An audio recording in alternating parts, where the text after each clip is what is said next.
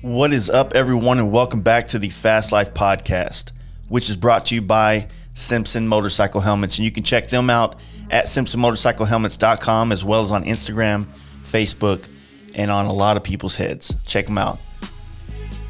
Lexin Moto has an intercom system for you. The all new Lexin G16 is the group rider's long awaited answer to an affordable intercom system. With a 16 rider comm system, Bluetooth 5.0, and music sharing, it'll keep your group connected while traveling together. This is another great product from the Lexin team geared at making motorcycle rides and travel more enjoyable. Check it all out at lexin-moto.com where you can apply the Fast Life offer code and save yourself 15% off. And give them a follow on Instagram at Lexin ThunderMax has your EFI equipped Harley Davidson covered with their high quality auto tuning ECMs. I have been running their computer on my Road Glide for over 40,000 miles and it continues to give me the optimal performance out of my engine. Paired with a touring oil cooler fan, my bike has been running strong and at a desirable temperature. You can check out these products at shoptmax.com and use offer code FASTLIFE to save yourself 10% off and as always, give these guys a follow on Instagram at ThunderMaxEFI. I switched all my lighting on my Road Glide to Letric Lighting Co. I'm a huge fan of their looks and their improved visibility I get from the shark tooth headlight. And I'm digging the five year warranty on the 15 different LED headlight options they have for your motorcycle. Their deluxe and premium LED turn signals offer 530 lumens of bright white running light, which are the be- the brightest in the industry and have a lifetime warranty. And last but not least, the LED tail lamps come in a wide range of design to add that finishing touch, and all products are plug and play. NAMZ custom cycle products since 1999 have been offering American made wiring products for all things V Twin, and Badlands for over 30 years have been offering the most reliable and dependable lighting modules in the USA, backed by a lifetime warranty. Find out more about these great companies at namzcustomcycleproducts.com and you can drop the FL 2020 offer code, which gives you free shipping on orders over $100. Check them out.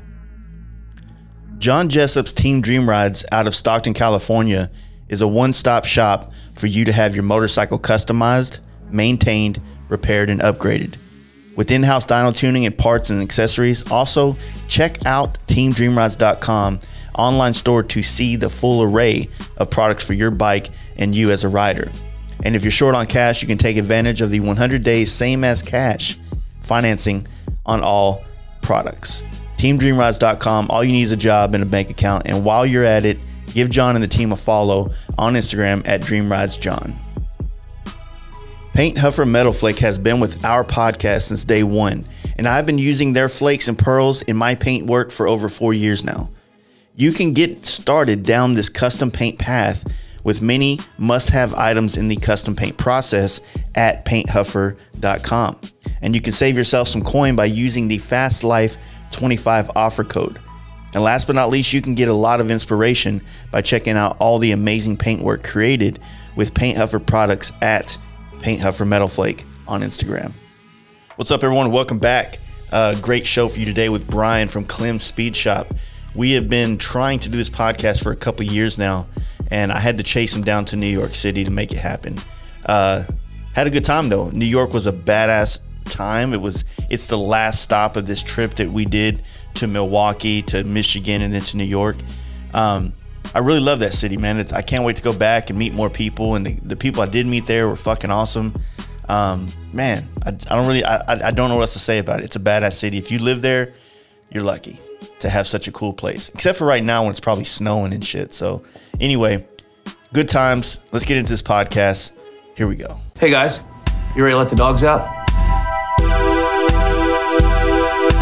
Fast Life Podcast.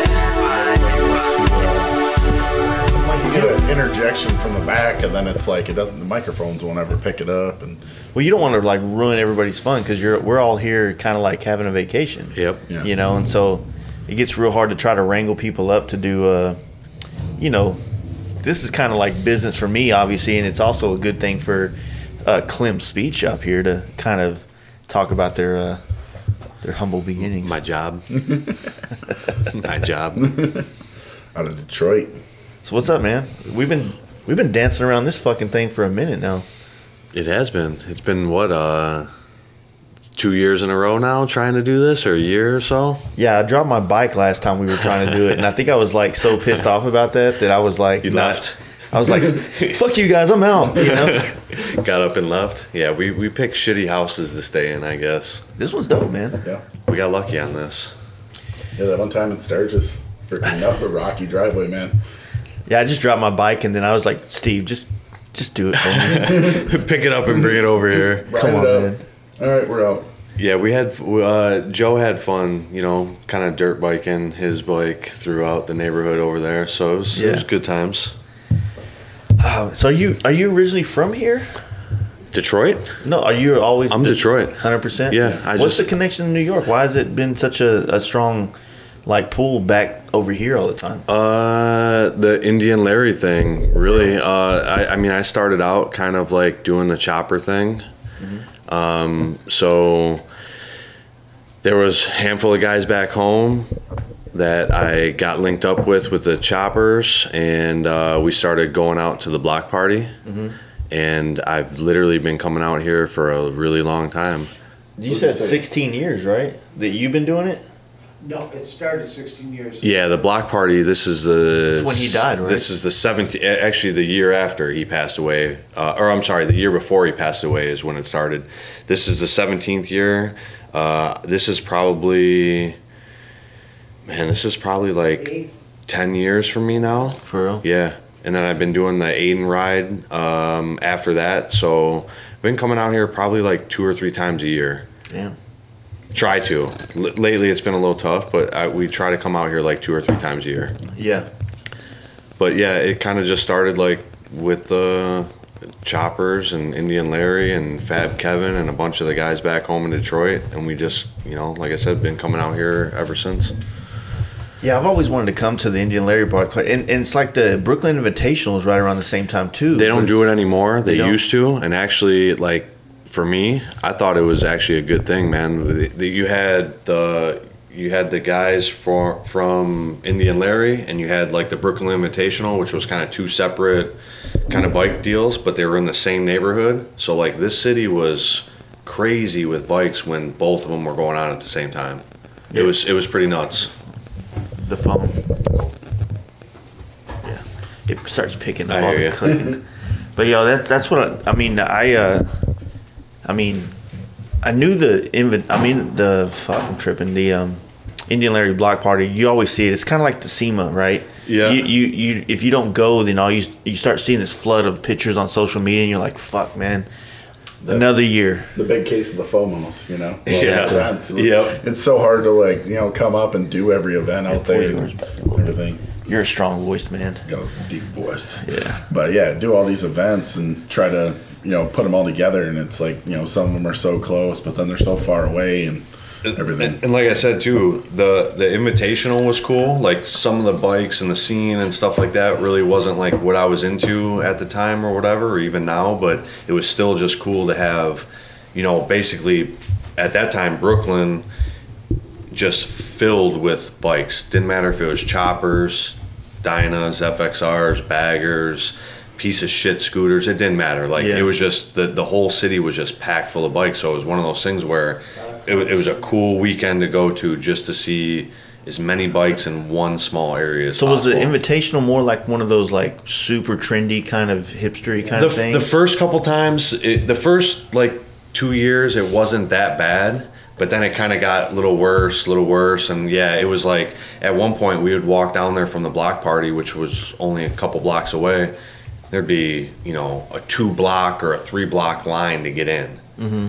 You know, and it was just like, dude, at that point, it, you know, it got out of control. You know, for for me at least, it wasn't my scene at that point. That's what it's like for in Texas. We have the hand built show, and I feel like that. You know, amazing craftsmanship there, but it's it doesn't really have that biker feel when you're down there. You know, the the thing was is like the bikes were in like a cool building, but like you know they had no lights. There was people all over the place. So like for myself, I want to go check out bikes and see what people are doing. You couldn't even get within like ten or fifteen feet of a bike, let alone get a good picture of it. You know, so for me, it just wasn't. It, it kind of got you know. I like the party, but that was a whole different kind of party for me. Yeah, that know? was like a fucking uh, martini party yes, right there. yep, yep.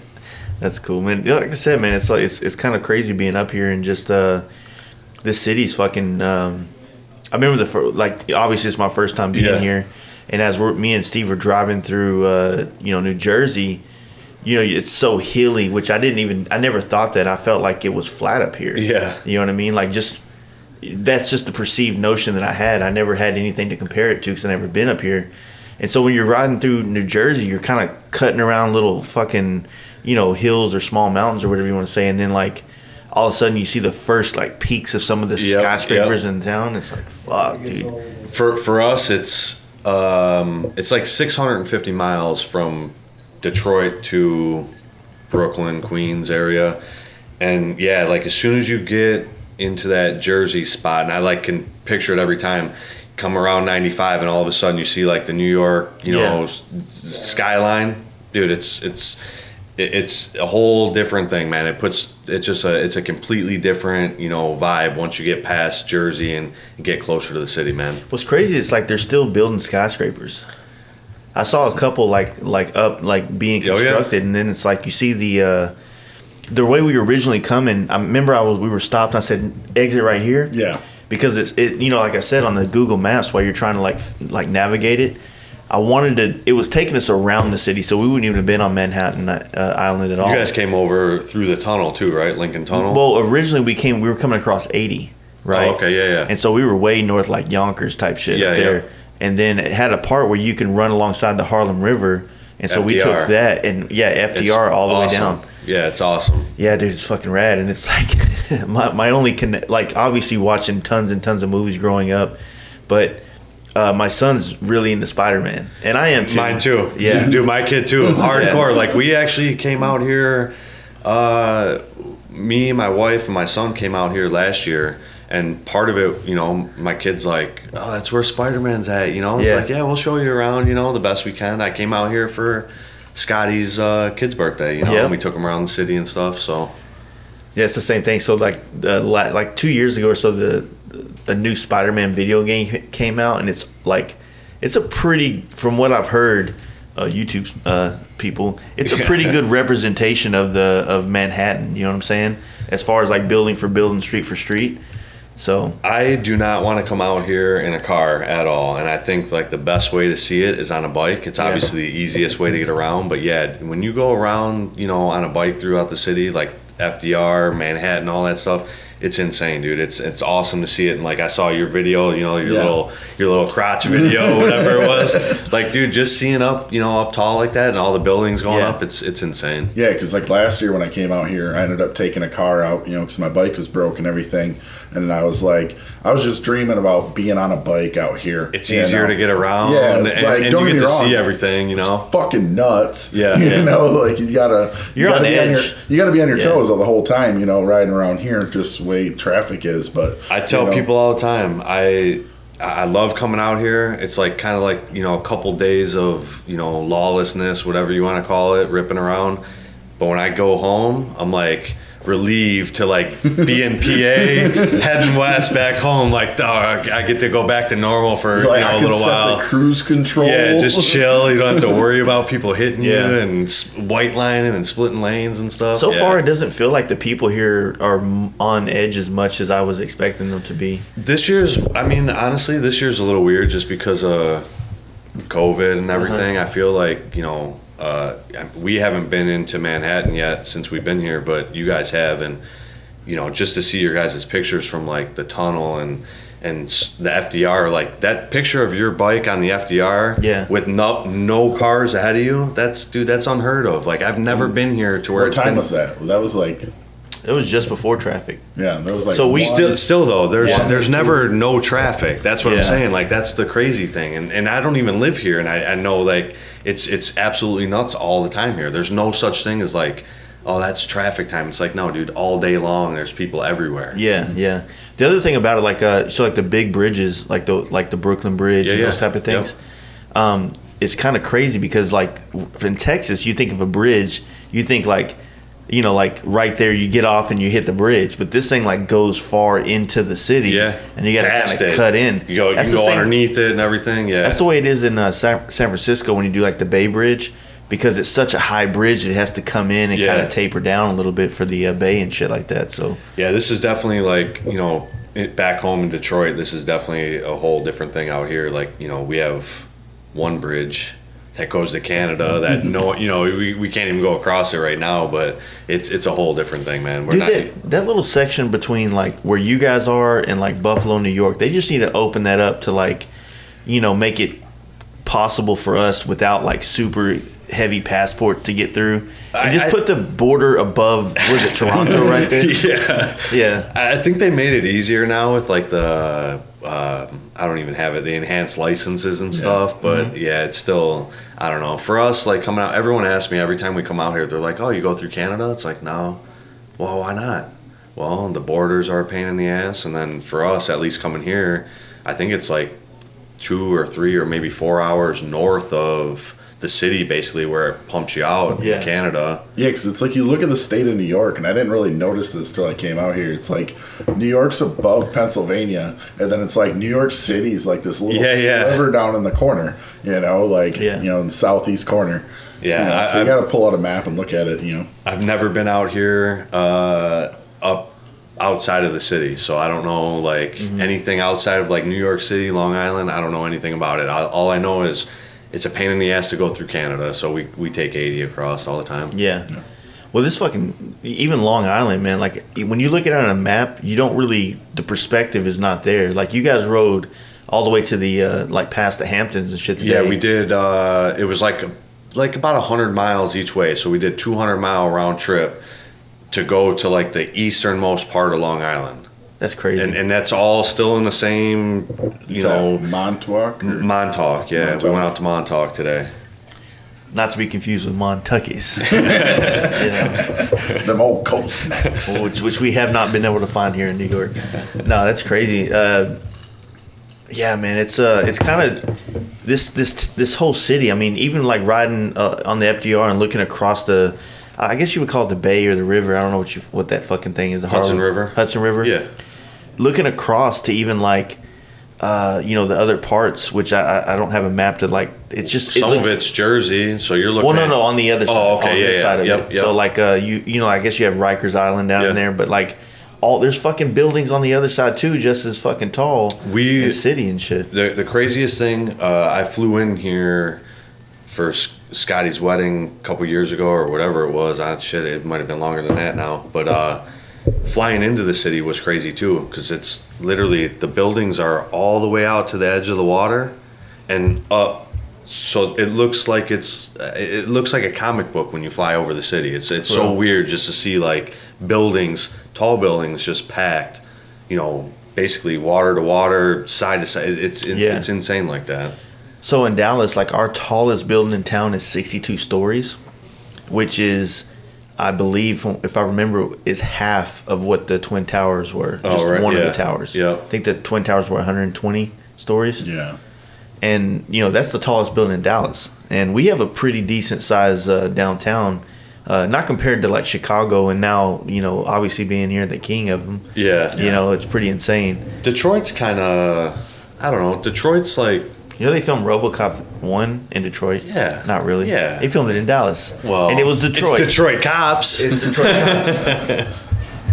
yeah, it's Detroit's like, um, we don't have like the, the the ton of tall, like huge tall buildings. It's spread out, you know. Yeah. But it's, I don't know. It's I I, I kind of like it that way more than here. It's a little, For sure. little bit It- more. it's more spread out. manageable, man. Yeah, it's, It's more like- spread out.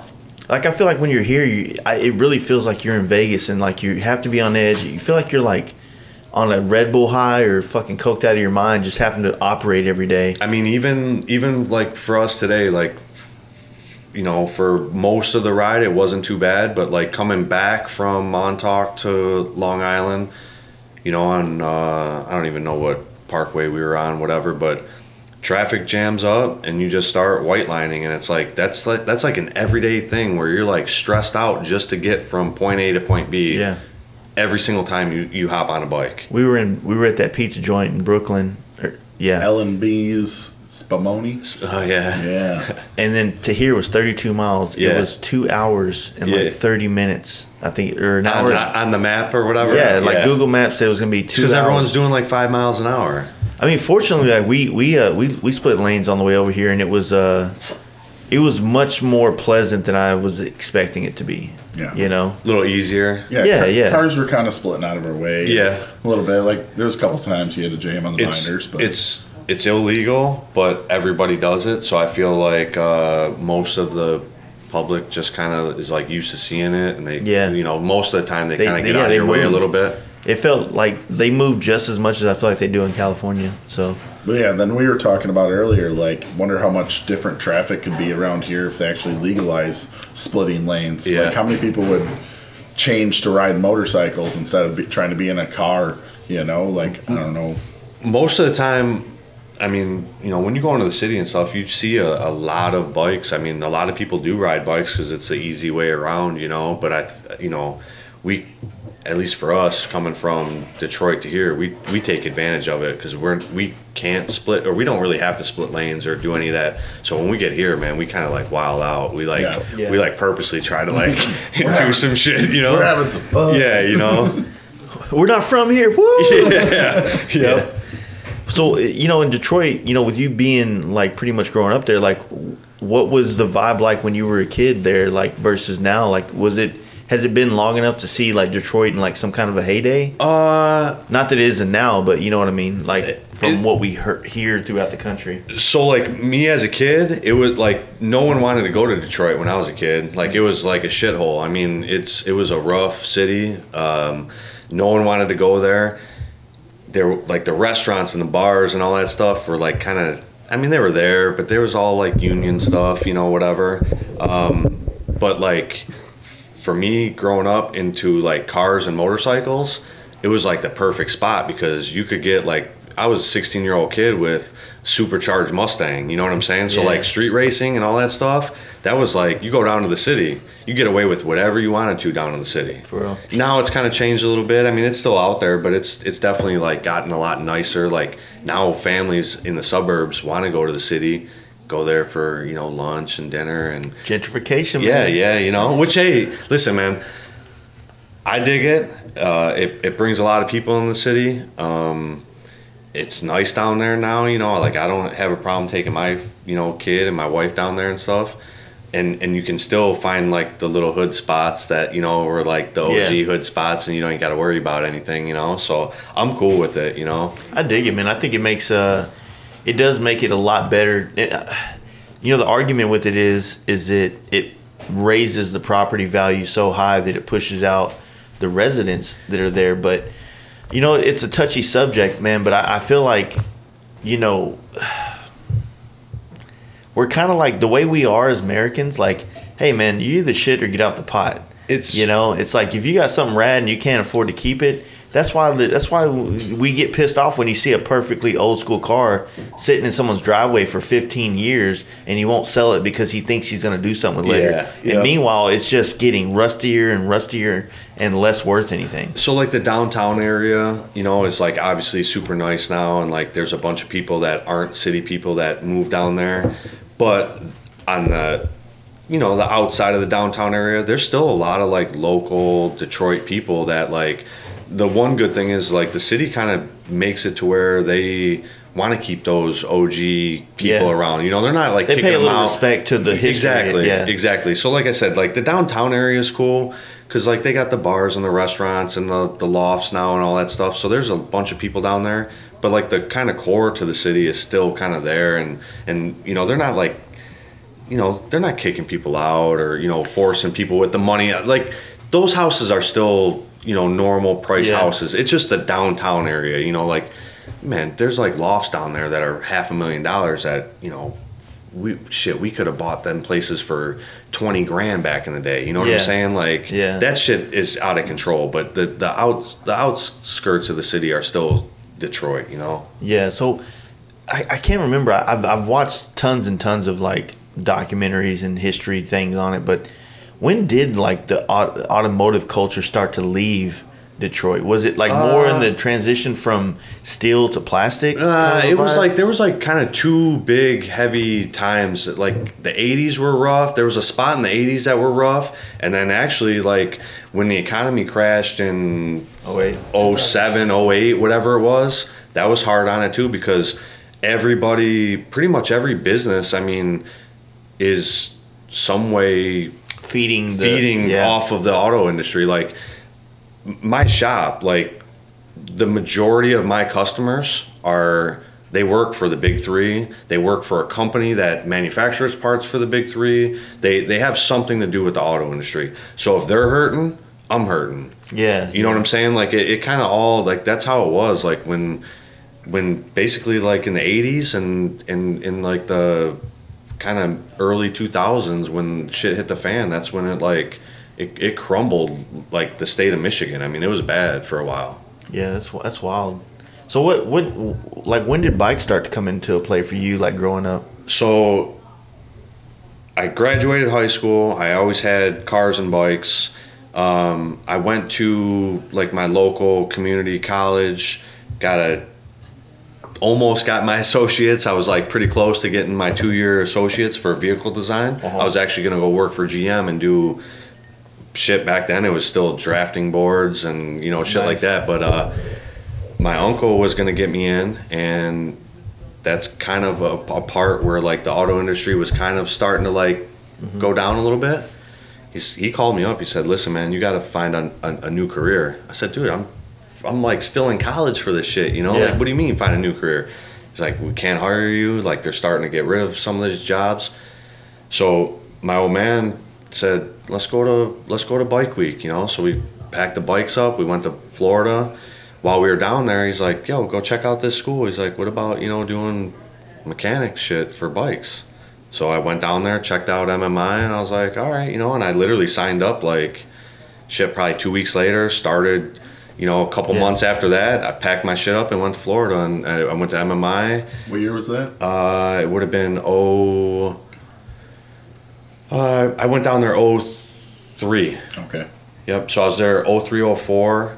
Um, it was about two years. I, I got kind of screwed. I was down there and I we had like a, a bad rash of hurricanes. So like my school got like delayed. Like you know there was flooding and all this shit. So I ended up being down there for almost two years to get my full um, class done and. Um, I got hired before I even graduated. I got hired from my local dealership and moved back to, to Michigan after that. So I started April of like 04 at the dealership back home. That's So that's kind of how that whole thing like So like so around that time, so you're talking you when did you graduate high school? Like around 01. So that's me too. I graduated in Yep. 01. So it's like you know, at the time I was about to go to college. Like I I don't know if, you know, I've said it a million times for everybody to listen, but I was going I was graduating and starting I was going to go to Art Institute. I had everything figured out to do uh, um, drafting and design for architecture and I was going to go into that field. I was kind of in the same. I was like architecture, vehicle design. I was kind Yeah. of in that whole like kind of. I was into that whole part of it. So I was kind of like I said. I was going to do my associates, and then kind of see what happened from there. Kind of get my foot in the door at GM, and shit hit the fan. You know. So when I was in there though, like it, it so when I was before I got into college, I had a job um, as like a half-ass apprentice, but I was really just running blueprints. Yeah, yeah. And doing a little bit of draftsman work, Yep. like you know, changing some things on the papers and then plotting them out and Yeah. running blueprints. And I started to look at, you know, talking to the architect that I was working for. He started to, you know, telling me, he's like, yeah, when I became an architect in the 60s, you know, you didn't have to have a, a master's degree. And then I was like, so what, what have you designed? He goes, oh, I designed this part of this building. And I'm like, what? So, like, you designed, like, that One corner? Little, yeah. I'm like, dude, like, what the, that sounds lame. Dude, I, I started I started figuring that out real quick because like same thing like uh, when I was gonna get in at GM, they were like, well, you're gonna run the, you know this to here and this and all this stuff. You're gonna start at the bottom. I'm like, all right, cool. You know, and then I'm like starting at the same thing. They're like, yeah, I, I designed like the center console for a Corvette. I'm like, wait, just one little center console. That's all you did? Yeah. Yeah, I'm on interior design. I'm like, oh, okay, cool. I'm like, all right, Like- like I would be so pissed because you know when I when I sketch paint jobs, like I sit there, I, I envision it from every angle. I you know I just immerse myself into how's the viewer gonna think, how's the rider feel riding this, thinking about it, and I can't imagine designing something like a car, right? I'd be so pissed if I drew a design and came up and like, all right, we're gonna use your headlights. Yeah. I'm like, no, either use it all or fuck off. You know what I mean? Like, I don't know if I'd be okay with that. You know what I mean? honestly like looking back at it now like that i guess that's the cool thing about bikes too you know like most people that are in the the the bike community or like in the industry you know they kind of do like what you're saying you know they s- start to finish almost a whole thing you know Yeah, instead of just it, yeah. you know i know there's guys that do just parts or whatever but that's a whole in my opinion that's a whole separate kind of thing of the industry but bikes most people like start to finish man they have they have either the whole say in it if they're a bike builder or whatever or you know at least they can kind of envision the whole thing and kind of Yeah. do it from start to finish you know Yeah, that's what's weird to me, man. Because like I said, it's like, are do you be proud of that? I mean, it, I guess it would be like cool if you were, you know, with your old lady at like a Starbucks and like, you know, the nine the those C. they don't give a shit they're like no they don't give a shit But like I made that.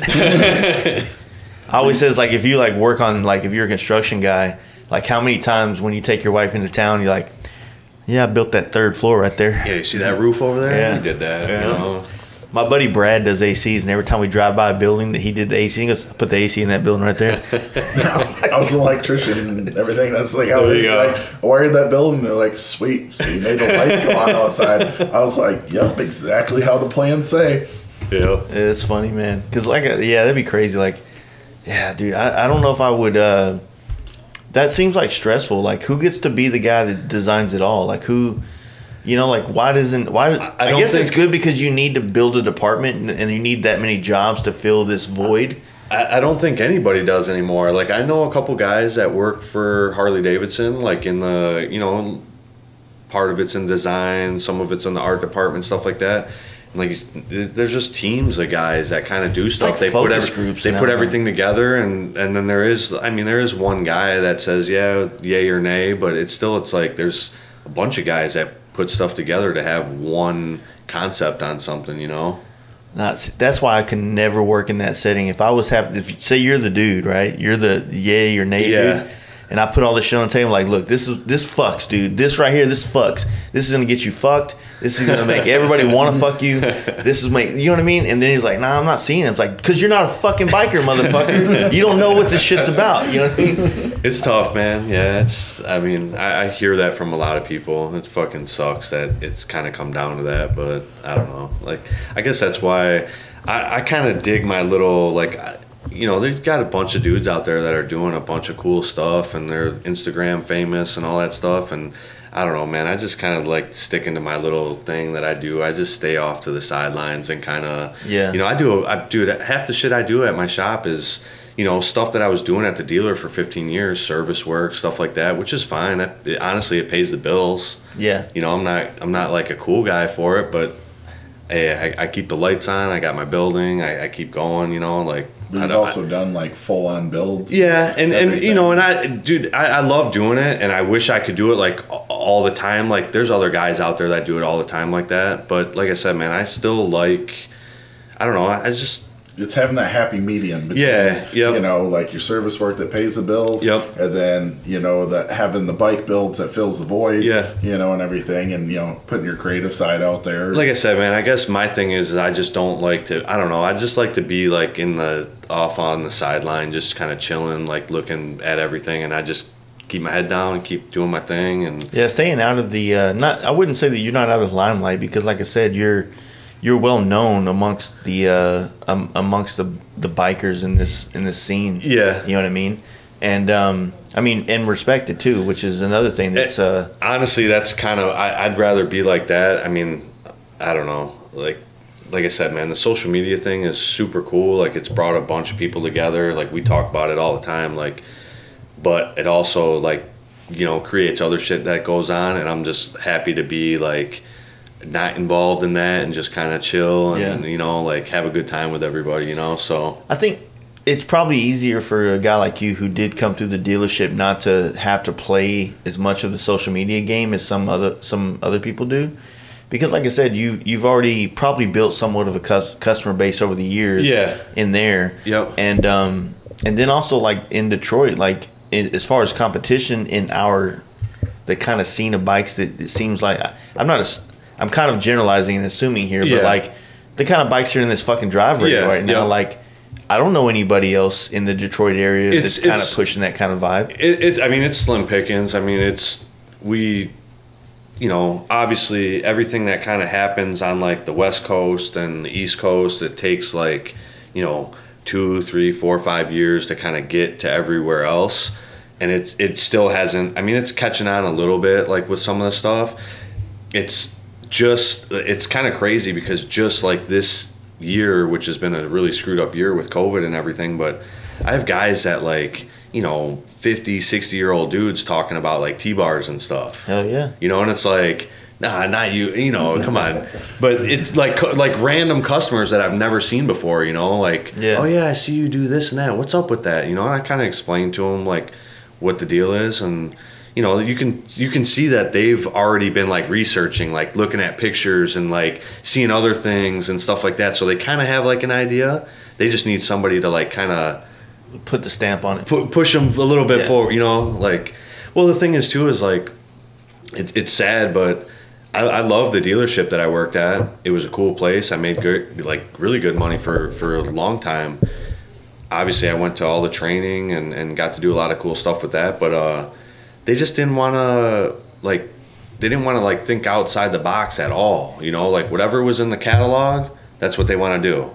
Mm-hmm. And I was always the type that was like, I'm cool with that, like, you know, whatever, but there's other stuff out there Yeah. Yeah. that's a part of the industry, you know what I'm saying? And like like why don't we think outside the box Yeah. a little bit, you know? And it just never it never really We can still make money on offering other people stuff. yeah, you know, it, it just never I don't know, that it, it just I don't know. It got it got frustrating because it was like it was Harley stuff only, and that's it. Right. Which I get, like I, I completely get it. But you, we did have like, shit. One of one of my best friends still works at the dealership. Young dude, you know, like he wants to try to push that stuff. He's built a couple bikes there that they've let him do, and they come out great. It's just they never like really push it past that. Yeah. Yeah. You know. I completely understand what you're saying because I deal with that in Texas, and that's why I had to go to Milwaukee.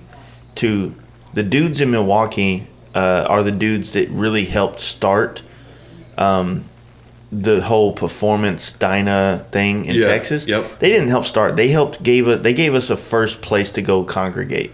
You know, who the fuck just? Oh, this is my glass.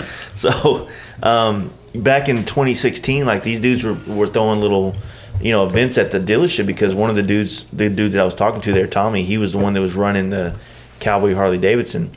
So he was having, he was doing things, but you know, when when you're trying to like kind of usher in a trend like that, these dealerships want immediate returns That's- on everything that happens. I, I will say that I will back that up hundred percent. The problem is, is that they would see something and and Har- and and I'll say this too: Harley Davidson, like the motor company, they have people in there that have great ideas. They have people in there, younger guys that are trying to like push this stuff, and they they'll come out with like an advertisement scheme or or whatever you want to call it. The dealers will kind of jump on for a second. They'll say, "Hey, man, look at this is the next best thing." It's like, ah, we I've been doing that for fucking five years now. Well, we're gonna try this. So we put together like one bike. It didn't sell like the next day, or someone didn't come in and buy a part the next day, and they're like, "Yeah, no, s- scrap that. We're going back to street glides." Yeah. You know, it's like they never gave it like they gave it like less than 24 hours to try to make things work. It didn't. The return wasn't there like instantly, and they were like, See, what- Yeah, we're done with that." the dealers don't get it, and I guess like you get it because like you guys throw the bike nights, you understand about feeding the culture around you into it. It's like it- it's like it's not all about like just like saying, "Hey, come spend money money here." Hey, you like this type of bike? Come fuck with us. Man, Listen, come hang I'm, out. I'm the worst for that. I would have I would have parties or you know my my uh, grand opening party or like the one year anniversary party or anything. We used to do these little thing like get-togethers, and I'd have a bunch of people at the shop, you know, having a good time, and I never even like pushed my own stuff. Like, you know, I wasn't trying to sell like shirts or nothing. I literally was just trying to get people. You're like, here, here's some free beer. So- Yeah, out. you- you- You know, literally. Like, I was just like, because that's what I wanted to do at these places. And everyone's like, oh, you need to be selling t shirts and this and that. It's like, yeah, you're right. I probably should. But that wasn't my focus on this whole thing. My focus is just trying to get people together. You what know? it what it kind of seems like because Michigan early on um, had kind of a scene. You know, there was a couple dudes like what was it the Michigan Misfit? yeah, they had a couple guys. Yeah. So uh, like when I first got into it, which you know when I first got into all this shit, it was pretty pretty early on considering in the Midwest or whatever Yeah. or the South, wherever the fuck I am. Um, and those dudes were already fucking up there trying to rip willies and Yep. create like go this whole thing. nights Yeah. and shit. Yeah. So it felt like maybe your your local bike scene was was waiting for a, shop like you to come out. it i mean i feel like everywhere needs like something where you can kind of go and like most of these guys and, and not even like in our scene like you know baggers Dynas just bike guys in general want to go somewhere have a good time drink some beers see some chicks and see some people doing some dumb shit. You know what i'm saying? Like Burnouts, yeah you know whatever. And it, and it's like yeah people are waiting for that. And Yeah. no one you know the couple spots would pop up here and there that would do it. And you know we had a we had a place right down the street from my shop that they'd have bike nights on friday nights that would get pretty out of control. And shit at the end man there was probably thousands of bikes that would show up at gibraltar this uh, shop down there or this place. And like they just closed up that was it they were done and everyone's like, well, who's going to have the Friday, you know, Gibraltar bike nights now? You know, and it's like, I, I don't have the property for that, you know, or the place. Yeah, and like, and, and some of the people there, I don't want them at the shop, but still, it's like, we're looking for a place to like, Like transfer it, yeah. yeah, you know, Yeah, that's what I've noticed, man. I, I feel like some of the, uh, and it's, it's because of things like social media and Instagram that these uh, guys find this bike scene. They see guys like Steve or myself or you or, you know, anybody, and they like, man, that looks fun. I want to do that shit. And then they look back, they go open the window and are like, where the fuck am I gonna find a shop like Clem Speed Yeah. Shop and dudes like Steve that ride that I can go fuck with and you know and then some of them end up becoming guys like us you know Right. like like Craig or you know I need to stop talking about Craig on this fucking podcast. No, everybody's gonna think he's like you know he's like the shit or something. No, he is pretty I, I say this with like a lot of it. It's like just sometimes you just got to be the guy that goes out and you start doing it. You know, like people are gonna follow. Like if you think it's cool and you're doing some rad shit, like just go do it. And then people are they're gonna say they're gonna be like, yeah, I wish I was there. I would have came if you would have invited me. And it's like I put it out there I know. and you weren't there. You know, the moment I left. And then you hate to leave some people behind, but it's like jealousy sometimes makes the craziest shit happen. Yeah. I you know? hate more than anything grown ass men who say, "Well, I was gonna come, but you didn't invite me." Dude, thanks for the invite or saying that. I fucking hate that. Thanks I'm like- the invite. I'm going to say that to you next time. Dude, it's when I don't show up. Be like, why so didn't you show sad, up? man. Why don't you Dude, where's my Horsepower invite, man? Night? Yeah, Like, yeah. oh, No invite, bro. invite. Yeah. That shit's so annoying, man. So But it- it's like you just got to be out there and you just got to fucking do it. Yeah, for sure. That's the thing. It's like, uh, you know, in Dallas, we didn't really have shit going on. We started doing our uh, New Year's ride, which is kind of like our anniversary Yeah. thing. And um, it just wasn't nothing going on. But I knew through social media, I knew there was at least 20, 30, 40 people out there that dug these type of bikes. And, uh, and that's just the people that are on Instagram. Like, not everybody's on Instagram or Facebook or whatever, you know? I feel like people are like timid too. Like I, I have a lot of customers that, you know, they'll. Some guys aren't like real social media guys, like you know some of the older dudes, whatever. But they'll they'll go on Facebook, and I'm not a big Facebook guy, but they'll go on Instagram or Facebook and see something. And they'll be like, "Oh man, I see you had some people out here for something." It's like, yeah, like you know, where were you at? Oh well you know i don't know like you, you you guys are like the dyna guys. It's like no no no dude like just i don't give a shit what bike you have. Just come out man. Like Yeah. do you, do you want to like have fun? Do you want to like go ride? And like even like the you know we had the aiden ride. Yeah. so it's based out of here but we do it in detroit. This was the second year that we've done it. And uh the amount of people that I've never seen before that show up for that because it's a charity event and everything is awesome. And then I kind of have to, I have to kind of like pre-warn the people. Like I give a little bullshit speech just saying like, hey, we're gonna take this ride. We have no, you know, police escorts. We have no, you know, we we, we kind of road crew it ourselves. But it's just like, listen, if you guys see like four or five dudes like ripping up on the side of the shoulder at 100 miles an hour, get past, just let us go. We're we're trying to help everyone out because most people aren't really. They don't know kind of how we ride and stuff, Yeah, and they're yeah. kind of a little timid about it. And I tell them, like, listen, if you guys don't want to be around that shit, just hang at the back or meet us here. This is where we're going. Meet us there. You guys don't have to ride like us. You guys don't have to keep up. You don't have to do nothing. Just come out, enjoy, And you know, yeah. and you know whatever. I, I just the only thing I'm thinking in my mind right now is me and you and Bob in Spearfish Canyon last year. that shit was wild, dude. Oh yeah. Then You tell him I'm gonna go fill my glass with Dude, some- Sturgis is. I don't even want to fuck around with Sturgis, dude. Last year, that was like right before Bob got pulled over. Then later that day, you got pulled over. But That's why he left. Be- between He's like, I dropped my bike and got a ticket. Fuck Yeah. this place. I'm out of here. No, but like uh, going on that, and we're talking with like big epic events, you know, like you know, show up. But sometimes it's the events with like five, ten people. That's just your boys, and you know, you just make the best time out of you know the littlest shit. Like that's Dude, I that's said the your, stuff I love. I said your camp out. That was like the best, in my opinion. That was one of the best ideas. I know you got like people have been doing it, but like for Michigan, Yeah. that was like one of the best ideas. Like, I'd rather do a camp out than, you know, say have like a party or something because the the parties are cool. People obviously have fun and shit, but like. The camp out brings a bunch of people Yeah. from different areas.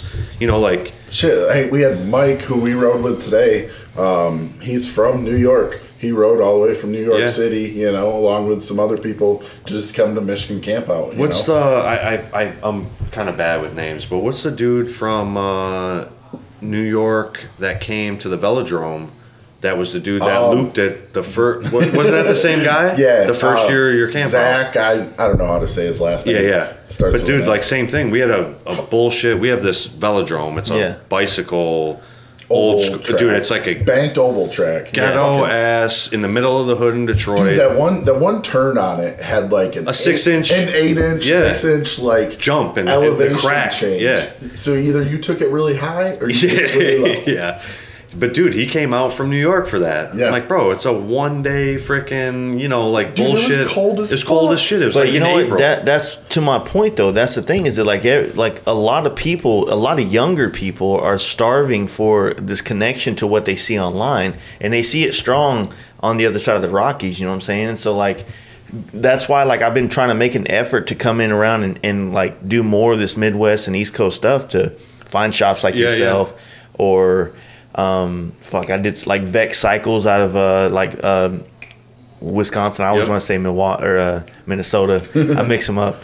Uh, but like find these shops that are like our style of bikes and our style of riding, so that like people can kind of you know fuck with those shops Yeah. and know who the who the connection is to the scene. You know what yeah, I mean? and and like with me too, like I've always kind of been like I I would love to put fifty thousand miles on in two years, but I I just I can't. I don't have the No. time and you know whatever. But that's what that's the kind of stuff that I want. That's the kind of stuff like I take pride in like doing bikes. Like I'm not a show bike guy mm-hmm. by any means. I'm I wouldn't build a show bike for myself. So like I'm that's not really my thing, but I want to build a bike that someone could hop on and say, "Hey, I'm going to put 25,000 miles on this bike this year and I live in Michigan, you know." See, I think right now in our industry, we don't really need show bikes. We need people to, like you, that build rippers, build bikes that are fun to ride. I think that people They right still now. look good. yeah, Yeah, I, I don't have a problem. I just like But the- like if you get a chip in the paint, Who there ain't cares? no fucking problem with that. That's And- fine. and you know what? You know, It- you get a scratch in your crash box, you tipped it over at a gas station. All right, shit happens. Yes, but the thing is, is like I guess in my in, in my eyes, like you know, and I get it, like guys that like guys that have like big legit shops that are building like big money Yeah. bikes. You know, they're taking those bikes, they're they're trailering them to Sturgis, they're they're showing them off, or they're trailering them to wherever to show them off. I get that. I do too. Like I I have a lot of respect for Steve, you, a bunch of people that take bikes that are.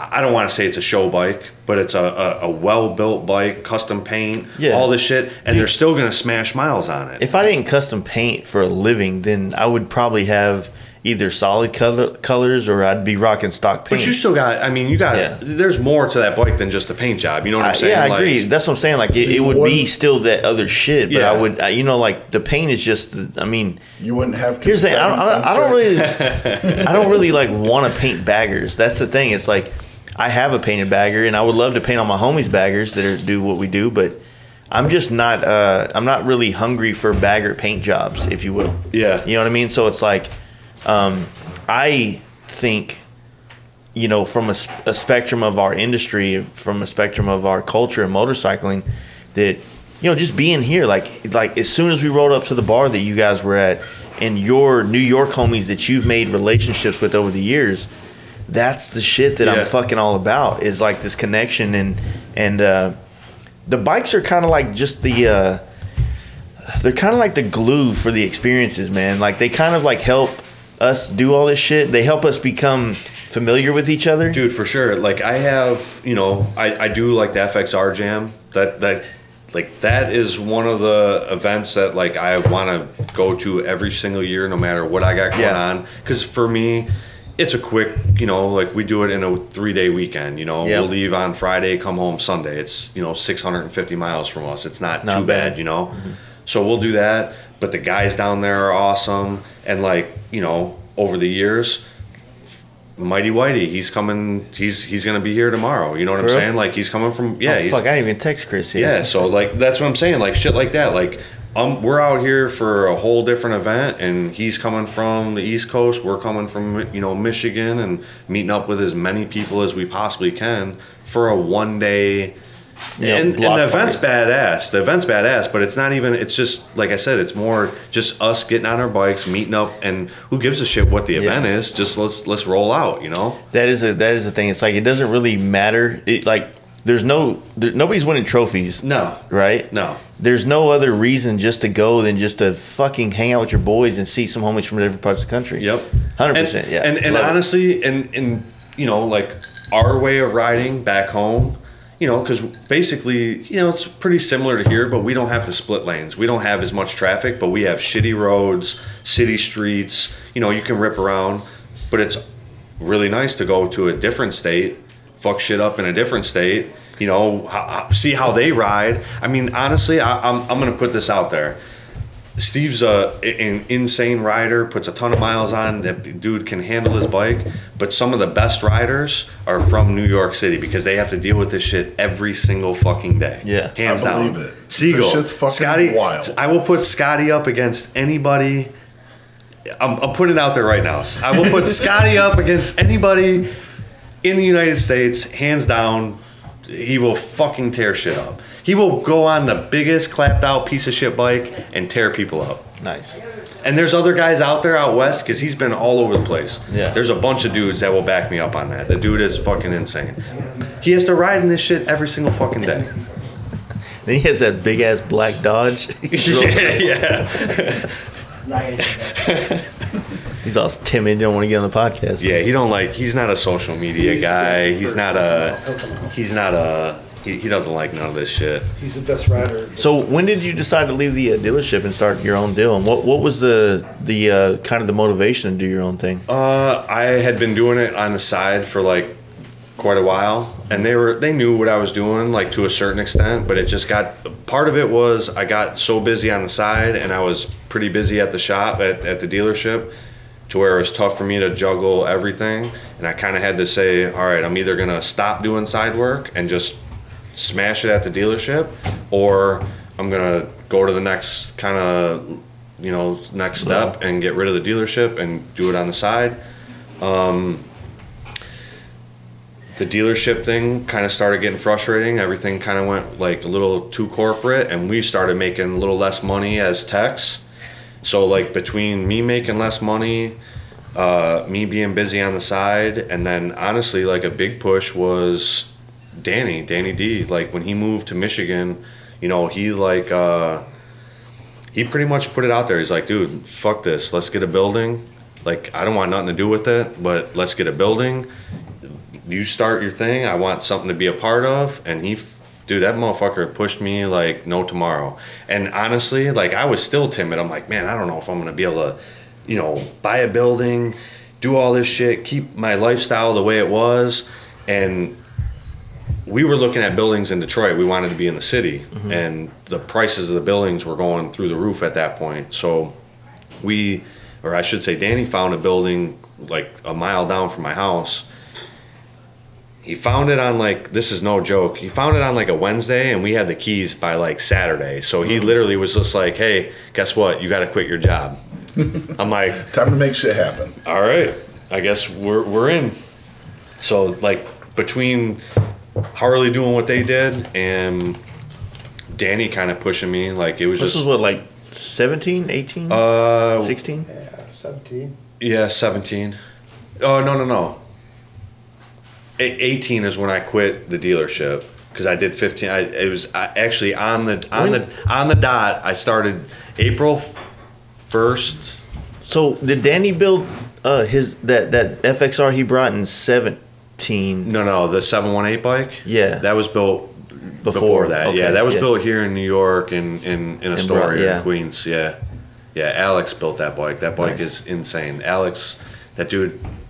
Tomorrow we'll, we'll take a we'll take a ride to his shop tomorrow. Okay. This dude is insane, man. This guy, they call him the crazy Russian. He is a, a madman, dude. Y'all got Russians up here? Yes. It's like Grand Theft Auto or something. Yes. yeah. Every nationality in New York, dude. Every nationality. Dude, we were Yeah. sitting at that pizza joint. I was just looking at it like, oh yeah, not American. Well, that's the redneck in me. She's not American, you know. But no, it was uh, it was just crazy seeing all the different uh, uh, people speaking different languages and stuff. You know what I mean? But yeah, that's uh, it, it's this style of bike, man. I, I you know with you, you guys follow like the two lane life and those Yeah, dudes. yeah. These guys are you know older gentlemen, you know, and they're fucking ripping across country on T bars and shit. Yep.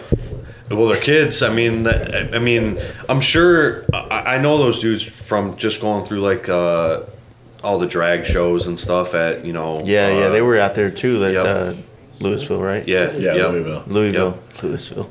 Good, good people, man, and it's cool because it's like you know father son stuff, and I I still ride with my dad and shit, you know, so it's cool to see that kind of stuff. Well, like that style of bike, I think, or just the style that we've all been pushing for the last couple of years now is starting to. Uh, it's starting to make sense, and because everybody's doing it now, it's starting to become more palatable for people that couldn't get over the look of it. Like, Well- to some people, ape hangers Yeah, yeah. and Fords or That's- fuck off. That's the You know what I Midwest, dude. Listen, every single FXR that you buy out of the Midwest has 16 inch ape hangers and forward controls on it. That's I it. couldn't, I couldn't imagine doing the riding we did today, just splitting lanes with ape hangers. But Yeah. but you know, have to explain that. You have to explain that to people because once again, we we just Yeah. talked about this today. In Michigan, you don't need to split lanes. You can you can go buy a bagger and pack your shit up and go do 400 miles in a day and come home on a Sunday. You don't Yeah. need a small bike. You don't need T-bars. You don't need any of that. But the thing is, is most people, you know, I get guys all the time. Yeah, I want to put you know 14 inch ape hangers on my street glide, and he's a short guy like me. Well, Yeah. why? Well, you know, my buddy Jack's got it like that. and they said they'll fit. Yeah, it's like, dude, They how do said you? they'll fit without changing the cables, right? Yeah, yeah. It's like, dude, that's uncomfortable. Like, it's uncomfortable, and like, do you? How do you ride? You do slow maneuvering. They're already uncomfortable on a bigger bike as it is, and then you get you know 14 inch ape hangers that are They're 40 inch wide. They're reaching. Yeah. You know, you, you kind of show them, and I always have like either like my FXR, the Road Glides, mostly at the shop every day. They'll ask questions, and I say, hey, sit on it, like sit on it, you feel more comfortable. I said, when you're out on the road, you, you feel that much more comfortable actually riding the bike. Mm-hmm. You know? And I get guys, I, I just had a guy before I left here that I put, you know, 10 inch LA chopper bars on like a, you know, I think it was a limited. He's switching over to T bars on that bike just because he's he's getting used to the look of it, and he feels that they're too wide for him. You Yeah, know, slow yeah. maneuvering. You know, It's it's it's like the fact whenever like the new Tahoe comes out, right? When the new Tahoe comes out, nobody likes it. It's like, no, I'm I'm so used to the other one.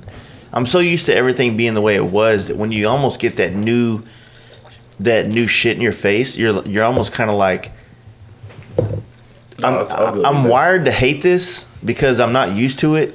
But then it just you start seeing more people like do their their twist on it. Yeah. You know what I mean? And, and that's why I was saying earlier, we were sitting on the couch talking, I was like, I'm a visual guy, and I know that visual sells everything. Like, performance is great. Like, it is the backbone of everything we do on motorcycles, but you can't visually see performance. So you have to use the visualization of how the bike looks from from toe to toe on uh, you know how to sell it to them because a lot of dudes initially you know, for a lack of a better analogy here, they're they're pretty insecure on their bikes, and they're looking for something that's going to make them feel Yeah. cool and feel feel more badass than they normally are. You know, fuck, I'm I'm not as cool as my fucking bike is. You know what I mean? So, So- it's like, You're saying you can't visually see performance, but how was that wheelie you did earlier? uh, well, you You know, hold on, you can't say that. You're still in break-in mode, right? Yeah, well- Gotta keep- keep that warranty. it slipped. but no, that's the uh, that's the kind of the thing that I, you we know. saw it. He felt it. I just I looked at my saw mirror, the I headlight seen, I straight seen up. the headlight up. I was like, whoa, all right. That shit's addicting though, so I had to stop right there. Hey, they said a thousand miles. You're at like eight hundred. Hey, that's Dude, a- I'm 37 miles away from 2,000 miles today. No, uh, 40,000 miles. 37 miles. Today is my two year anniversary from the day I signed the papers on my bike and brought it home. And I have 37 miles to hit 40,000. I, I just got a quick question. And I don't have it. We'll be on the podcast still by the time it's done. I I got a quick question here. The the break-in thing. This, Yeah. Explain this to me. So they dyno tuned your bike. I, I know where you're got- going this. I'm going to follow you. You got you got you got a dyno sheet that did full pulls on it. yeah. So you, you're already, what's the break-in for? You already beat the shit out of it on the dyno. What's so the, the the funny thing is we did a podcast with with the guys from the the horse or um, House House, of of Harley, um, and the two two of the dudes are from Texas. They're friends of mine. I painted both their bikes early on, and uh, one is uh, the service manager now is Harper. He's built some pretty badass FXRs in Texas and shit like that. And so the other dude that actually built my bike, his name's J Rock, and and uh, he's pretty thorough, man. Like to to be honest with you, I've never really had my bike worked on by a Harley dealership.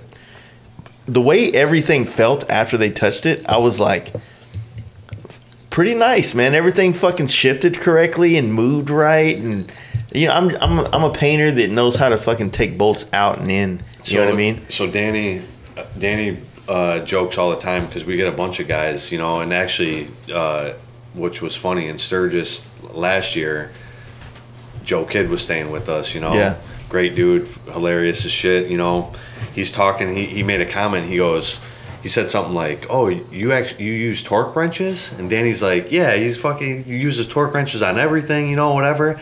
And like we we talk about that. There's guys, I mean, that you know put stuff together, and there's guys that like really put stuff together, torque wrenches, tolerances, the whole deal. Yeah. And you can tell the difference in You a bike that is yeah. you know assembled correctly.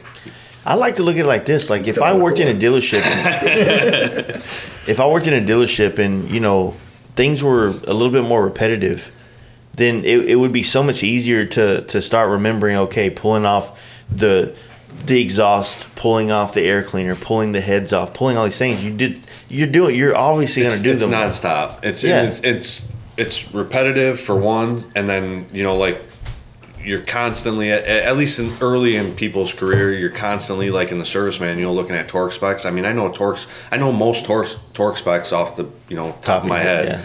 So like that stuff kind of comes natural, and then also which was good and a bad thing. Like I was kind of forced into a, a flat rate mechanic at an early age. Like I was only in the dealership for two years, and they basically switched us over to flat rate. Mm. I was nervous as hell. I'm like, dude, I'm you know two years in. I'm I'm still learning. I'm still slow, and now you want me to basically earn my money off of how quick I can get this shit done. You know. Yeah. So it forced us to become better at you know you i don't want to call them shortcuts but you find ways to kind of do things a little bit quicker a little easier you know to, to make that money off of being flat Yeah. rate versus you know an hourly guy Yeah, so like like I said, we were we did this little podcast afterwards. You you know, just try to, you know, give these guys a chance to kind of not give them a chance, but just wanted to talk to them and see how I, I'd never done a podcast with people that are actually currently working in a dealership, Yeah. you know, and, and of course you can't be like super brutally honest, but at the same time, like I hung out in that dealership all week. Yeah. Like I walked in like an employee. That was the closest I'll ever be to employ like working at a dealership. I come in at you know 7:30, 8 o'clock in the morning. I walk upstairs to where all the business people are. and, Yep. hey, hey, Melissa. Yeah. hey, you know, hey, Sam. And I'm walking in my office. They set up for me to do podcasts and shit. And um, talking with him, like Harper, you know, because I joke with him because he he built a he he did a a 111, uh, you know, Evo style right when they came out in his uh, FXR. And I just At remember the dealership or on his own? no, he did it while he was working at a dealership, but it was down in Austin. Okay. And uh, you know the the other guy, uh, Tommy, used to run the dealership in Austin, and also was a part in junction with a couple other dudes at the dealership and running bike nights outside of the town. Okay. They were really, really starting to bring the culture of the performance bikes down there. And so there was this one, uh, some Instagram videos or whatever. Like Harper is literally put the fucking motor in it, heat cycled it, threw a carburetor, twisted it up, tuned it a little bit, rode it to the bike night, and he's fucking just doing burnouts with someone pouring liquor in his mouth with like 15 miles on it. he's literally a fucking party animal, and I love that dude. And so that we were doing the podcast, we were talking about breaking in. I was asking J Rock, the guy that did the motor work, who's like, you know, he's a motor nerd. He's Yeah. all about it. He's like, you know, I usually tell my customers between two and you know, he says a thousand miles, then bring it back Yeah. do the oil changes, make sure there's no metal in there, things like that. And then Harper's like, no, just run it. He's like, Harper's a service manager. J Rock's the guy that does, he's like under him basically. Yep. He's like, just fucking rip it, dude. so I don't know. I- the the dealership. I'm- I mean, here's the thing. There there is a proper break in for everything. You know, it doesn't matter what it is. Yeah. The the dealerships, you know, they can do whatever. To be honest with you, they can do whatever they want. They have enough money to where if that bike, if your bike blows up, they can come back and say, all right, let's fix it and figure out what happened and. They'll pay their employees and they'll eat the cost if it's something on their end, or they're going to charge you for something yeah. me being a, a, a one man shop, like, you know, that's all my money, that's everything, my time, everything. Like, I'm pretty hardcore about, like, you know, proper heat cycles, breaking in. Like, I try not to give it back to them until it's ready for them to at least kind of ride it, you know, decent, make sure Yeah. either the carb or the map's decent for them. Because if that comes back, like, I got to eat it. You know what I'm saying? Like, that kills me on time and money. Yeah. I got a I got a bike tore apart right now that uh, you know I don't know what the kid did. You know we, he's kind of being a little shady on his stories of what happened and all this stuff. Uh, I called the company that I used for the cylinders. They had some little issues and you know, but they're not going to help me out with it. So basically, I'm kind of rebuilding a motor for a guy out of my pocket because. I don't know what he did. I know what I did, but I, you know what I'm saying. Like it's That's just- almost where it gets kind of kind of weird. Like why you know like you have to start figuring out where and what companies on the other end to work with because if it is, it's like with uh you know not to throw shade on F, uh, S&S, but I've heard that they've had a handful of uh, you know top ends that are out of out of out of you know not shaped right, and it causes uh, you know smoke, blow by, This is- uh, compression. this is I this is a, a hundred inch S&S kit that Yeah. I'm dealing with, and actually at this point, like I spoke to somebody, the guy was super cool. Um, I have a guy that I kind of know there. He was super cool. Let me know what happened, and I said, yeah, the guy probably didn't, you know, follow procedure properly, but It still should. how do I that. prove it? How- You know what I'm saying? Like it was Right. it was 200 miles, you know, and he had an issue. And at this point, like I I'm I can't afford to go back with that same company. They're not going to help me out with it on this one. So basically, I'm building him instead of a 100 inch like kit, and he had head work done from a local guy and all this stuff. I'm basically I got the cylinders and heads back out at that guy and building this guy a 95 inch, you know, on my own dime at this point, you know Yeah. because I'm not gonna fight it. I'm not gonna, you know, like it, it is what it is, and and this is the first time and since I've opened my shop that I have to like kind of eat it like that. But whatever. Yeah, and that's what sucks is because once you do have to eat it, it's like there's no there's no argument that you win because honestly, like you don't want to you don't want to not go to bat for your customer, yeah, but you also don't want to go to bat with the big ass company that you're going to have to deal with for the rest of your career as a motorcycle shop. The way I looked at it is, I, I, I made a phone call. I, I, I got a, a- in in contact with this guy. I made a phone call, had a awesome conversation with the dude. He actually was super cool. Said he follows me on social media and he knows like because I told him I said, listen, man, when I put together a motor, I don't just slap parts on. I measure everything, ring end gap. I you know I I, I measure cylinders before I even put them together, even though Yeah. they're brand new. You know I, I I try to do the best I possibly can with it. Yeah. And still had an issue.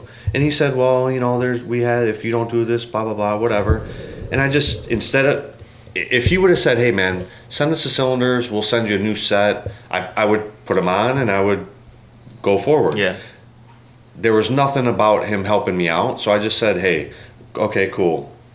Trash those. I'm gonna take the, you know, and So- build him a, a whole different setup out of the parts that I already had, Yeah.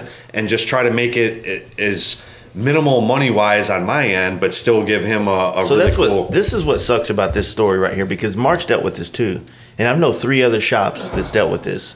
Right? Is it? It always sucks because the middleman is the one that takes all the heat. Right? Mm-hmm. This company up here, um, I think we've already said the name, so I'm not gonna say it again. So if you didn't catch that, fucking wrap it up. Um, this company makes a product, and they already have like a uh, a designated amount of faulty things that they're allowed to put out before they do like a recall or Yeah, something yeah. like that. They're Yep. that big of a company. Yep. But what happens is, let's say that you are the shop, you put that on. or, I mean, let's not say that you actually are the shop Yeah. that puts it on. Um, if they do warranty that, you're still having to fucking do the labor again yeah, for free. mo- all all the companies that I deal with, um, you know, through drag specialties and all that stuff, they're all like they'll warranty their parts, but labor's out the window. So like no matter what, you have to eat the labor on it. And and the bad thing is, it's not like you're gonna. You know, some customers might be cool and be like, "Hey, man, you know, uh, I know it's not your fault, so give me a bill." But they're not going to do that. You know what I'm saying? yeah. Like, they're going to want their bike back free of charge and fixed, which I get it. But It's fair. Like it's it, it puts the the brick and mortar shop in a very very shitty situation Yeah. to to just navigate the waters of being in business and, And- doing performance parts. And like I said, man, in in the two two and a half years that I've had like this shop open, like on my own, this is the first time that I've had to have like an issue like that. So I'm I'm I'm okay with it, I guess. You know, Yeah. at that point, it could be a lot worse. But yeah, it just kind of sucks. You got to really pick and choose. You know, who who you use for parts, who you deal with, you know, even the customer side of it, you know, like it was probably a it, it may have been a bad decision on my part to build that kind of motor for that customer, you know what I'm Yeah. saying? Like it's possible. on- once it leaves the shop, like you can tell them whatever you want. You could tell them, "Hey man, this is the braking procedure. This is what you got to do. Oil change at this many miles. All this stuff doesn't matter. That doesn't mean they're going to listen to you. Yeah. Right. You know You what just I'm saying? You just hope they do. You just hope they You do. know? You hope they have some common And if sense. something happens, you know, you just hope they're going to be truthful with you. And and Yeah. like I said, I you know, guy's a good Nobody customer. that just drops three or four grand on something like that is going to be truthful with you. He, he spent, to be honest with you, he spent six grand with me because I did a bunch of other stuff. The bike was pretty clapped out. I mean, I did a bunch of maintenance stuff to the bike, and you know, he spent a good chunk of money on it. And it was the the what he spent with me was over the value of the motorcycle. You know, and and and right then and there, I you want to probably sell it? right then and there, I probably should have been like, you know what, man, maybe this kind of motor, you know, isn't really what you need. You Yeah, know? but I mean that's so easy to get to that point now. I mean, you can get you a nice ass fucking you know. 99 to 04 DX right now for fucking four grand in Yeah. some places and easily drop four, five, six, seven, Oh, yeah. eight grand in that Yeah. bitch real quick. Yep. that was kind of like what Bert was saying yesterday. Throwing a, a three thousand dollar transmission in their old shovel. Like sometimes it's not about like that's like their bike. Yeah. you know, it might have a little bit more sentimental value. So for them to throw a little bit more money at it Mm-hmm. and everything, you know, it's it's what they want to do. Yep. You know, Yep. we don't always make the best financial decisions. No, Yeah. We're motorcycle people. Yeah, as we're all sitting here being like, oh shit, I'm that guy that fucking spent way too much money Yeah. on my shit. Yeah, for sure. We all, yeah, hundred percent. But yeah, that's, that's kind of the thing that sucks is because, I mean, there's when I was in the big wheel thing and I used to do like a lot of certain parts. It got to a point where I was having to warranty so many parts and eat like picking up dudes off the highway. Yeah. uh, you know, warranty things, and the company would take care of it, but they weren't cutting me any kind of checks. Yeah. Any, they were like, hey man, here's a couple free sets of air ride for all the ones you've been fixing. I got a shop. I have a shop down the street from me. Um, I've known the guys for a long time. That's all they do is big wheel baggers. Mm-hmm. So anybody that comes to me looking for any kind, like any bit of that, I just send them right down there because I don't want to deal with that shit. You know what I'm saying? Like I, those parts, Mm-hmm. unfortunately, tend to be the ones that fail. Like all Yeah. that shit. You know, those bikes are the ones kind of falling Yeah, apart a usually, little bit more. usually in the performance bikes, the only things that, that become an issue is the thing is that we ride or we um, Steve rides these kind of bikes very uh, very aggressively, we all push them past the limits that they're supposed I mean, to be. I, I ride my shit hard, but like you know, yesterday we were talking to Bert and we were asking about the transmissions and shit. Like, I'm not like a clutch dumper. You know what I mean? Like, I'm not the dude that every time the light fucking Yeah. hits green, I'm fucking letting the clout out the clutch full throttle. oh, you know what I mean? till tomorrow. well, here's the y'all gonna have to catch up. So uh, I might be changing my stance on that tomorrow. But but no, like I'm I'm really I'm really an easy dude on my bike because I know how much traveling I do. Yeah. and I'm really trying to uh, enjoy it, but not. I, I'm I'm almost forty, man. So like I'm looking at life a little bit more responsible. I think a little bit, even though I should be at home working right now, but I'm still kind of thinking more responsibly. Oh, I'm in the same boat, dude. I like I said, man, I passed up on a bunch of stuff this year, and I should be at the shop doing stuff, or I should be home, whatever, you know. But You gotta have there's fun. certain yeah, When are you going to MMI? We need to fuck around and just go out there. I don't need to go to MMI. They just teach you torque specs. I yeah, but torque you know what? Everybody I sit down with, everyone I sit down with, man. I, actually, I heard MMI. Um, Maybe since- Mark will hire you after that. Yeah, I already told Mark to hire me. Great dude, man. Come, come work for me. Come on, dude. Okay. Get, get that unemployment. That that way I can pay you less. And Easy now. Don't tell everybody my tricks. Go ahead. Mark's a good dude, man. I, I I've I met him a couple years ago actually at the drag show. Yeah. that, that's one of the dudes that like I feel like we're in kind of like the the same boat. A little quiet, you know, like he does his thing. You know, he puts out a bunch of fucking really nice bikes. But same thing, like when we talk and we we talk every so often, you know.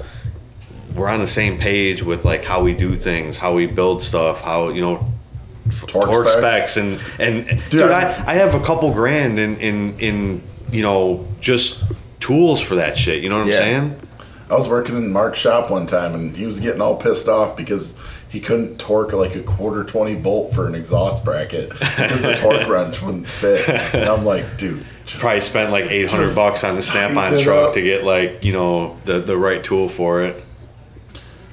That's the shit that bothers me too, man. Honestly, is people don't realize like some of these shops out there, man. Some of these guys have a ton of money and tools and knowledge and stuff that they don't, you know, get recognition for. You know what I'm saying? Yeah. Like these guys got some crazy, crazy money and tools. I mean, I, I, dude, I got 20 years of tools. Like, you know, it costs a lot of money to do the shit that we do, and that people don't realize that. You know.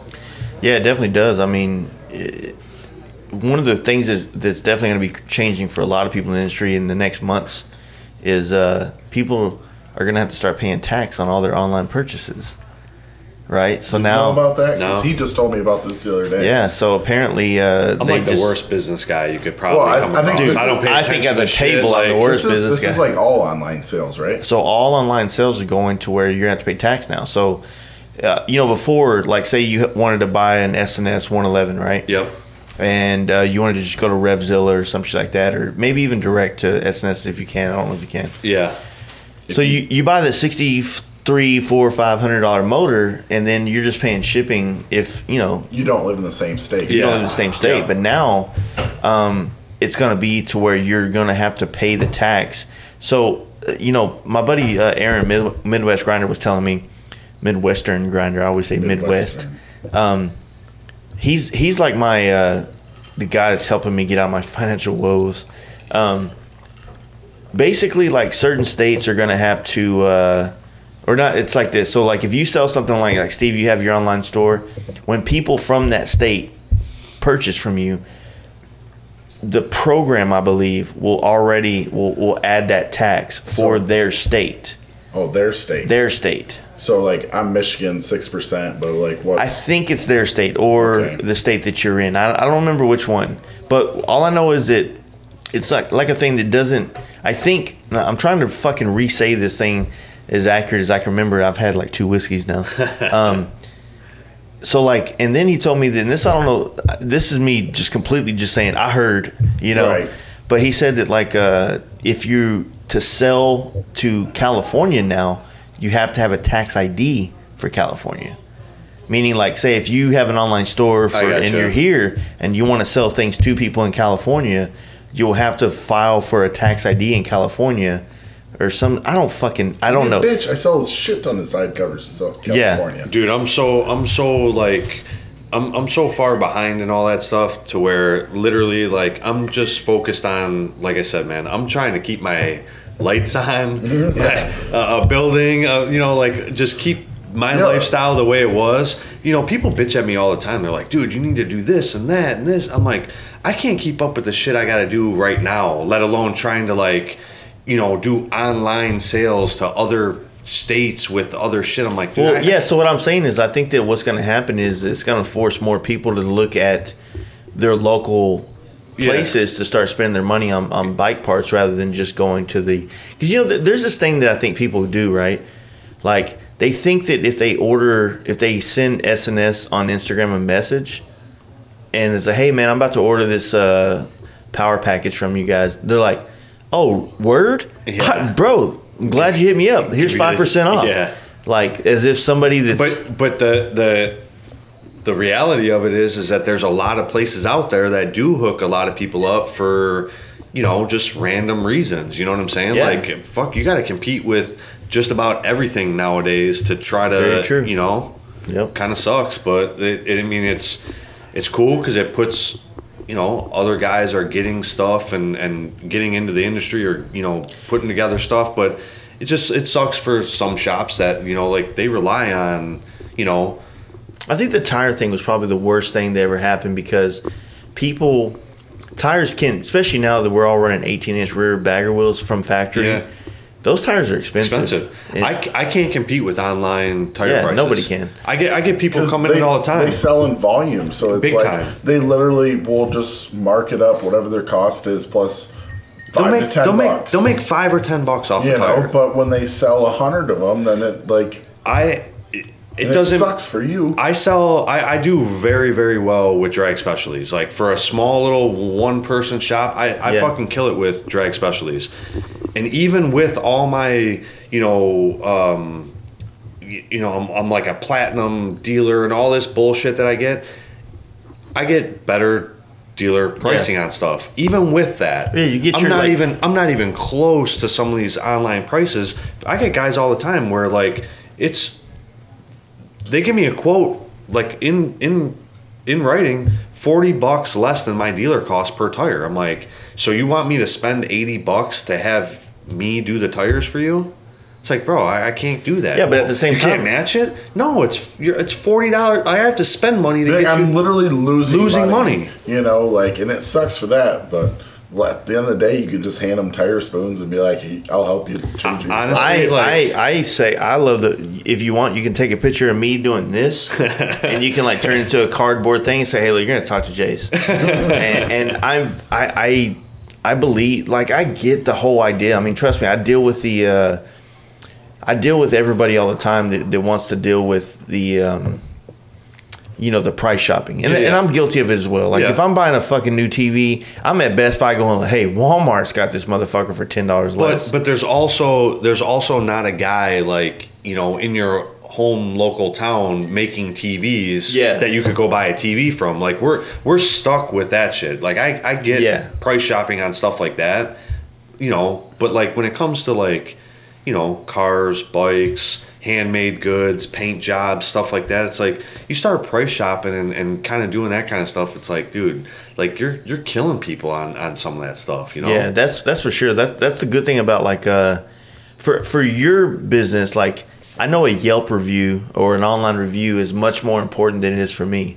Like I, I kind of laugh. I'm like, dude, it'd be so dope if I like had the worst reviews in America. like everybody's like, this dude never answers his phone. Like, blah I, blah blah. I, I don't pay attention to that stuff. I, I should. I, I every so often, like a couple of my friends will like say something. Like I actually had somebody like a couple weeks ago say, "Man, Like I looked you up on Google or Yelp or whatever. You got like some legit reviews and this and that. You got one person that like bitched you out. I'm like, really? I'm like, damn, I gotta see like what happened. they were like, oh, he didn't get back with me. I'm like, oh fuck. Well, that's every day. I'm like, damn, Yeah. I'd have a bunch of bad reviews at that point. Yeah. There was a there was another motorcycle podcast that I heard one time that they were they would read dealer reviews that were just left on. You the thing. listen to other motorcycle podcasts? Dude, I thought you were my Oh, friend. man. I'm just like, I do But they, they literally they just have a bunch of like dealer reviews and they read it on the podcast. Dude, some of these were fucking hilarious. Like you can hear the person like as they're typing it out that they're starting to realize that they're the dumbass. They're like, I had a problem,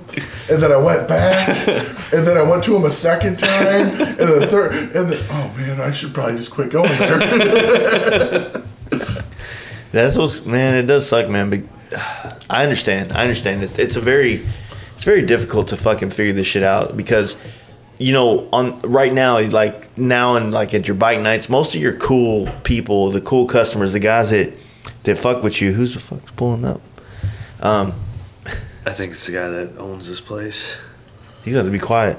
I'm just playing. no, but so it is cool when like you you surround yourself with so many people because they all dig the type of bikes that we're doing and doing shit like this. But then you just get those random dudes that that may be into this, but they're into this on a much more professional level, and they just have that level of professionalism that that you know gets lost. I mean, it. I think bikers like which I would consider you like you're fucking here, you rode here, you're doing this shit. This is biker shit, man. We just have a we're more more chill with our our people that like us. Like, yeah, and and honestly, like kind of earlier when you're talking about like you know reasons of leaving the dealership and stuff like that, that was a little part of it too, man. Like you know these dealerships, they have you know thousands of people that come through there, thousands of customers. I mean, I was just talking to my boy, you know, that at the dealership that I worked at. You know, they're they've been open since a couple years before I started there, so they're probably going on 18, 19 years being in business at that at that place. They have a hundred thousand. They're they're like on a hundred thousand of work order numbers. Yeah. You know, like that's how many bikes came through that service department. A hundred thousand fucking bikes. So like, you you take the percentages. There's going to be a lot of shitty customers with a hundred thousand people. Oh, like yeah. me being a one man shop, just a small little mom and pop place. Like I'm well, like I have way less customers. So like, hopefully my percentage of shitty customers is way, Way less, less, You know what. I'm saying? Like, I've been pretty lucky, man. I haven't. I I, I honestly, I, I dealt with one shitty customer since I've been open. That's it.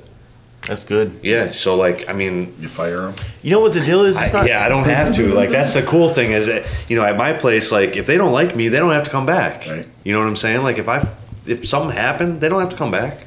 You know, like I found myself like when I was chasing money all the time. I found myself finding, uh, you know, being in positions where I was taking in jobs from people I knew were going to be problems. Yeah. You know, like, you can read them like when you're hanging out with them, or like when they drop it off, and if they immediately start spouting off on their other experiences with other other shops, you have to kind of like raise an eyebrow, like, okay, you're talking a lot of shit about something that's So real. twelve people fucked you over. Yeah. You? Yeah. Yeah. All right. The world's What's, out to get you. what's the common uh, Yeah. thing there? the common denominator Yeah. is fucking you suck, bro. but yeah, no, uh, and the last time uh, I had a one, the last shitty customer I have, I got it on video when he when he called me to bitch me out. It's I, I'll show you. It's I- I- fucking. you seen it? I, I remember it. Yeah, dude. It's fucking so awesome. you but the you know what the thing that sucked though is that like when I did this dude's bike, so when he dropped it off, he dropped it. Another friend of mine from Ohio drove down with him. He brought his bike as well. And my other friend was super chill. We we done business before. We're at the bar. We're catching up, having a good time. So imagine, you know, this is the bar. You're the bartender. So Steve's my buddy. That we're good friends, and this is the customer that's bringing his bike. Doesn't know me, and we're like, "Oh man, how's things been, man? How was Sturgis last year? I didn't get to go. Blah blah blah, whatever." And we're talking, we're talking bikes, and he just like sticks his phone in my face from around my head. He goes, "Check out my LEDs on my bike," and I'm like, and I, I look at him as I'm turning around, like, cool.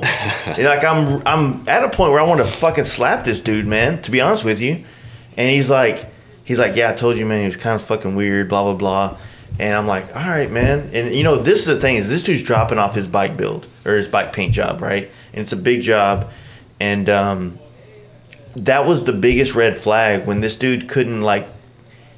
He his his whole existence was the fact that he has money to spend on his bike, Yeah. and his bike is kind of nice, and so that made him feel.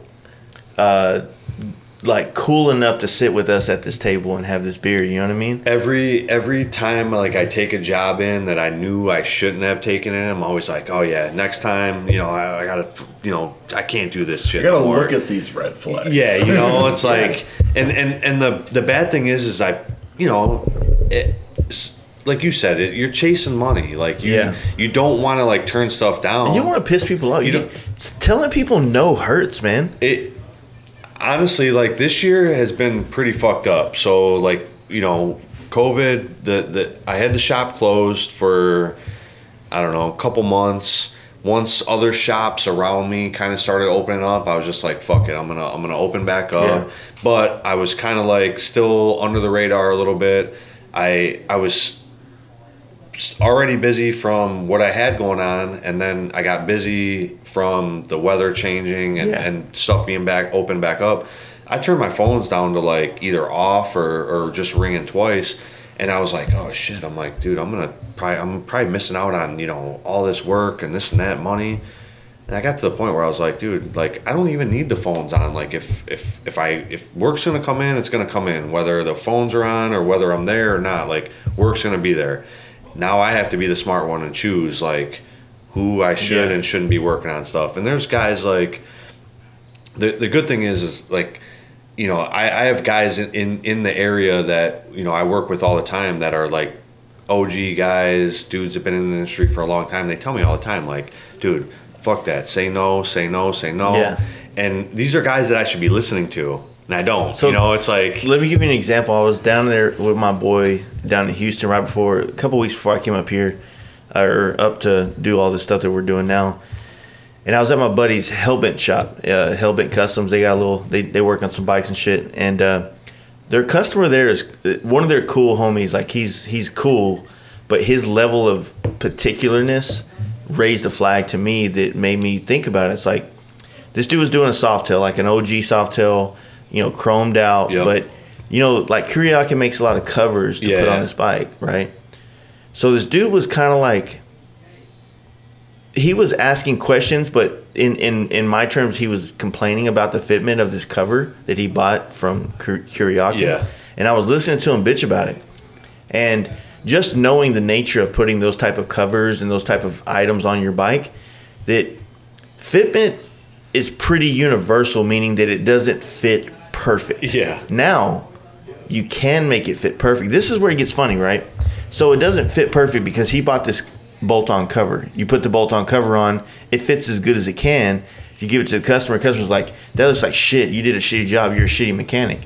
Now, you could have put that cover on and pulled out a grinder and grinded all the welds out behind it Yeah. and smooth everything out so that it fit on like a goddamn, you know, precision glove, right? Yep. And then you know repowder coated the, the, the swing arm just so that it doesn't raw metal behind it or Yeah. whatever the case may be and then you could have handed him a bill for another 400 or 500 dollars on top of that little chrome cover yeah, that sixty dollar cover that he paid for. exactly Yeah. so that's the thing that sucks about a lot of times when it comes to like like shops like that's the level of detail that you're wanting but you don't understand the level of detail behind the cover that you that, that has to go into into play sometimes Yep. And people, and that's the thing, man. People don't understand because like it's a sixty dollar cover. You, you hand them a bill for five hundred bucks, six hundred bucks, whatever it is. to install it yeah, they don't. They, they think it takes ten minutes because they go on the website and it says you know installs and install you can do it yourself Yeah, you know.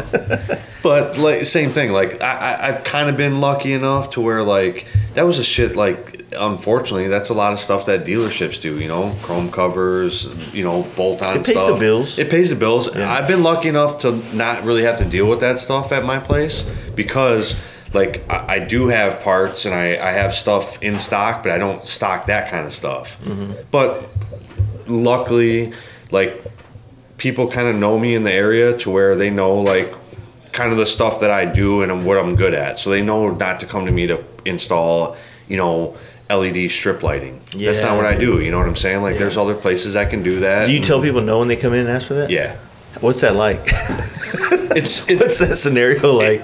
uh, un, the shitty thing is it's uncomfortable on my end because like I like I said, man, I'm not. They like think a- it's so cool, I'm right? not a dickhead, and I don't want to be a dickhead. But the problem is, is like I'm gonna say no to that kind of stuff, and I feel like they think I'm like, you know, kind of coming down on them about it. Mm-hmm. You know, like oh, I don't want to do that shitty, you know, Yeah. lights or whatever and that's not the case it's just i have to explain to them like hey like they're gonna they're gonna fuck up over time and i'm not warrantying it like Yeah. i just don't want to do it i can't eat the cost like if i tell you it's gonna cost you know two hours to do this and then it comes back six months from now like i don't want to deal with that shit Yeah, the best place to get LEDs is go to your local rally and find Yeah. the dude and just let Dude, Sturgis on, on Lazelle Yeah. Street, there, there's like seven fucking trucks out there waiting to install them for Oh, like yeah, what do you 50 bucks, dude. You Yeah. blue, purple, you Yeah. the whole rainbow. The Yeah, greatest thing is when you they can come change back, it from your phone. They come back afterwards and they're like, "Yeah, I had these lights installed in Sturgis. Can you? They, they don't work. Take them back. Go back, dude.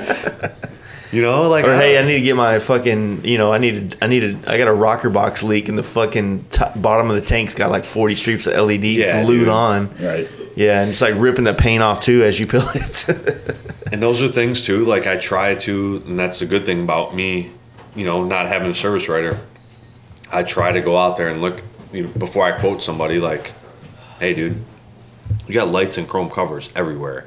This like one hour job is now going to be a four hour job because I have to remove all this stuff, fix it, and then put it all back together. Mm-hmm. Do you want to do it? Yes or no? No. Okay. Like yeah. You know, it's kind of one of those deals too, right? It's at the end of the day, it's like you're gonna eat your own cost if Yeah. you don't, you know, figure that out yourself. You know, so Well, the, the the more that people start realizing that like like it's it's not not every business out here is Walmart. You know what I mean? Yeah. Like not just because you're in business for yourself doesn't mean that you have like fucking thousands of dollars in the bank to to to just be like, okay, yeah, I'll just pay you for like you not being super satisfied with your LED Yeah. kit. You know what I mean?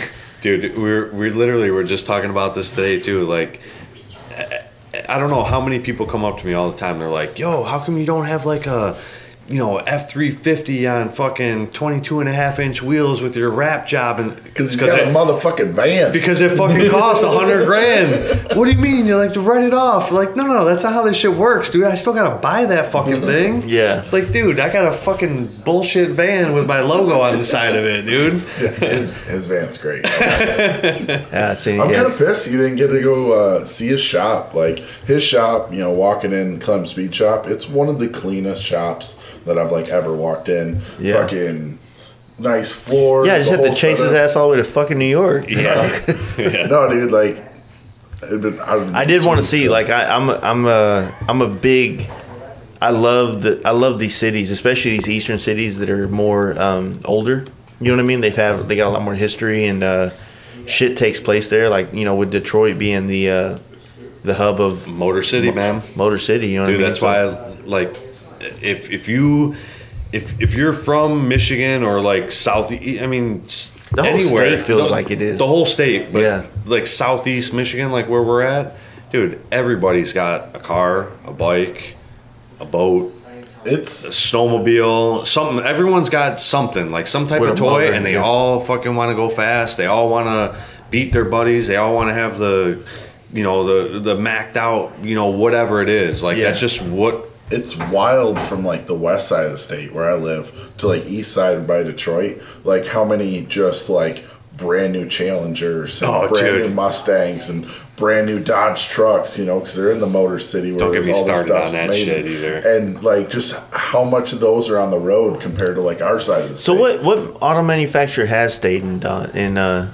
in They're all They're all there. They're all there? Yeah, yeah. Yeah, they they just all still have their they- own plants. Yeah, they all still have a shit ton of plants everywhere. But the they just like, you know, when shit hit the fan years ago, they just outsource stuff more and like they like a lot of like the second and third tier like you know designers and machine shops. Dude, that's another thing. You go a hundred a hundred feet around my shop and there's like two machine shops like they're everywhere every corner there's a machine shop they're they're either you know working for the big three or it's some type of like the shop next to me.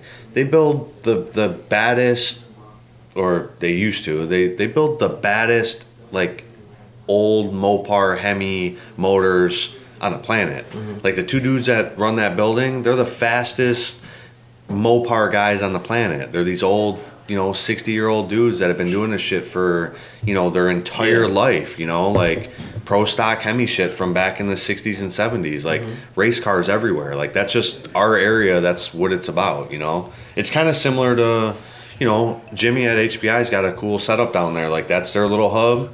We have like our little Motor City hub, like, you know, in Detroit too. Mm-hmm. Yeah, with like muscle cars and everything. Like Yep. our between like you know Indiana and Michigan, like we're built on Yeah. fucking horsepower.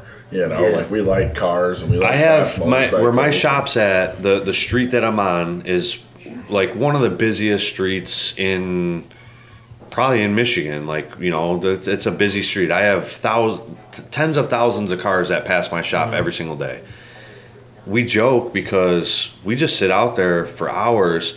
There's a there's a light, you know, one block over. From that light to the front of my shop is a thousand foot on the dot, mm-hmm. and every day there's people racing down there challengers, scat packs, must you know, coyote motors just ripping, dude. Like the location of your shop is awesome because he's on like Gratiot, which Gratiot's like a um, directional road, you Yeah. know, like a split, but it's like right where his shop is, and like the road winds up, so it's like right in front of the shop. It's like four, Four lanes. So like when he has parties at his shop, like we might go out front and just go bang some Oh, yeah. wheelies and you know get cops to come up Yeah. on us and shit so, like that. so last year when we did the the anniversary party, we had actually a couple guys from New York, uh, Nikki and uh, Pete. Pete. They came out, and these dudes are insane on their bikes, dude. Just Mm-hmm. rip wheelies nonstop, and they're you know used to this shit like Yeah. city stuff. So they come to Detroit and they got like somewhat open roads. Yeah. but they still have the New York mentality.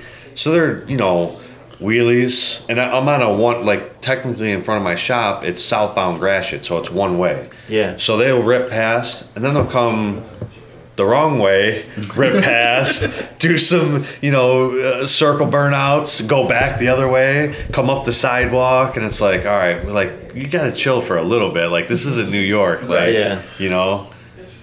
No, I had that. Uh, I think it was at that party. You know, try to rip some shitty wheelies Yeah. out front, but then it's like turned around and I was coming the wrong way down the road, and like I think I I jumped up and there's a grass, like a little bit of grass, and like I took the grass path. Me and a cop just locked eyes like into that. I'm like, oh shit. Then he just kept going. I was Oh, like, uh, all right. So I don't feel, I don't feel like doing paperwork tonight. Yeah, well, I'm, I'm, I'm, I'm pretty lucky. The the building next to me, these dudes like, It's like an auction, right? well, they, they they auction. They have like a car auction in the lot in front because they have a bunch of property. But the actual building itself is like a hot rod shop. They have dealt with the city for years. They're like part of the city board. Yeah. And and the old dude Tom, he, like loves me. He comes over all the time. He's like, "You need anything? I got you." I said, "Yeah, I'm, I'm having a party on Saturday." He's like, "I got you." Calls his, you know, makes his phone calls. Cops stay away. Like, you know, I think uh, about five o'clock on shift change, cop shows up across the street. So I call Tom. Hey, yo, Tom, there's a cop over there.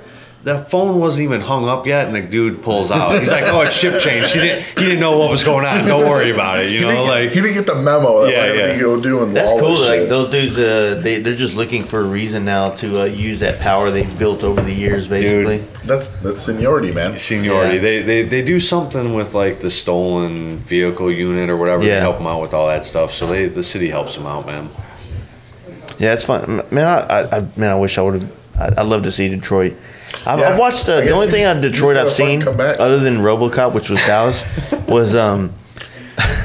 that's our Gotta that connection. in there, right? Uh, I watched like an Anthony Bourdain that he did for on Detroit was pretty interesting, where he went around and saw, you know, of course, there. Are, that's one thing I'm starting to notice about all these places. Um, going to Chicago, even being here, like you, you grow up, especially in Texas, man. Like everything east, these big cities is just like death around every corner. You know what I mean? Gangs and violence, and they'll rob you in the street, which I know happens because it happens in Yeah, Dallas too. yep. But you know, riding around South, South Side of Chicago, I'm like, oh, people don't get shot here all day long. It's pretty chill, you know. It's uh, like I said, man. It's it's got its bad spots. You just gotta know like where to go, where not to go, when to go. You know, shit like that. It's like any city, man. Like, but it, you know, it was way grimier back in the day. Like I said, man, it's Yeah. it's it's changed now, but it's definitely like it's still cool because we can, you know, kind of go to Detroit and ride like we ride out here. Like I said, Yeah. a little lawlessness and a little kind of acting like an idiot,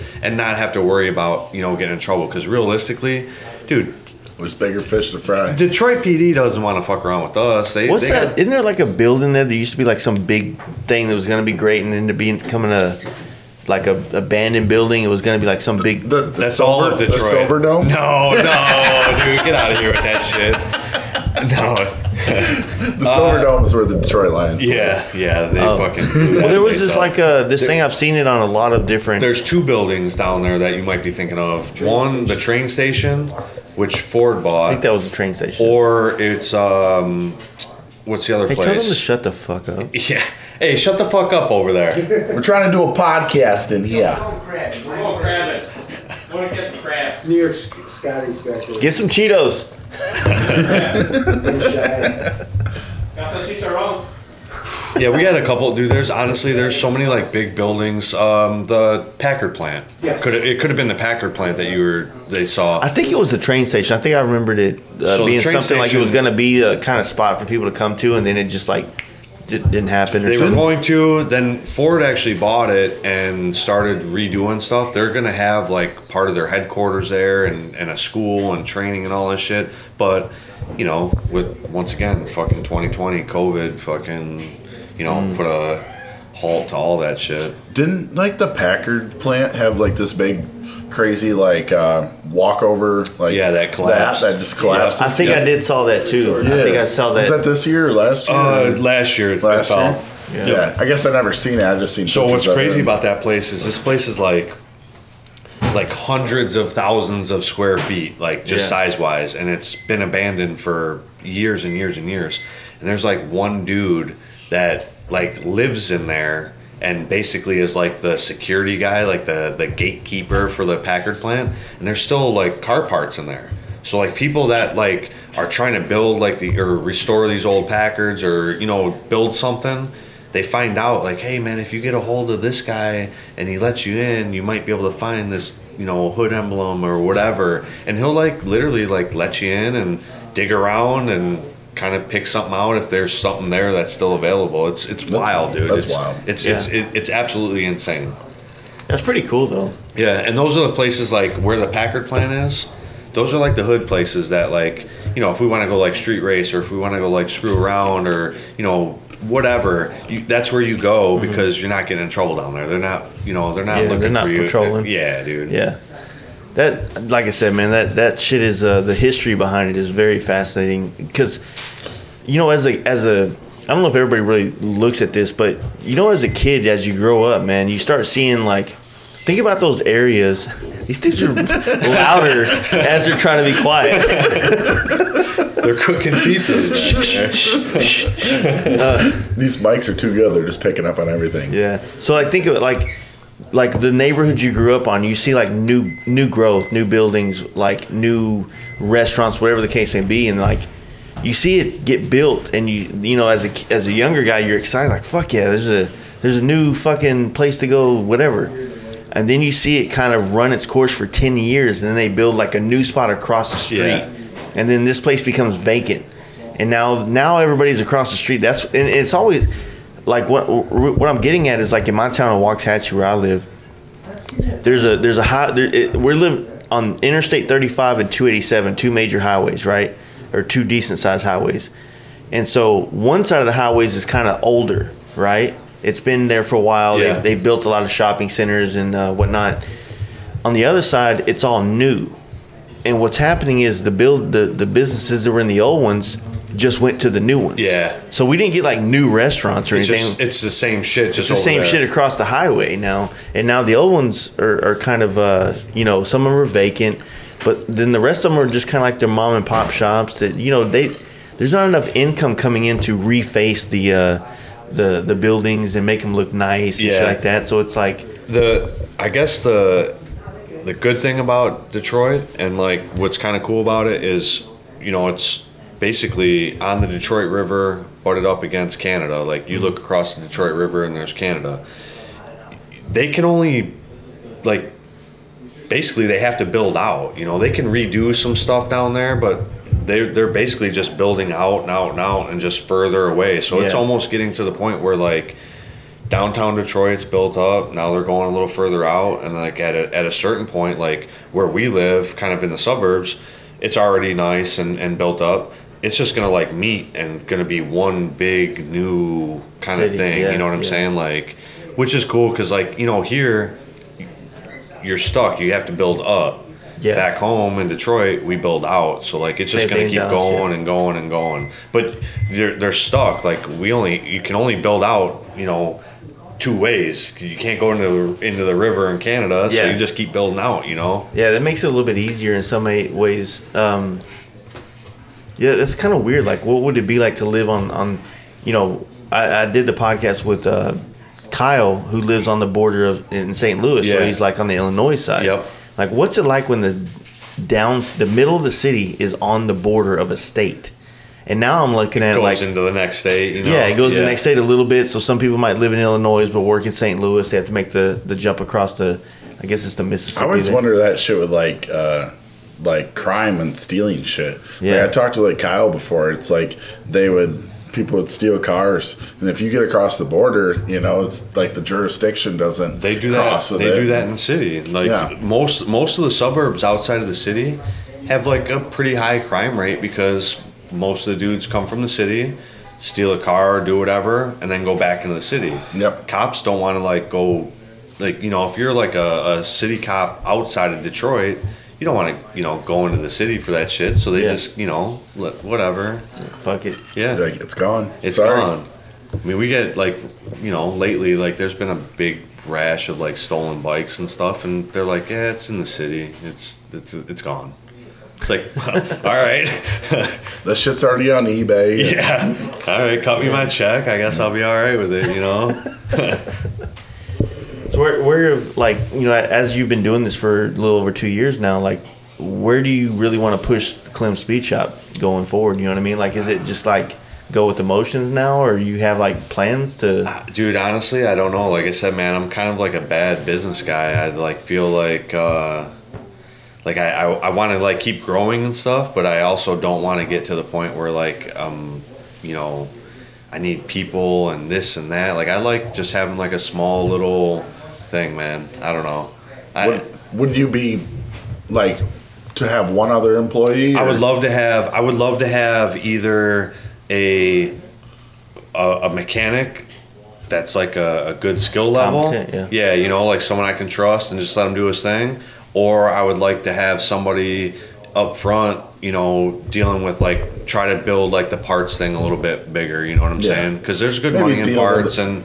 The books and that type of shit. Yeah, I don't know. Like it, it's it's messed up, man. I, I I had 15 years at the dealership, and at a dealership you have like, you know, one work order. There's 10 people involved in one Yeah. work order. So like that It's was very thorough. Y- Yeah, so like that was where I had like an issue to where I, I I wanted to be like I wanted to talk to the customer. I wanted to look at the customer's bike. I wanted to write the bike up. I wanted to order the parts because you know someone may order parts wrong or someone may put labor. Yeah, you want to know the customer because that customer might probably probably lean more towards what you like. Yeah, you know, so like I, part of me getting into my shop was to be able to deal with like one person start to finish on my own instead of having like Be like, this part's broke. Here's option A. Here's option B. Here's option Yes, C. and, and and guess what? If I order the parts wrong, it's my fuck up, not you know, I, not four other people at the dealer or whatever. You know, so like it, it just kind of I like that aspect of it, and I feel like if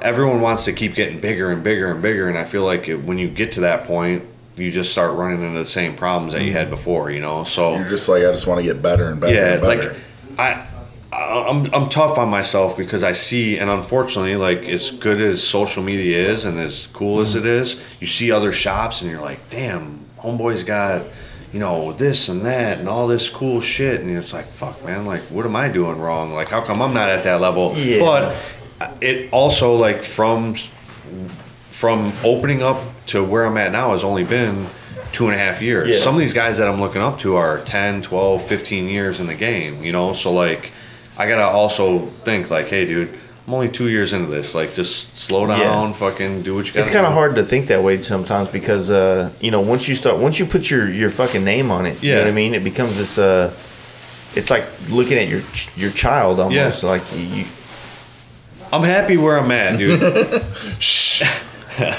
Potato chips and shit. goddamn, fucking bikers, man. Got a garbage bag. They going crabbing. I don't know what crabbing. What does that means. mean? I don't know. I don't know. Okay, Could be fake. I seen they ran out. They ran out the door with a fucking Garbage trash bag. bag. full of shit. I don't We're in know if Long it was Island, dude. beer There's no crabbing pizza around here. I don't think. I don't know. It's a creek around the corner. Yeah. Hey, they Like legitimate, like pubic crabs. Or. That's in Queens if, if, that's, if that's what you're looking for.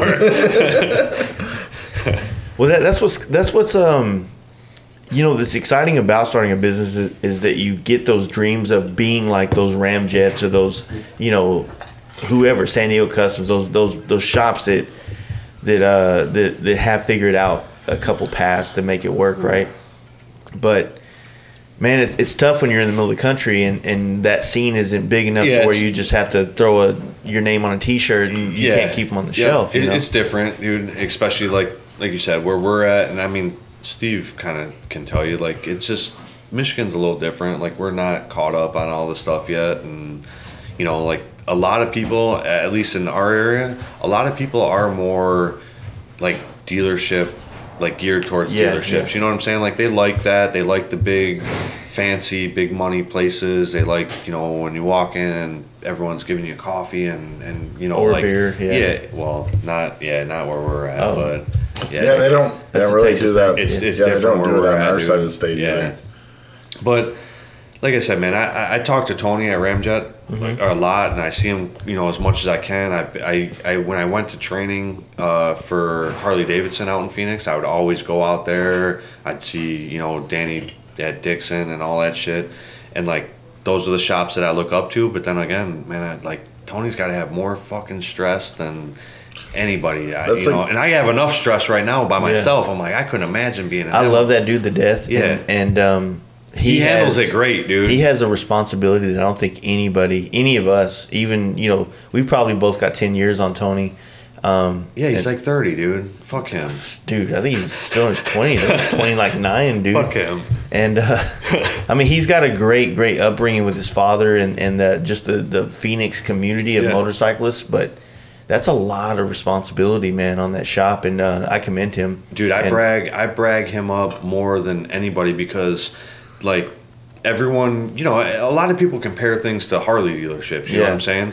And I've been to a shit ton of Harley dealerships, you know, over the last 15 years and Tony blows out most dealerships in an Yeah. independent shop. Parts, just everything. I'm like, dude, that kid is killing it, you know? Mm-hmm. But I also I don't want to be there. You know what I'm saying? Like I was, that was like a question I was just about to ask. Like, how big's too big? You know, at what for, point? is for me it- personally, like that, like I said, man, that's not my gig. Like I, I, I, I respect them, and like I said, man, I, I, I try to talk to them or hit them up as much as I possibly can. And you know, if I'm out that way, I, I see them. But that, dude, I couldn't imagine. I know what the stress I have, and I went from like a stress-free career. Yeah. Like I mean, I imagine like the stress you have, but then you had like six or seven employees, some of them that's been there since the day his dad started the Yeah. place, who may or may not have the same respect for him, you know, as the owner of the place is, you know what I mean? Like it's a it's a really weird place that he's navigating that gets my utmost respect. And like I said, I, I support that dude and when, you know, I need to re up on some shirts, you know what I mean? Because like I said, it's like I'm in Texas, I don't really get to you know, and I'm also I have con- I have counts myself Yeah. and things, but I fucking love that shop. Phoenix, it's like a, uh, it's like when you go to New York, you got to see the fucking Empire Yeah. State Building or the goddamn, uh, you know, Statue of Liberty. Yep. If you go to Phoenix and you're a biker, you got to go to Ramjet. Yeah, you know what I mean? Yeah, it's uh, it's it's definitely fun out there, dude. Like those guys, definitely know how to party for sure. Yeah. And uh, they, like I said, man, it's just it's it's a whole like his he's on a whole nother level, man. Like it, it hands down a whole different. What's even crazier though is like he can be on that level, but there's also Cruzy three miles down the Yeah. road. There's whole different style, whole different kind of like you know atmosphere, whole just a whole different thing. And he's still and that that dude's crushing it. Like it's That new Cruzy bike has me fucked up. I want to build an old Road King. dude he Dude, that he kills so it, dude. sick. He and and I I l- I like his style, but I we can't like his style and how he does the shop and what he does like. It, it wouldn't work in Michigan. You know what I'm it saying? will. It, It like maybe could, not but- his style, but what it, what what I like to look at it is, it's your version of the things you like. Yeah, yep. That when you start doing it, it only takes a little while before everybody else starts and going. here's the same "Fuck, that's dope. and here's know? the same thing though he's that that's what i was just kind of saying like i look at those dudes and i'm like damn dude I like how, i need to be at that level dude he they've been around like i mean tony's been around for obviously ramjet's been Yeah, around for a while Cru- Cruzy's dude, been, he, he's, he's bounced around like Nasty and, and, and some other he's been around dude He's been doing things, and it's just yeah. What are you mixing with? I'm I'm whiskey. you do you do whatever you I'm want to that do Crown, you do whatever and, you uh, want to A little bit of that can like that Ginger ale? Canadian ginger ale, whatever. Okay. Yeah, that's a. I mean, all these shops, man. Like you know, same thing with me, right? Like people look at my social media or my business and like, man, I want to get into painting. I'm like, dude, awesome. Number one, awesome. I'm glad you like it, but this is a long term game. Yeah, you're yeah. Not, you're not gonna. You might be the one percent of the people that decide to paint to be like on my level like that, right? My level is fucking twenty years of work. Yeah. And I'm not saying that arrogantly. I'm just saying like legit. Like I'm 20 years in, and then I have friend, I have guys that that are 25 and 30 years in that I'm like, I cannot, I just can't wait to be at their level. You know what I mean? my like one of my goals too like when i left the dealer like i felt like even though i'm like good at like the whole fast paced like flat rate thing Yeah. like one of my goals at the dealer when i left was to slow down Yeah. like hey dude slow down you know try to do more stuff like this like going places it didn't work out the greatest for a while but Yeah. like that was kind of one of my goals. So like I feel like if if you kind of get beyond that, like if you try to build up and do all this stuff, you're kind of like in in my eyes, I, I'm kind of going against what I was trying to do. You know? Well, if you chase the idea of being bigger and bigger and bigger, you lose the the, the passion for motorcycles Yeah. because you, like we we were saying earlier, you know that that Harley Davidson with the hundred thousand work orders. Imagine being the one man to absorb all those negative ones. Yeah. you know what I mean. Like that's going to take a toll on your connection to motorcycles, your love for it. there's there's guys out there too, and there's there's bikes at the shop. Like I said, man, I should be at the shop. I should be you know working on stuff. I'm I'm waiting on parts and you know whatever.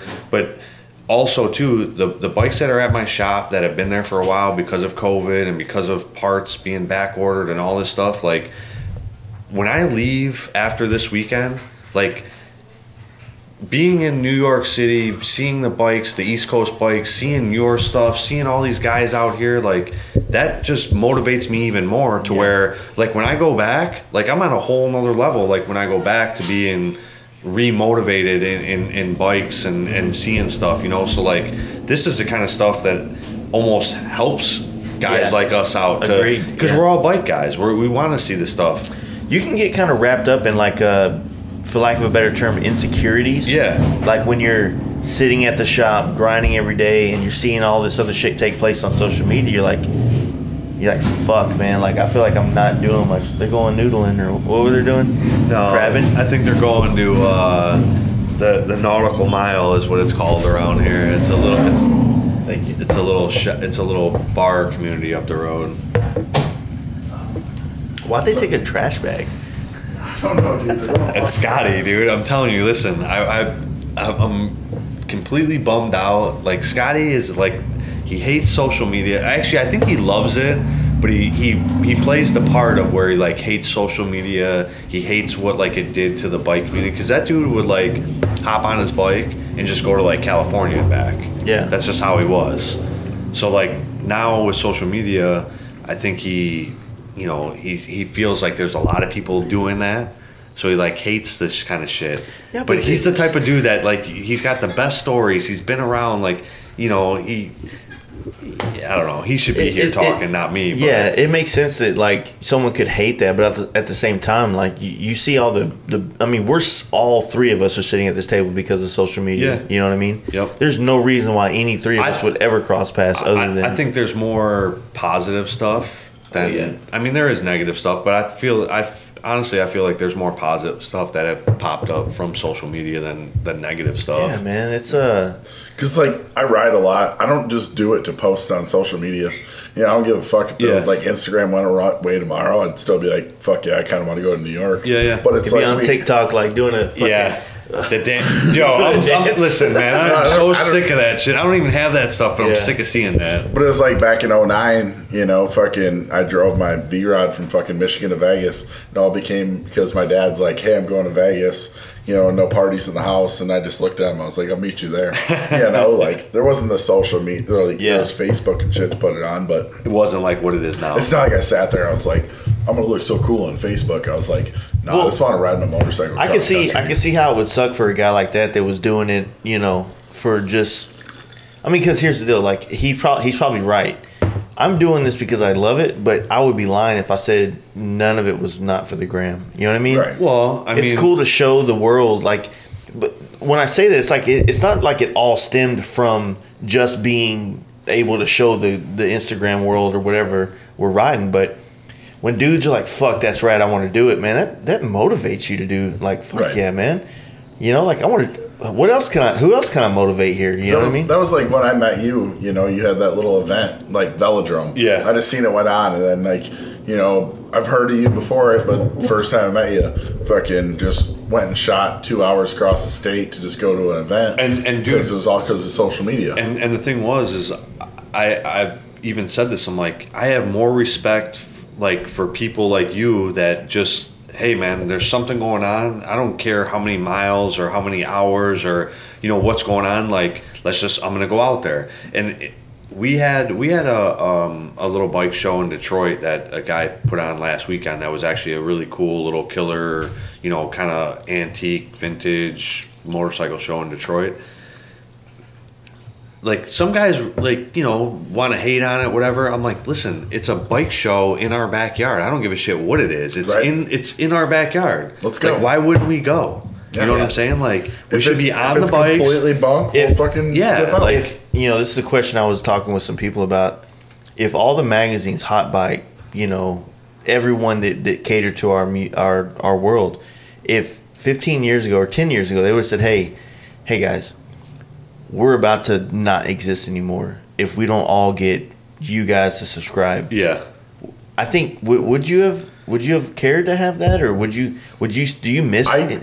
I used to read magazines I used to have- like clockwork, man. I, I, I loved used to have so in in Michigan the Horse magazine The that Horse, was based yeah. out of Michigan. Yeah. So like I had a subscription to the Horse, I had a subscription to Hot Bike, I had a subscription to Cycle Source. Like that was like I still I, I kind of miss the magazine thing, dude. Yeah. So so what I'm trying to get at great shits with magazines. dude, like that's the whole point of it, right? Like you put those right next to the toilet, man. You read them all day. And the fact that if you look at them, you don't feel as fucking shitty as if you're looking at your phone for when your phone Right. reminds you you've been on the phone six hours today. your, your battery can die on the phone. The magazine ain't going Yeah. nowhere. It's, so it's what, I, what I'm getting at though is like, you know, if we could have saved magazines by simply just you know a couple bucks, right? I would have. Could you you could also save the culture of your town by attending those small events. And maybe they might not be the events that you want to go to or, or like the ones that really fit your narrative but it's it's kind of thing. It's like if, if me and five of my buddies are all into this dyna performance fxr whatever and we mob to the local hell yeah brother event they'll probably look at us crazy we'll probably look at them crazy but somebody there's gonna be like man what kind of what kind of bike is that Listen, Right. uh, I, I, you know, maybe when I was like 18, I wouldn't have said this, but like, uh, it's it's two wheels. A bike's a bike. Like, Yeah.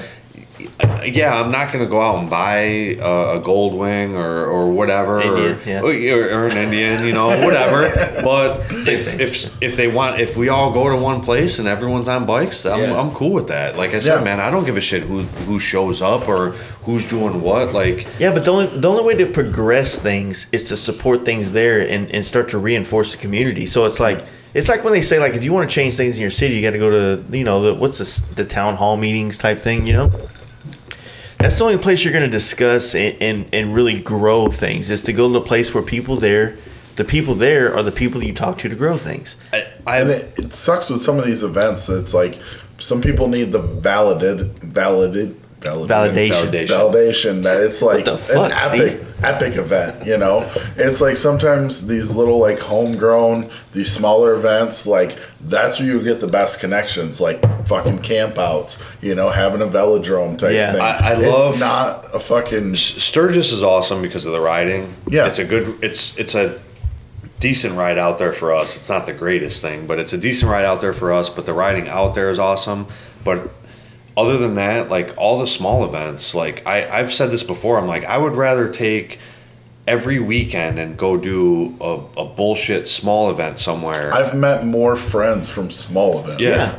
Yep. You because know? you can go to a small event and you can be a rock star at it by simply i mean that, that your your small individual support on small events makes more of a din- difference than like your number of the 460,000 people who Yeah, go exactly. Sturgis. Yeah. Not saying you shouldn't experience Sturgis for your own personal they all- reasons, but Yeah, they all have like their own, you know, part in the thing, which Sturgis is awesome Yep. because, like, that's a, a reason I love going on Sturgis is I'm seeing all, people from all over the country. Yeah. It's a Yeah. big It's a central event that wanna location. Go, but it's like these smaller events. I'm meeting these people that I want to go see in Sturgis. Yeah, you know what yeah, I mean. yeah. So Sturgis is like the uh, the home home. That's the fucking dance, mecca, you know? dude. Yeah, I mean, dude, the the riding out there is insane. Like, it's just it's a.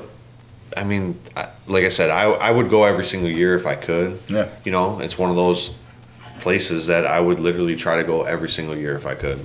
Yeah, that, that's kind of the thing about with, with a lot of people is that you know, you know, you can easily become. I mean, you see a lot of these like pages popping up over the over the country, like the Club Styles Yeah. and the uh, Performance Harley and the and the Dyna Cruise, and those things are kind of. I, I know. I think they're way more important than than most people look at because those simple pages might be the connection to getting a type of demographic, a biker, to come to things that maybe the old school biker way they're, they're not gonna they're gonna be intimidated by that so Yeah, we so like I have like I have like so-called chopper friends and then I have like guys that are like club guys and then I have like you know old school like bagger dudes whatever you want to call them you know?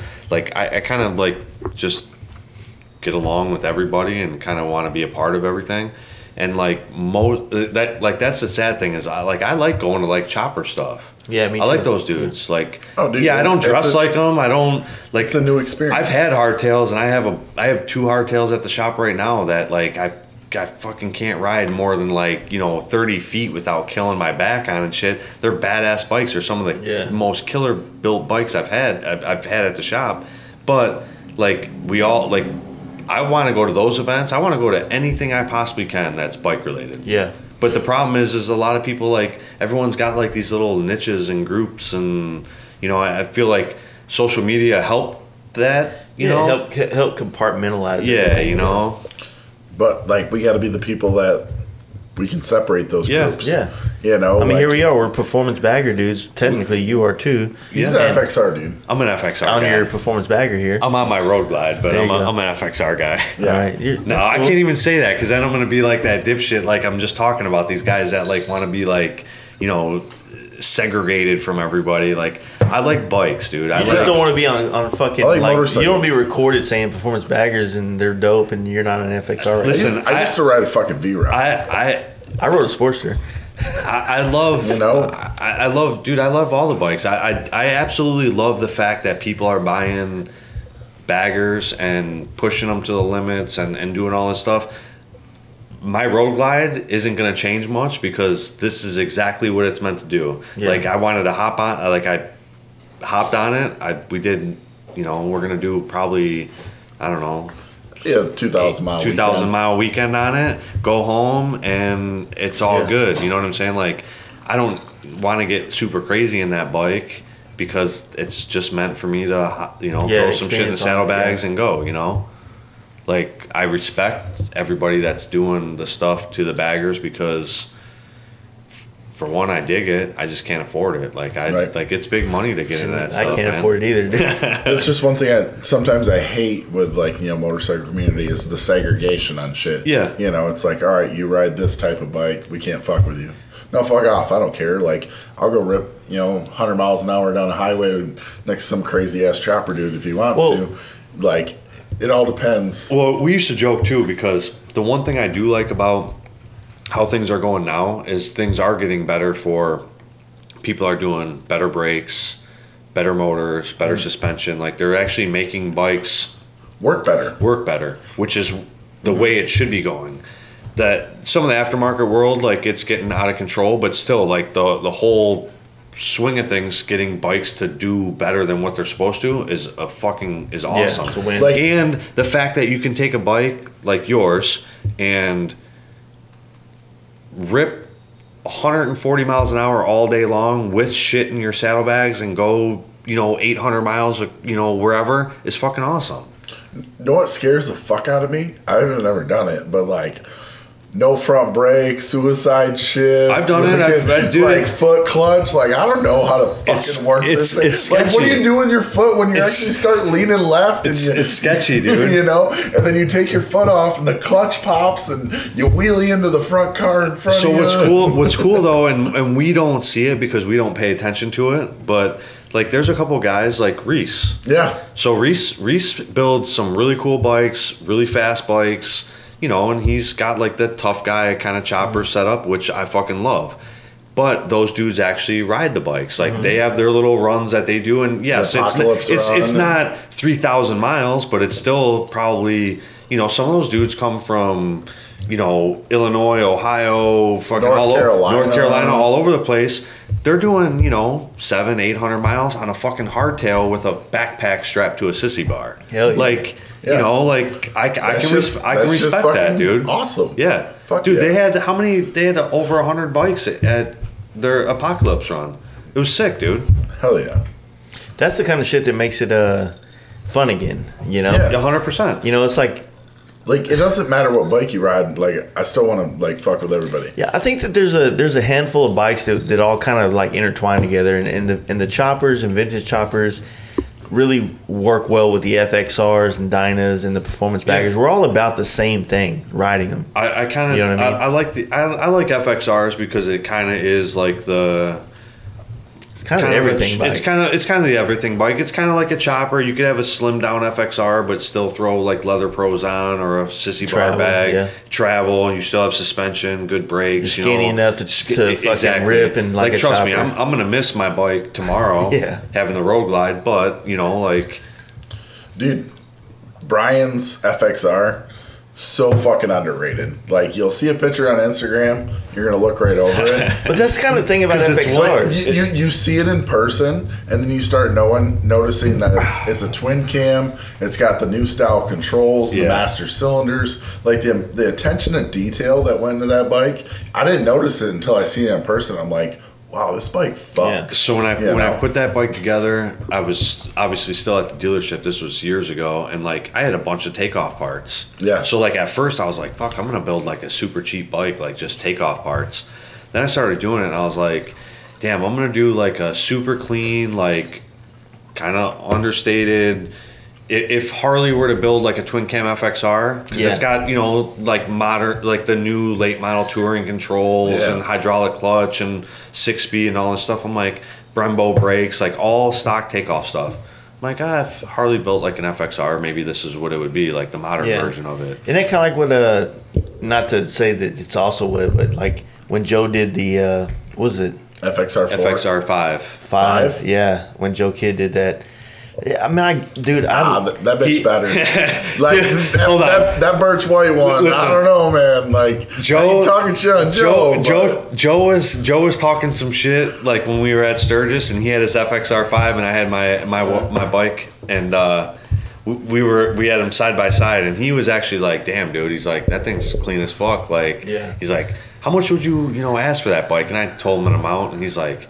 Shit, he's like, I need to ask a little less for my bike then. Dude, like his bike, like I'm telling you, like it's so underrated I have- in a picture, but you see it in person, the attention to detail. I- so fucking I have awesome people that I like live around and like kind of work with. So Fab Kevin, dude's been in the industry I know him. forever. Yeah. So don't, like I don't know him, but I know of him. Very big fan. The f- nicest fucking guy in the industry that you could ever come across. The guy is a genius when it comes to motorcycles. He can look at a you know uh, a rear master cylinder setup like a custom mid control and say yeah that that brake's not going to work the leverage all that. like he can just look at shit and, and just kind of like Mm-hmm. see that so I, I met him a, a, actually when I was at MMI in Florida at Bike Week and uh, found out that we I didn't know he was up there, man. If he was, I would have probably reached out. So He so well. This was I met it. This was yeah, years yeah. ago. No, I, I didn't know he was up towards your area. Dude, area. we live in the same neighborhood, like literally, That's like streets away from one another, and I, I didn't know this. come back to Detroit. Yeah, I didn't I know this at it. the I didn't know this at the time when I met him, but like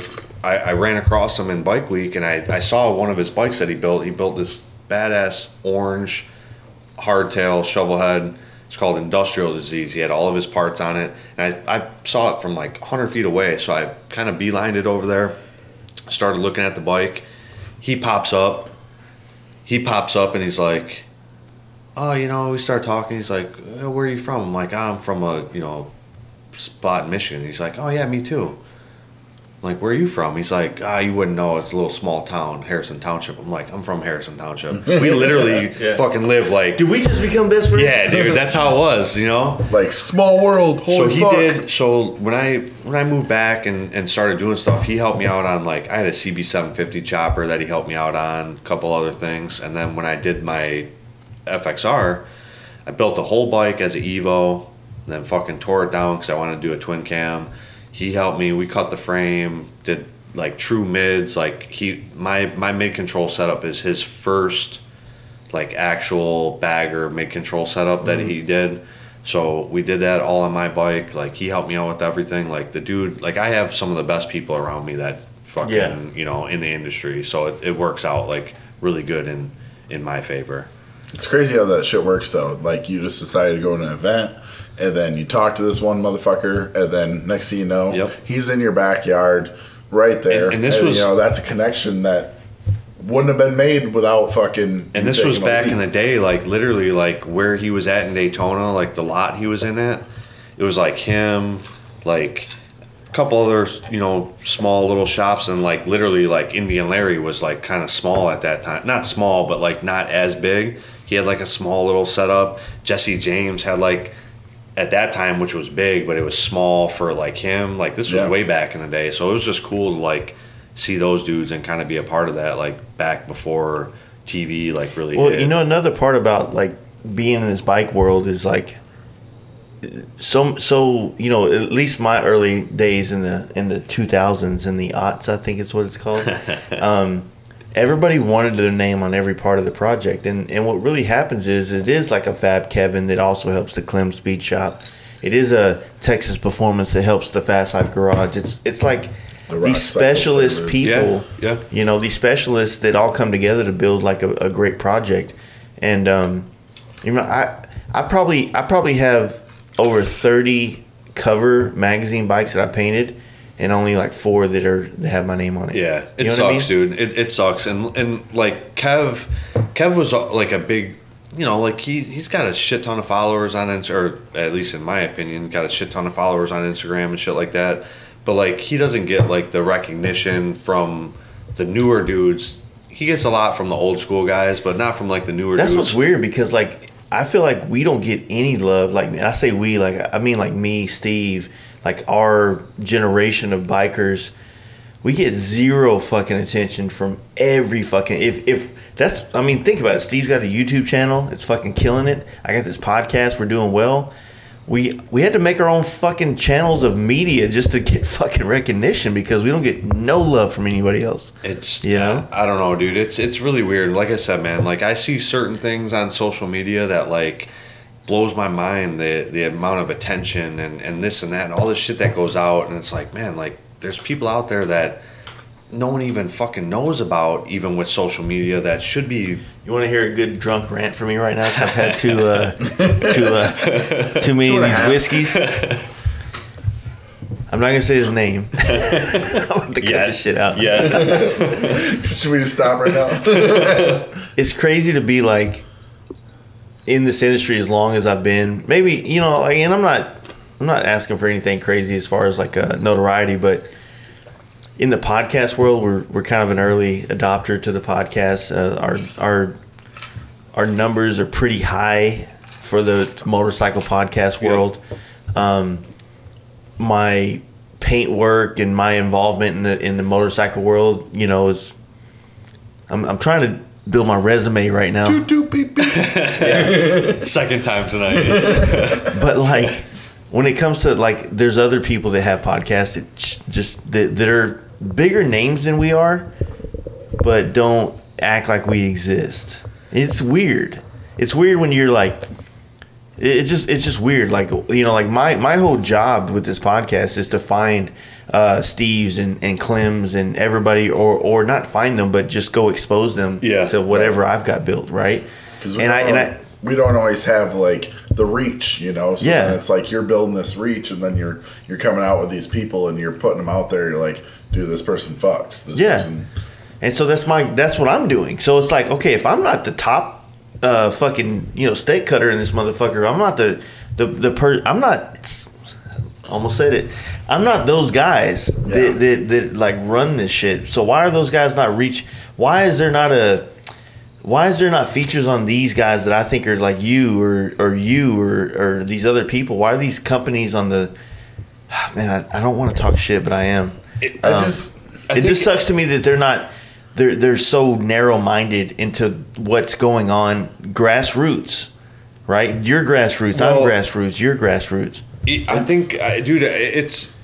I, I see it like in the even in like the the parts industry too. Like people have like they have like a, a group of people that they Yeah. are with, It's like you got it's kind of like that's- Illuminati type and shit. that's it. You know what I'm saying? Like Yeah. it is. I, I mean, unfortunately, like people, and it, and it's. I guess it's in, the, in at one side, it's like kind of good because they are supportive of their little crew, but that's it. You know what I'm saying? Like there's a bunch of like little groups out there that people fuck with them. They don't fuck with nobody else. If you're not a part of Yeah, that little, to me, if you're a media company, your job is to uh, mirror, and I've heard this from one of the guys I'm talking about. Your job is to mirror what is taking place in the in in the world that you're trying to cover, right? Because that's like in the motorcycle industry, you know, going back to fucking Indian Larry and all that shit. Like the the biker build offs and all that shit. Like the media was sitting out there and they were fucking capturing this greatness happening between Indian Larry and fucking Jesse James Yeah. and fucking Billy. It seemed like media was looking for people to to expose, as opposed to now, it's Now like it's people like are looking say- for media to expose them. Yeah, you know, it's like, but who's who's the media? Or is it now our time to fucking make this shit happen ourselves, or are we gonna? Well, wait people for are doing else? it because people are doing it, and they're they can do it because of social media. It's it's Yeah. technically it's free to everybody. So like anybody can do this shit, or anybody can like try to like you know drum up. Yeah, yeah. You know, it's just it's easier, I guess now. Like I don't know, it just kind of sucks. It's like easier, so it made it fucking harder. yeah, You know, it's like we're all. It raised the bar. Yeah. Yeah. we are all sitting out here and like you know being a Hollywood star back in the day. Like sometimes it just took the balls to fucking fly and like go out there and you know make some shit happen and make yourself seen a little bit. Next thing you know, they're like, all right, this person's decent at what they do. Let's expose them. I just know, I just and- feel like if your job is to go around and expose like the industry, and the industry is the YouTube people, the the grassroots shops, the the brick and mortars, uh, the other people doing media, the the painters, the the the fabricators, the uh, the the machinists, the all these all these millions of fucking bricks that go into an arch, man. Yeah, but nobody nobody's trying to build up the small people anymore. They're they're just trying to get They're the looking big. for the- they're, they're getting the big people that are gonna help both of them out. You know what I'm saying? Like so I'm trying to get the small people. I'm trying to build them up and get the big people to pay for it. Hey, Straight up, man. Like it's what it, it's. It's if if the big companies knew how much you know we influenced all these other people out there between the shit you do, you know, being a small man shop, you're not the Harley dealer, you know, and saying, "Hey, order out of our catalog," and I'm not, you know, I'm doing the YouTube shit and I'm putting other stuff on the the mm-hmm. palette, and then you're bringing, you know, other people, you know, that you've never heard of, and people are like, who is this guy?" And they're hearing these conversations. Like if they brought all this shit like out and they started understanding like what we're trying to do, fuck, they could capitalize on all of us. Yeah. So like yeah, but they just want they want somebody to they want somebody already big to just pay you to do what you got to do, or you know what I'm saying? They're, like they're scared of guys of us that are just gonna be out here and just say fuck. You know, yeah. you know, like we, Steve's like, trying to say that because he can't say it on his. Well, channel. we're, like, dude, it's like we're- uh. it's like we're stuck into such a fucking corporate world that Yeah. it's like now the people that are like, you know, we're going on this outside shit, Yeah. and like you go out and you say fuck a little bit, like people are like, I'll fuck with him, all right, Well, like pussy. pussy. what else you got? Throw that in there. get it all out now. I'm getting drunk myself. Balls. Yeah, he, he got a nickname from uh, oh the- actually was- Lisa was- Baker uh, gave him the name Balls. Dude, No, they by, call by me the, fucking Ballsworth. by the way, by the way, Bert is fucking awesome. Dude. Yes. Bert, is awesome. Bert is legendary. So I, I've known him through Kev. I wish that he would have married me like my Dude. wife. That would have been the fucking shit, dude. dude I've, I've known him for a while and and through like kevin and all the old, Yeah. the older dudes like in the industry so he bert's a bert drag races every Yeah. fucking weekend that he can we we got a local track back home like it's about about 45 minutes from us but we'll so track? Mylan Okay. we'll, we'll still go out there. It's about 45 minutes. We'll go out there as much as we can. Yeah. so we see him out there all the time. And this motherfucker is so he's he's so jacked up. He's he's fucking you know got his bikes out there his truck his trailer the whole deal. He's got guys with him. He's he's doing all this and that. he's trying to run this bike. He's got some pretty fast bikes. And every time i see him this dude cannot remember who i am at all. He he every single time he call he sees me i'm travis barker that's it that's that's who that's who I am to him. I'm like, Yeah. dude, really? I'm like, for the last five years, that's like that. That's what I am to you as Travis Barker. Yeah. He, he he that's that's what he does, and I just roll with it now. I'm like, all right. I'm Yeah, like, yeah, him. yep, that's it. Yeah, dude. his wife ended up. Uh, I, I called. You know, we started the podcast talking about like uh, I was trying to give them an introduction to Steve and like what he is to our like our world or our Yeah. industry or Yep. whatever. I said Steve just has big balls and he fucking rides hard as Yeah. fuck and he he lives on his balls basically. There's- and uh, she she uh, Lisa was like. She is a very I just- passionate person. She's like, all I can think about is Steve's balls right now. So, dude, there there's like there there's a couple people. If like if I could sponsor somebody, which I can't, just so you guys Yeah. know, I'm I'm not. Don't reach out. Don't. Yeah, don't don't reach out. I'm not giving you nothing. I, I can't afford it. All right. But if there was somebody that I could sponsor, it would be Steve, mm-hmm. and you'll see him. You'll you'll see him tomorrow. But so m- my boy Paulie, he's got these kids, dude. They're from Connecticut, the East Coasting kids. Paulie is the greatest dude on the planet. I look up to him as like a father, a guy, the whole deal. He, this Yeah. dude is unbelievable. He is the the best father figure I've seen ever. The- These kids are fucking amazing. His kid is a kid that's ripping wheelie like twelve o'clock. He's scraping. He's gr- dragging So hands. on he's like sporty. fathering and uh, mentoring all those dudes. from Dude. the- Oh yeah, How old's the kid? sixteen. Okay.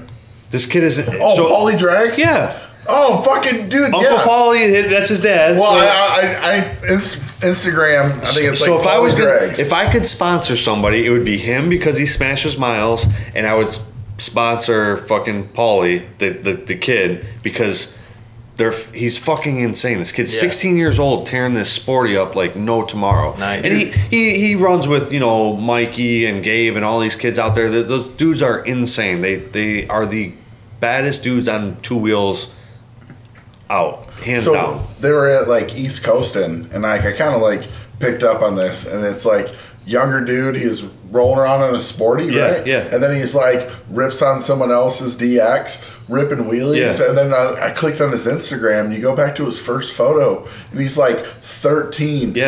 at East Coastin. I think it, like a picture with exposed. Yeah. Just like you know, and like you've seen the eye or the lights in this little kid's eyes. The- he's like, I want to be this guy. They'll be there Saturday, Harley, dude. if you're listening, there is your young demographic right Yes. there, Yeah, buddy. Yeah. and a guy like that because it's like I don't But- know what three four years ago, and he's just sitting there with like I want to be like these guys, and then three years later he's riding with these guys, and these guys are like, and this kid he's young as hell, and they're like, Yeah. he's badass. So we we come out here. So I I I try to come to New York as much as I can. Like a few years ago, we'd come like three four times a year. We'd come out obviously for like the block party. We'd come out for like the Aiden ride, and then our little crew of guys that we got Yeah. out here. We'll go out like normally, probably like October. We'll come back out here. We'll go to New Haven, Connecticut, and we do this like go kart racing thing. So we get all these these dudes at East Coast and they ride out. They dude, they like mob the highway. We go to this go kart track in New Haven. They have this insane go kart track. These things are fucking fast as shit, and these dudes hop in there, and they're competitive as hell, dude. So we're like, people are like, you know, whiplash, No and broken bumping. ribs and Wow. shit. You know, like insane. Yeah. And Uncle Paul, he's like the the the he's like the the godfather of all these dudes. Like he's like the guy that's like you know make sure they're stay in their place and shit. Then we go get pizza. New Haven, Connecticut apparently has like the the greatest pizza. I'm fucking over everybody tell me where the best pizza is. They Frank, can all fuck Frank off. Pepe's is like apparently. You the, know what fucks? CC's. Fuck out of here. Jets that's Pizza. Like, that's like him telling me like, "Hey, best breakfast is fucking Denny's." I'm Fuck just- outta I'm just, here. Like, I got a great story for you, and it's all with love. I'm, I'm saying my my my my struggles with. Dude, love. Spumoni's fucked today. Yeah. That was great. So what was it called? We wait. Spumoni's, So, LB, Spumoni's. I Before we even got to New York, fucking uh, the homie Chris uh, Gollop is how you saying it? Gallop Life, yeah. Yeah, from uh, Texas. He's Right, from New. Jersey. He hits me up and goes, "You got to try this spot." And so we were rolling around like Manhattan. We're like, you know what? Let's just fucking like drop a pin at that pizza spot. That's a destination because we had no destination at that point. You guys were still ripping up Yeah. the, up uh, Long Island. Yep. So we get there. I order the pizza, and then I text him and go, or no, I, I text him when I get there. I'm like, hey, we're at the spot. Hell yeah, thank you. Dope. You know, it seemed like a good little setting, outdoor. We were able to pee, which was I was worried about that. I Yeah. know how the fucking bathroom situation was in in New York. Right. so. Soon as after I order my, he goes, "Oh, by the way, get the uh, get, the, the Sicilian, square." the Sicilian, okay. which is like the, The fucking square square pizza." pizza. Yeah. I'm like, dude, I just fucking ordered a large goddamn fucking just pie. Where Yeah. everyone? And then And then I was, I text somebody, sent them a picture where I'm at. They're like, "Did you get the square? You got to get the square." I'm like, "Motherfucker, that!" And then a third person chimes in, they're like, "I hope you got the square." I'm like, "Who the fuck? What?" why didn't you lead off with the square? Be like, "Go here, get the square." So, dude, when we go to New Haven, they have like there's like two pizza joints down there, like side by side, and like apparently, like if you look it up, they're supposed to be like the best pizza places in like the United States. I don't trust anybody out here. Ah, dude, I know it's because everyone's got It was- it- The Everybody's pizza we got had the was good. bagels. Everybody's they do. the best It's it's pizza. legit, dude. It's it's a crazy place, and like there's a line wrapped around like down, down the block of this place every day to get this pizza. We show up with like 30 dudes from these you know East Coasting kids. And Uncle Paulie just fucking rolls us right in. They fucking put out like three fucking huge tables for us. They take care of us. The pizza's good, dude, but like, I don't know, like, I, it it's pizza. Yeah, Papa don't- John's? You Yeah, we Papa- got Papa John's. Yeah, Papa John's fucks, bro. dude. Get the little the garlic dipping sauce, bro. Yeah, you got to like peel open with like expiration date can, on it. I can already Yeah. feel everybody's just like hatred towards you. Oh, dude. Everybody you Don't- piss hey, yo, don't off, say that but, shit tomorrow, don't bro. fuck with Everybody- their, their pizza, bro. Everybody and their fucking food recommendations can fuck all the way off. Dude, I'm I'm not gonna say that the Sicilian pizza pizza wasn't the best in the world. You didn't tell me to buy it originally, so I got the fucking regular pie, dude. So like, I thought don't even think you're supposed great. to get squares here. I thought uh, round pies are like the New York thing, dude. Well, I don't. Apparently, at fucking LB's, Spumoni's, you got to get the square. See, we needed Danny. We needed fucking NYC Danny D to be here to Why like is it kind of. fucking margarita? Sorry. yeah, that's that's what sucks, man. Well, He won't come out here though. It's we're in Long Island. He's in Queens. Yeah, yeah. He, he- they don't fuck around with that like They don't. They don't. They don't jump cities around here. Yeah, here. they hate each other. You know, if you live in dude, did you grow up with fucking gangster rap or what? You know how it fucking rolls down here. Queensbridge, Yo, bro. That's Nas all I- territory. all I we just this we just went fucking East seven Coast hundred versus miles to get here. They won't go ten miles to see each other, dude. Oh, fucking uh, race glide today. You see it in a group chat, or not even the group chat. The fucking uh, I think he comments. Y'all going to Boston? I'm like, I just rode two thousand miles to fucking New York. You bring your ass down here 150 miles. yeah, make shit happen. Trying to, But we're gonna be gone by the time you fucking listen to us. So. yeah, exactly. Well, long gone. Hey, but honestly though, like uh this year I feel like even though I keep saying it, but COVID fucking all this bullshit, there's a lot of dudes like not in the chopper scene kind of coming here like to hang out because it is a good party like you know Mm-hmm. people get to kind of see the shit like I'm excited to go back tomorrow. Like I went last year Yeah. and everything. Fucking shit was amazing last year. Good ass time. Yeah. You know, whatever. I'm kind of pissed that bet you that barbecue joint's closed if they're not. Mabel's Fuck. that place is right around the block dude that's Dude, yeah that's the jam. Probably awesome. Fucks. it is dude they I would might, love to eat New York barbecue because I don't give a fuck about Texas barbecue. they might be they I might don't, be even, I don't even know if it was that good, but I think I was just by the time I got the food, I was that drunk. They- It's pretty good, dude. They they might be open. They I think they're doing like shit like out in the street or whatever. That's but, perfect. but yeah, dude. Uh, Bobby Seeger, you know, he fucking Yeah. puts on a awesome party, dude. He's the dude like super cool, man. Yeah, so uh, uh, Bare Knuckle Paul uh, texted me this morning. He was like, "Hey man, you're in fucking uh, you know, because we were me and uh, Steve were kind of playing it close to the chest on this uh, coming down here. Yeah. we were like half-ass playing like the whole like guess where we're going like it's fucking No, it started out. It was ten sixteen in the morning. See, you, guys are doing it. For, finally you guys got are the- doing it for the gram, dude. You guys For sure, like, yeah. yeah, look at No, us. We're gonna just in the morning. Like we were talking. he's about an it the night- influencer, bro. we were talking about it the night before, and then finally, like, got confirmation to go and that shit. And then it was like ten sixteen. He texts me, whatever, and we're in the same fucking house, but whatever. Text I was me. taking shit. Yeah. Yeah. and then uh, You should have been like, looking at We're going to New York. instead of. The I was phone. asking my wife permission to go to New York. we were on the fucking like I was like at that point I packed a bag. We were on the road by ten forty five. Yeah. Thirty minute fucking decision to do a seven hundred plus mile one way Yeah. trip. I try to do that and it doesn't work out. I don't, Like, have, dude, I don't have a kid or a wife. A- so A- it's easier. HPI, like I was like, yo, I'm going. Like Jimmy hit me up. He's like, yo, you're gonna make it? I'm like, yeah, actually, I am. I'm like, I'm gonna hit. I'm gonna hit Steve up right now. Steve, you going? Yeah, I'm, I'm leaving. You know, whatever. I'm like, all right, cool. Let me see what's up. Then like, dude, like day of, I'm like, yeah, ain't gonna happen. Like, fuck me, dude. Like, I was this- so hungover when I went to. Oh yeah, we were. Uh, but I think dude, I, we went out. It was Thursday night. We went Yeah. out Thursday night too. I I'm got like, drunk by myself. I don't do that often. That's awesome. I love those times. I was trying Sorry. to make it. I was Sorry, like, all right, if I can get the shop like kind of like situated by like 11, 12 o'clock, I'm like, I'll be good as long as I leave by noon. I hit him up. He's like, bro, he's like, I'm not even on the road yet. I'm like, oh, fucking one o'clock, dude. like, what the fuck? and he's got well, he it's quicker for you to get to HPI than me, but Yeah, it's like four or something, two hundred and seventy miles. That, that's what sucks about but this two hundred trip and seventy is miles for a fucking bike or bike night, just Yeah. because. I was trying to uh, make HPI happen, but it was kind of like in the center of this big loop, and and in and uh, you know we were trying to do HPI, and I wanted, dude, me and him have so much to talk about since the last podcast we had. You Um, better stop there on the way home. I can't, dude. I'm fucking drop. I'm going south from here and hitting through No, you're going to fucking Indy. uh, absolutely not. I'm, I'm going fucking home, man. Sorry, Jimmy. I got So, dude, it, it was like, uh, I guess they didn't have any luck. It's gonna be loud on the podcast. It's gonna get loud, so you might want to Yeah. wrap this one up. Airbnb is gonna Where are we at? not like Two us. thirty-eight.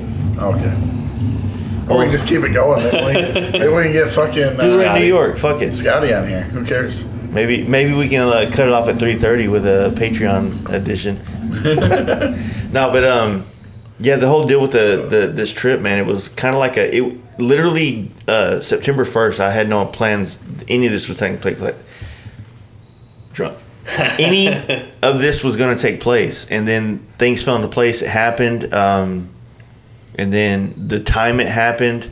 Because the the motors like there's not a lot of 131 crate motors anywhere in Yeah. America right now. So because Harley can't, they don't have the Yeah, components dude, to make anything. They're like, uh, uh, maybe not now, but like in this summer or this past season, they were like 15 to 20 days out just on regular parts. Yeah, exactly. So he hit me up and he said he found like he ordered one from the dealer, like actual Harley itself, and um, they, you know, crazy enough, they're in Milwaukee, this dealership, Yeah. but yet they get can't just go drive down the street and, and throw it in the back of the truck and bring it back, right? So it was like um, they didn't know what was gonna happen with it, and so last minute, like I need, I was like, dude, if I'm gonna come up there, I need to know now because it's fucking Tuesday and I need to leave Saturday or, or, or Friday morning. And he goes, all right, I'll call you back later. And then he just sends me a picture of the motor. It just showed up out of nowhere. They had no idea it was going to show up. So ended up happening. And then this part of the trip, obviously, is the same shit. You know what I mean? We just kind of like went with it. But with it being so close to this block party and, and like you being here, like not being in, in Detroit, which would have been fun, but I, I would have felt bad going to Detroit and not finally. Dude, he hit me up. He's like, he's like, yo. we're trying to time this shit out. I know. He's like, he's he's gonna be in. He's like, when, when you leaving for New York? I'm like, ah, Wednesday night. He's like, oh. I'm like, why? What's up? He's like, uh, Jace will be here like Wednesday, like afternoon. Yeah. Well, I said Jace will be here Wednesday, and then you're like, I'll drive to you. And then I was like, his boat rolls in at four, and you're like, well, that doesn't work. We gotta leave, we gotta leave Detroit by like, Like six. six. And I'm like, all right, whatever.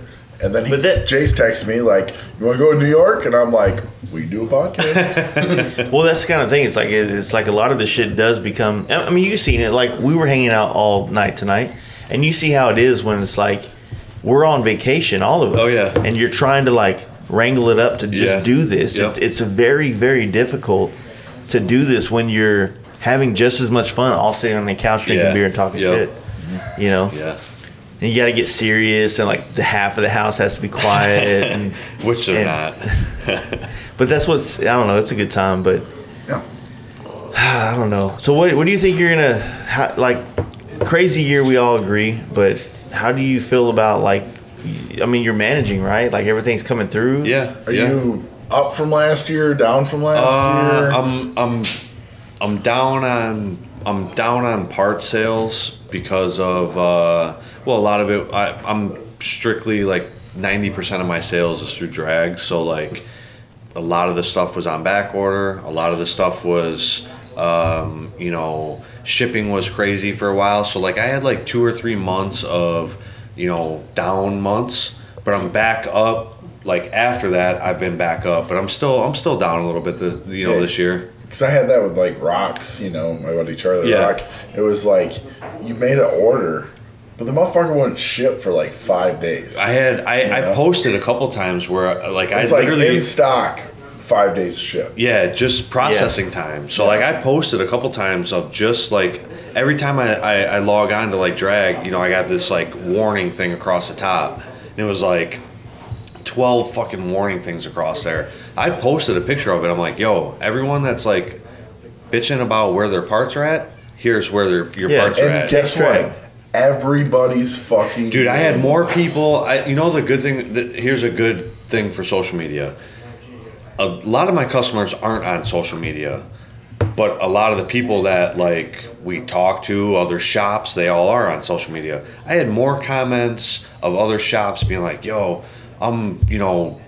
Two hours away from the warehouse in North Carolina, and it's taking me two weeks to get parts, or, or whatever. So it's like, all right, I'm not the only motherfucker in this boat. Like everybody's Yeah. dealing with it and you know like once people started seeing that and started realizing like, yo, like it's not just me, it's everybody. Everyone, yeah. They kind of like, you know, like I said, man, I, I got some pretty good customers. Everyone's been pretty cool.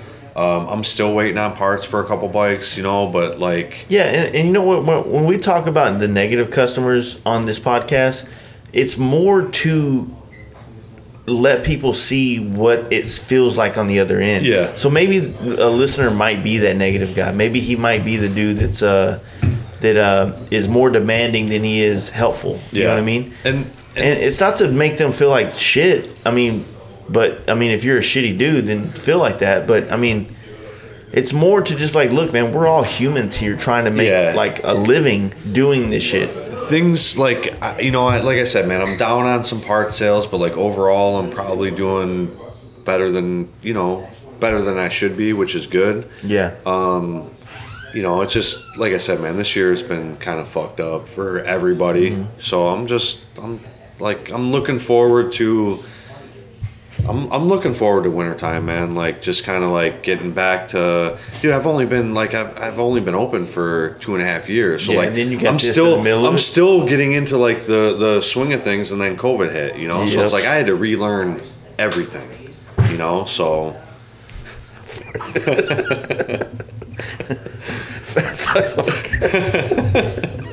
I thought it was gonna be silent.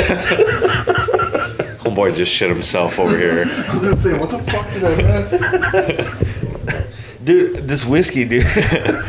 Blame it on the Crown, whiskey. Crown is whiskey, No, whiskey, you right? literally blew up a shitter in New Jersey on the way here, and a dude walked, went to walk in and afterwards. He's like, I don't know, bro. I don't know if that's a good idea. Yo, The so- dude went in the fucking women's shitter. dude. So between between his shit and we we got our cards declined in Jersey because of the way they do the gas pumps. Like no one should go to Jersey. Just skip over Jersey, Dude, did y'all have to deal with like a? Because he told me that it, I was like, uh, like we're sitting at the light before the gas station. I was like, Jersey's kind of weird. Like they have fucking. They're, they're supposed like, to you pump can't your pump your own gas. They're gas. supposed to. So then he Bikes they goes- normally let you do it yourself. Well, he's like, well, how does this work? And this guy, like, I don't know if he was answering him. I just swiped my card and it worked. yeah, I was asking. I was like, "How does this work?" I'm from Texas, and he goes, "You put your card in, you just a credit or debit." And I'm like, "No shit, motherfucker!" Like, I'm just, It like, asks I'm you not for an amount. Break any rules or it asks you for an amount, and you have to hit like cancel because you on a bike you don't know how much you're putting in. Are they singing over there or what, dude? is that picking up hard? It's it's picking up annoyingly, but I, I get as long as as long We're as the fucking partying, listeners, man. as long as the listeners If they made it this far already, it's a shit show. Yeah, hey, listen, you're gonna have the worst numbers on this podcast. They're gonna be like, Clem's who? Fuck Well, them no. motherfuckers. Steve's on it, so we're gonna Oh, we're true. gonna. Oh, yeah, there we go. y'all know the size of my head already. Don't make it any bigger. Yeah, he's an influencer, bro. You, get a, it- it- you get a repost from You Steve. do boot, you do like booty pics and shit. Like, Yeah. is that kind of influencing you Have you seen this Hank His YouTube is all about eyebrows, dude. He fucking kills it on the YouTube game. Nah, that's uh, yeah, yeah, New York. I mean, uh, New Jersey was crazy with that. Like it was, there was a dude walking around with a fucking like shell shirt on, Yeah. like pumping people's gas. I'm like, dude, can I touch my gas tank? And how's this work? We you know? normally tried not to stop there. We had to in like the one Yeah, I was about to like point him over and be like, "Let's stop PA." Yeah. But then I was like, ah, "Whatever." I don't we were care. kind of stuck where we were at, so we're like, fuck it. I know there's one. Dude, I've done this trip like so Dude, many this times. is civilized we, fucking America. Why can't we pump our own gas? I know, dude. Hey, well, you know, We stop at the same fucking stops every year too. It's like, yo, like you're on the road, like you kind of want to see something new. It's like, hey, we've been here 17 times. Like, no, cool. I do the same thing when I go west because those those become the spots that are perfect for a bike trip. So I have a couple that are perfect for the bike trip Yeah. stops, and a couple that are perfect for the cars. I mean, dude, we we pretty much do like the same mileage in between gas stops, so it's like you're pretty much gonna be in the same area every single time. But Yeah. one thing that's weird with Jace, so like I've ridden with Jace, you know, we've hit three time zones so far. You know, we've done uh, Eastern, Central, and then Mountain Time. But it's like when we're more towards the Mountain Time, it's like you hop on the bike and he's like, he's like, I got the next gas stop. Well, 120, 130 miles work, and I'm like, yeah. And then we're leaving Michigan. He's like, you got the next gas stop. I'm like. Dude, there's like gas stations every 20 miles. I know. You know, if it's like over 40 miles, I'll be surprised. You know, and Yeah. like It's like you well, there your- was that time on the fucking turnpike where we we hit the we hit that one spot, and I was I was pointing. I was like, do you, I was trying to like use some kind of unagreed upon hand signal. Yeah. It was like pull over or keep going, right? Because we were at. I at wasn't paying attention. I was like, We left- we if left, he gets uh, off this exit, I'll get off. But if he keeps going, I'm still good. we said we were gonna we left Lansing, right? Yeah. We gassed up like maybe ten miles outside of there. Yeah, right before the highway. And then we hit that. We went down uh, and and hit like Toledo. Jumped on the turnpike. Was down the turnpike and right, probably like thirty miles before Cleveland area. Yeah. Ohio's got the nice like service plazas or whatever. Yeah, the but service they're- But they're 'Cause spread we were trying not to uh, get No, off no, the no, highway and yeah, have to pay. yeah. You know. There's there's nothing nice about Ohio. Ohio is the Hey. of America. Yeah, we all know that, but the service plazas aren't horrible. Yeah, we Okay, had a, we had a. Panera bread there. We Yeah, had see? nice. We had a little The bagel. We just gas cop- up. The cops are assholes. Yeah. Yeah. Yep. Still have a warrant in fucking Ohio. Dude, tell me you're an influencer. Yeah, be Dude, like, that- yo, I if got you wanna- followers If you on want to see Instagram. the, the Ohio ticket, fucking it's on the YouTube. So, uh, you know, we passed the gas stop, or, or no, like uh, we were both coming up on. We were probably both like, I think I was 53 miles and you were like 45. Yeah. And it said next gas stop 41 miles. I didn't know what he had on his bike, but I, I knew I had 53. I didn't know what he had until we actually stopped. I was like, or this. I was like, go or this, and then I think I did a thumbs up. You look like Danny D right now. He's got the Probably. craziest fucking like you know if he needs to eat, he's doing one of these and all this shit. Like he's got the craziest hand signals. Yeah. I got like gas, or I got like. Hum, hum. yeah. This And is then any, hey. anything, anything beyond that, I'll just like set like cruise the the hang loose sign, the hang loose sign. Like this is beer. Oh yeah, This is normal drinks. Uh, I, I mistake Food. normal drinks for fucking. We have like gas. That's it. Like Yeah. we point at the gas. That's yeah, it. gas. and we've all If had you go headsets that on. like we you never see fucking fucking like. Sheetz or something, you're like, Sheetz. Is that where we're at? Sheetz fucks. Bro, we hit Sheetz up. You know about Sheetz? Yeah, yeah, I know. Where do they have Sheetz? PA. dude. I've, I've Gotta be. PA, right? I just didn't. I didn't know where else. I used in to- the back in country. the- all I've ever had Sheetz was I had one in North Carolina and one in. That's where I uh, had it at. North And Carolina. then uh, one in PA. It was the only food place. It was the only food place open when we stopped on the way out here. You know And I what was my like- favorite He's food like, is? oh Sheetz. I'm like, oh sheet. Hell yeah, dude. Oh Sheetz! so one of my favorite spots on the it's more of an East Coast thing. I don't know if it's Northeast because I haven't really been up here. Yeah, no, no, Denny's. no. uh, Moe's Southwest Grill. I don't know if y'all have that, oh, we got a Moe's in Grand Rapids. dude. It's we got a most. Moe's, Hi, welcome to Moe's. Moe's. Dude, every time you walk in, the motherfucker's like, "Hi, welcome to Moe's." fucking two minutes later, fucking somebody else, you're still standing in line. Hi, welcome to Moe's. Sorry, Yeah, we definitely ain't got. Everybody's trying to be like Chick Fil A, right? But no, Moe's is like the best burrito joint in my opinion. they do have like a fucking salsa bar. Fucking eight kinds of salsa right They, there. dude. You know what? Everybody has Taco Bell, right? We can all agree on that. yeah. So Taco Bell a long time ago did this thing called a, a griller, right? Where they like, it's like a, a a regular tortilla shell, a hard shell in it, and then like all your shit, another hard shell, and then they wrap the tortilla shell around it with cheese and grill it. So it's like a, it's almost like a fucking Crunch hamburger. wrap? Crunch wrap. There, you you go. go. So they do their burritos like this. Like you can get a normal burrito, or you can get a uh, they call it a stack that way. But it's all like quality, air quotes. Yeah, yeah. Uh, meat, rice, beans. Real like food. like you if you went to Chipotle, and you got this shit. Plus they have like real queso, not that gay ass shit they did, and then um, salsas, a lot of different types, and like just flavor. Y'all don't have Freebirds up here at all, do you? No. So Freebirds is kind of like the Texas joint. It's like the the combatant at Chipotle with a Oh, little alright. more flavor and We got like, option. Chipotle and Qdoba. Qdoba's dope too. I like that place. Yeah. Chipotle's good, but it just doesn't have enough fucking options, man. In my opinion. I don't know the options. I go through there. I'm like, they're like, you want this, this, or or what salsa? And I'm like, what's the options? like, I need a better menu, bro. Yeah.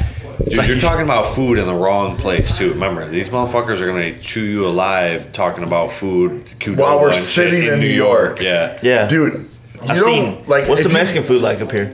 I don't know. I never had it. What's I don't even know. Tex-Mex Do like they sell here? Mexican food in New yeah, York? they actually, Chris was saying there's a there's a Mexican place right by where we were So at. if you've never been to New York, I'm pretty hungry right you now, actually. Literally, you roll down the road. What time is And it? there's Screwed, like dude. delis yeah, you're screwed. Is it delis twelve all that shit. And There's nothing, dude. There's nothing. Is there Cheetos anywhere? There's chicharrones. dude, is there Taco Bell down there? I got cookies. dude. Dude, can we go to Taco Bell for real? I'll fuck that up right now. I don't know. I don't even know if there is a Taco Bell. The one by the Eh, Scotty, get Siegel over here. Dude, it's far. There's no Get him cars. on the up. mic. Siegel, He's at least got to say something by the end of it. Yeah, we can wrap this up once he says hi. Siegel, come here real quick. Where's Taco Bell at?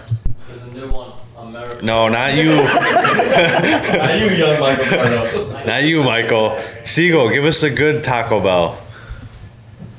Which one? You want to go inside? Or you want to drive through? Well, you can't go inside anywhere around here, right? You can go inside. At midnight? You got to talk in the mic, bro. You can go inside anywhere you want. Don't give us some New York shit, bro. Just fucking sit her down. Where's Taco Bell at? I heard you like rip bikes across the country and shit. A couple times. Yeah, but a couple times. There's no Taco Bell out west. Uh, there's actually, fuck. Where's the Taco Bell? Because I could go By for a fucking. Yo, you know what they got rid of though? They got rid of the fucking. Uh, Double decker. no, the the, the uh, The cheesy fucking Fiesta the, potatoes, the bro. grilled stuffed fajitas, bro.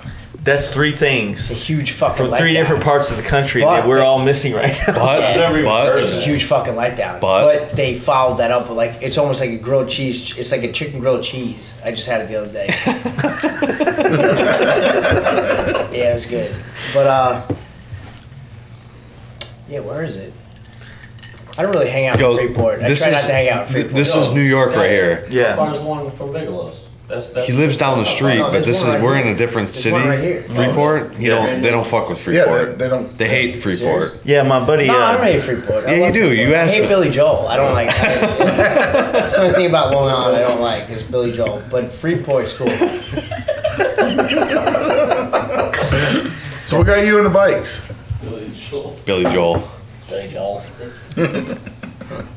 strike me as a, uh stone cold kind of guy, like uh, Brian Bosworth. It's a good movie. no, my neighbors rode motorcycles. Uh, yeah, they had one dude had a Nighthawk, but he was a heroin. addict. It was awesome, man. I lived next like seriously, I lived next to like Deadheads and Pink, and these dudes love Pink Floyd. And when I remember when Jerry died, my father was like, "What are you guys gonna do now?" And they're like, "We're gonna have to, we're gonna have to grow up." And I was like, "Well, wait, this is kind of cool." And they moved out. They literally just fucking moved out. But they're like Nighthawks and some choppers and fucking lifted Dodges and all that shit. And dude, these guys were just smoking joints and fucking literally two piss. I'm like, is that legal, bro? Like, like just yeah, short shorts and pistols tucked in their shorts. That's some fucking Michigan shit.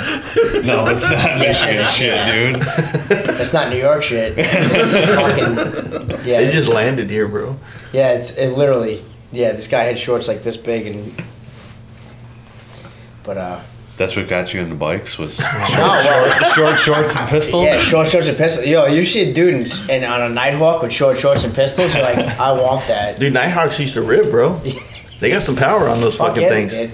No, uh, Oceanside used to have a uh, Nathan's, and Nathan's bike night brought everybody from whatever club it was and, and whatever. And my mother used to drop me off when I was nine, and she would go shopping and be like, "I'll be right here." But I think she just stood like in the back and just kept an eye on me, and it was pretty fucking awesome that she did that. But then they had an awesome car night as well.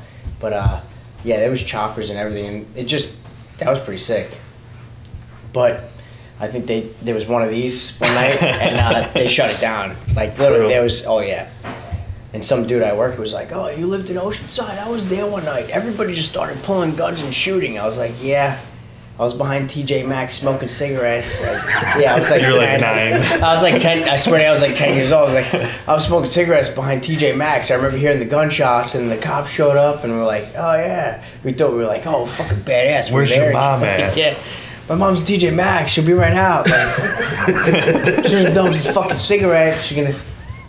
Yeah, So you you've been here in New York your whole life, my whole life. for real? We just actually try to go crabbing. I try to bring these guys crabbing too. Yeah, It's fucking what- crab. what- hold on, Yo, hold on, what- You can Google this shit. It's fucking crab season. How many crabs did we see? None. Zero. Well, Mikey, Zero fucking crab. Mikey, Dude, Mikey caught a crab. dude, it was. How big was it? It was a, a hermit crab, or what was that? A pubic crab? Spider crab. It might as well have been a hermit. Yo, Like Mikey- you could put eyeballs on it and paint it any color you want. It was like a fucking hermit crab. I thought he got crabs from fucking Rivieras. Ah, he did. I thought y'all were going to some bar street down this. Down. I thought you guys were going Everything was nautical shut down. mile. There was a party boat that just landed, but it was like, fu- I think they were all Dominican. yeah, They were they were angry. they were. Good looking women, but the, they all have mustaches. So it's like, stay away. That's New York. It's just all the women got mustaches.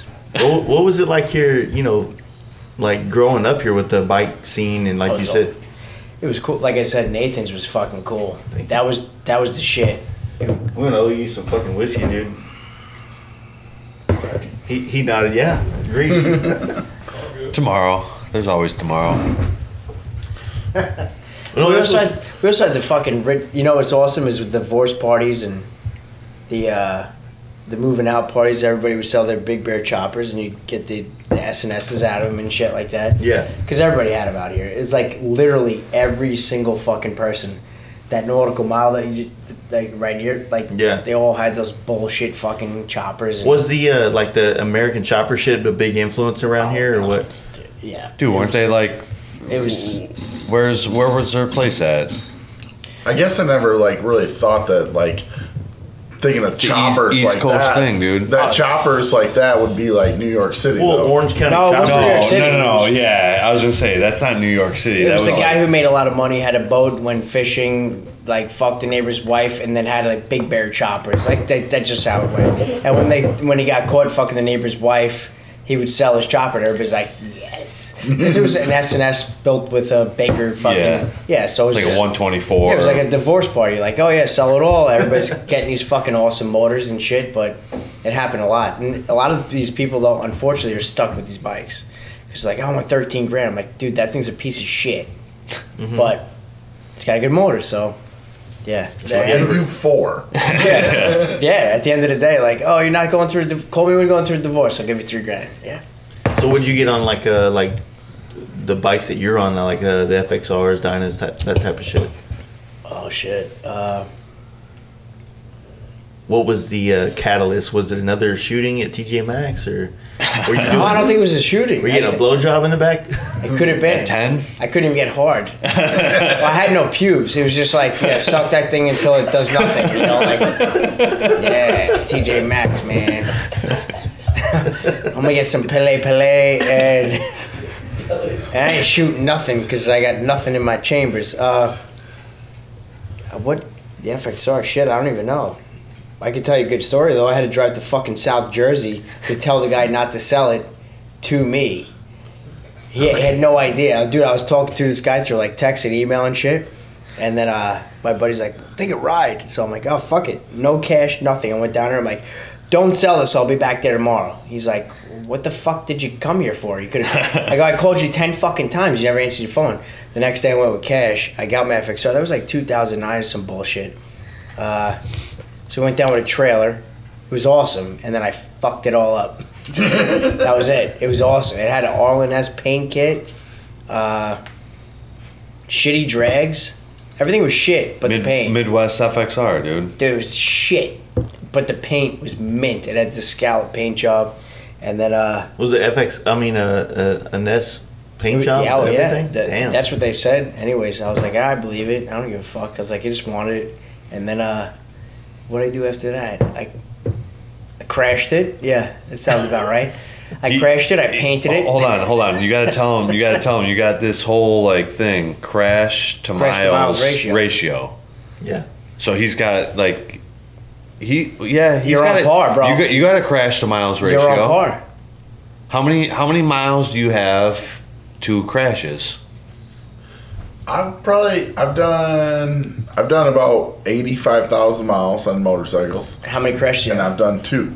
That's good. He's got a good ratio. Yeah, you've, That's it. Yeah, You're good. just know. So you have two crashes in eight. It's one every forty thousand. Next forty thousand, expect another crash. I'm just telling you. I have the I've same had a shit. solid fucking summer, dude. This shit's fucking rolling up. No, but like if you have if right, so it's like if you have more crashes, like so you're good for like longer. I don't know if like it'll be like you know they'll I'm look back. till like May. I don't know if the crash gods will be like, yo, listen, this guy's got this many miles, this many crashes. Like, let him slide another year, but my miles to crash rate is spot on. Because I told him, I'm like, I've been riding to the city for fucking for a long time, and He I've had some fender benders. He lives out here, and he he worked. Lives in he- Long Island. and he used to work. Well, in, or he, Speaking about Long Island, Queens is Long Island, and Brooklyn's Long Island. don't get him started on this shit. So yeah, even if you live I don't in know New York. You can get me started. Let's go, right, bro. but it's a whole island. He lives. And he's- how long is Sounds the like it's a? Long Island. It's the most. it is the most longest It's the island. It's the longest contiguous island on the United States. In the United States. Uh, say it ain't touching the shit. And people say I live on Fucking Long Island. They live in Long Island. Like, but I say too, I'm on Long Island. But uh, It's kind of like saying like I want unsweet tea or iced tea. Think about it. You don't take the sugar out of the tea to unsweeten it. right, it's the same Yeah. fucking shit. It's like, oh yeah, I live on Long Island. Like, no, you live in it. You live. All right, so I don't how know about what's this? right. How about this? The trip you guys took from the city to here, Yeah. 30 miles, whatever it was, Uh-huh. he did that every day. Every day. Back For like a and forth. decade, and then I got not once but twice. And it's like How you not just like? it sucks. Oh, I get home, you, that. you get home, you're tired, especially in rush hour. Like you'll be splitting lanes the whole time because you literally And, will. be- and actually, The whole fucking time. Today probably wasn't Oh, as bad as like what it normally is. I think we rolled up on an accident because as we were splitting lanes, we were like rolling next to like those black uh, cop cars. yeah, but they're Um, just stuck uh, in traffic. No, they were run. They were riding the right shoulder, and we were like, Damn. oh, that no, that's because that- they tried. Those are all marked, and they're getting home before they. That's yeah. get So home. they were riding. Yeah. The, they were on the right shoulder, and we're fucking splitting lanes pretty much right next to them. We're like, well, if you don't give a fuck, I don't They, give. a they don't fuck, give a shit. go. They're going home. Yeah. That's it. That's that's They what it just is. they just throw in the blueberries and cherries and it's That's like, it. See you later. It's fucking Friday, bro. going home. They don't give a fuck Most of the time, they're in traffic and no one will let them around. Yeah. We because they passed. know it's. A, you, you look at your watch. You go, "Oh, the guy's trying to go home. Fuck you. I'm trying to go home too. Yeah, I don't know. Not moving over for you. I understand it. Just being around here, like I understand it. Like the traffic fucking sucks. It does. It's been light lately. Oh, I bet. You know, I love the coronavirus. It makes shit. yeah, it's, it's fucking it's a drain for traffic. But I'm glad I don't have to go too far anymore to work. But yeah. So what? uh, What's your crash ratio?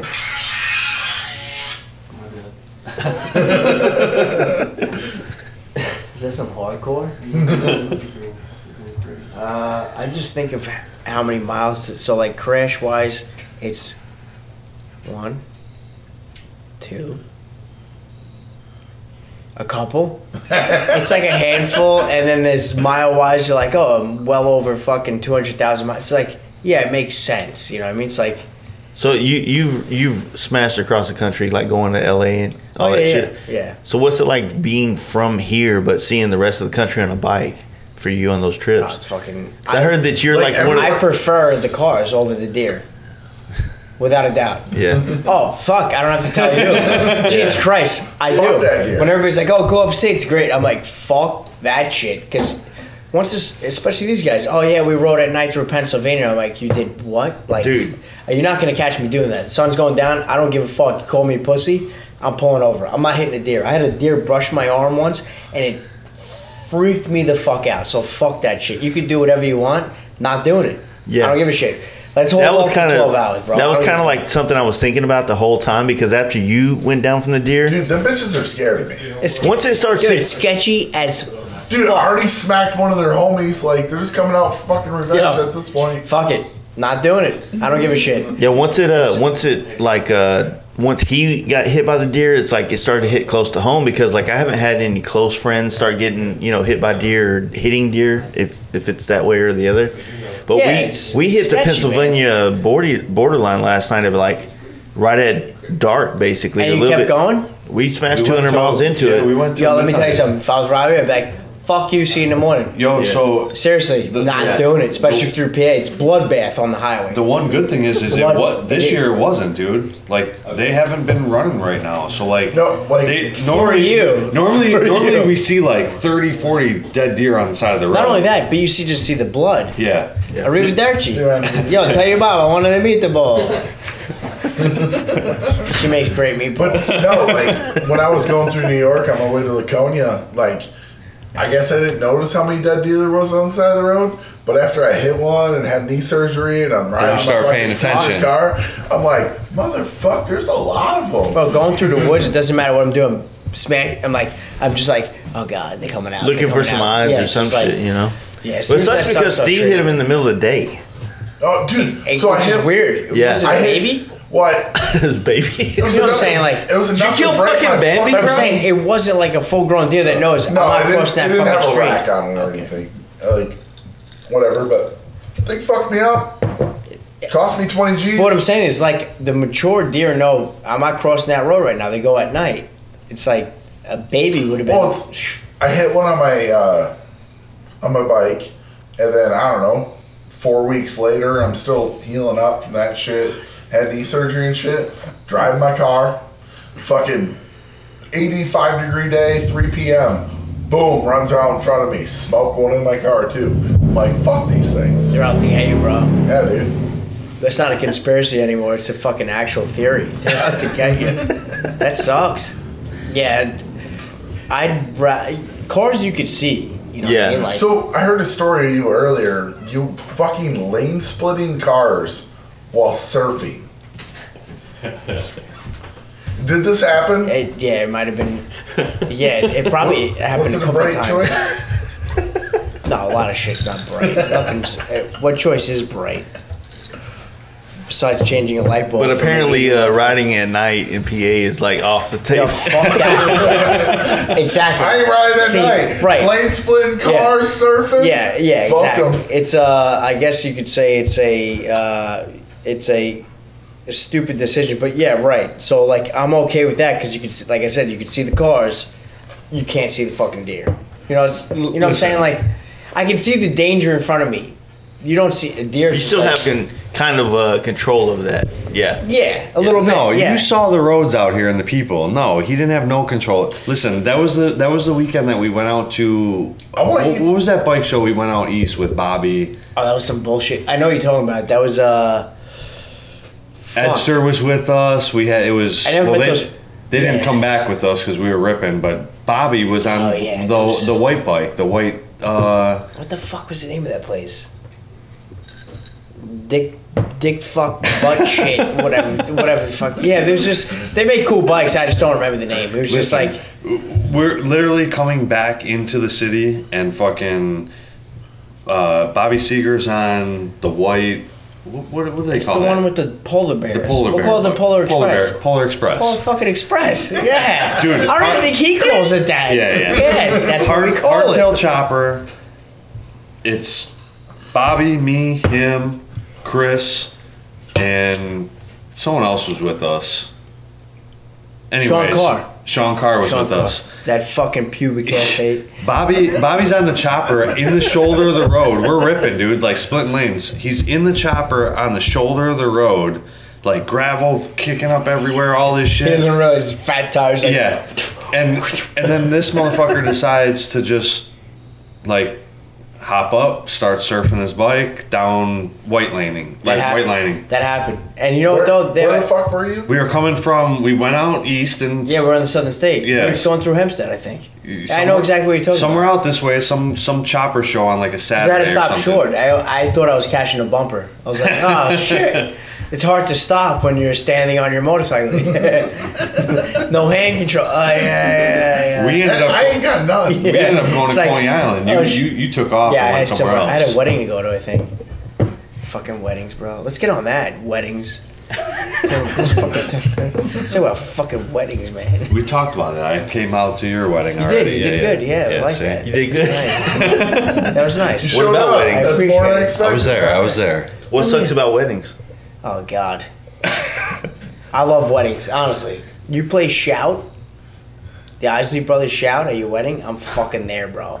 I'm, Wait, I don't even shout, shout. No, no, not Let that. it no, no. I fucking like that song too. It's hey, wait a minute. I think you want to shout, come here, and I'm shouting, no, no, no, no, no. That one, that shout. Well, in the South, we just play. Hey, hey, hey. Yeah, that's where we are. A little bit something down. I I'm mean, trying like, to think of a fucking you know, movie. you know about something that now. biggest. Yeah, no, it's uh, Uh, wedding- Animal House. No, well, fucking uh, what's the Is it uh, wedding singer? Wedding Crashers. Wedding Crashers, That- dude. Yeah, it's like. when all the titties, Titties start are- popping yeah, out. yeah. Yeah, dude, that's Yeah, what. dude. Yeah, even before that, before that movie came out, I'm like, this is like the titty scene. Like, I knew, like, hey, and then it came out. I'm like, yeah, that's where I envisioned. You're like, I said this shit ten Yeah, years it's ago, fucking bro. great. He thinks titties are just gonna start popping out all over the place. yeah, titty. At your own wedding, right? yeah, yeah, same thing.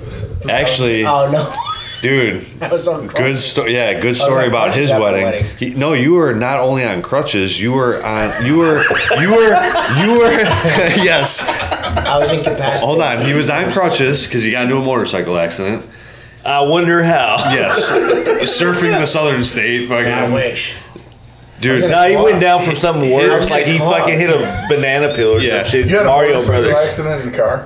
No, I'm just No. kidding. His wife pulled him out in a radio flyer because he like They're literally like, like, you know, like, now introducing. And she's like, what are we gonna do? I was like, uh, I can't walk that fast. I, I had a rod put in my leg and shit. I was like, pull me out in a radio flyer. She's like, all right.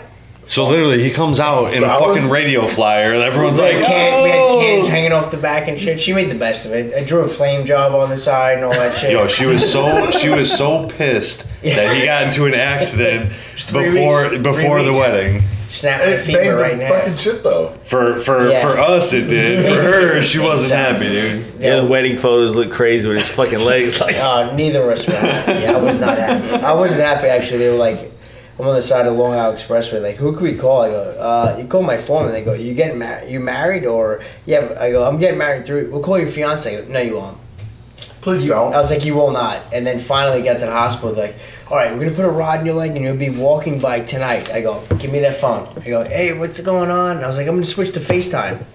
Start FaceTiming. She's like, what's going on? I was like, oh, not much. She's like, how do you have service? Because I was working in the tunnels on the Grand Central Station at the time. Mm-hmm. And I pan out. I go, actually, I'm in the hospital. I broke my femur. She's like, holy shit. I go, don't worry, I can dance our first dance. I'm gonna be up on my legs tonight. That's all I needed to know. I was like, it was, you know, it's not my wedding, it's her wedding. So it's Yeah. just, I needed to know that I'll be standing up and not in a wheelchair. And they're like, no, no, you'll be on your feet tonight, which was, We got the picture. it didn't work out though. We got the picture. He's in a neck brace with Yeah. like the thumbs up. He's like, There's like th- three nights later I was able to do it because that night I was just like, I think I'm still on fentanyl shit. I was like bent in half. I'm like, how do you walk if your top wants to hit? The-? I was like, my head wants to be on the floor and my legs. And they're like, we're gonna come back tomorrow. I was like, yeah, yeah, that sounds good.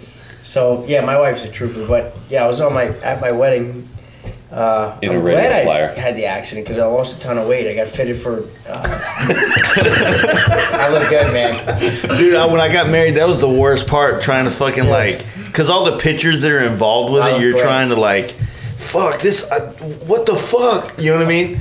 Dude, yeah, I know what you mean, man. I got fitted for that tuxedo. Like I had a, I had a tuxedo made for me like three months earlier, and I was like, man, I'm getting man fat. And then when the tuxedo came, I was like, holy shit! If I didn't have this accident, I would never have fit in this fucking thing. literally, the lady's like, this fits so good. I'm on like one crunch. I'm like, thank fucking god. I'm so glad I got hit by a fucking car. That's awesome. yeah.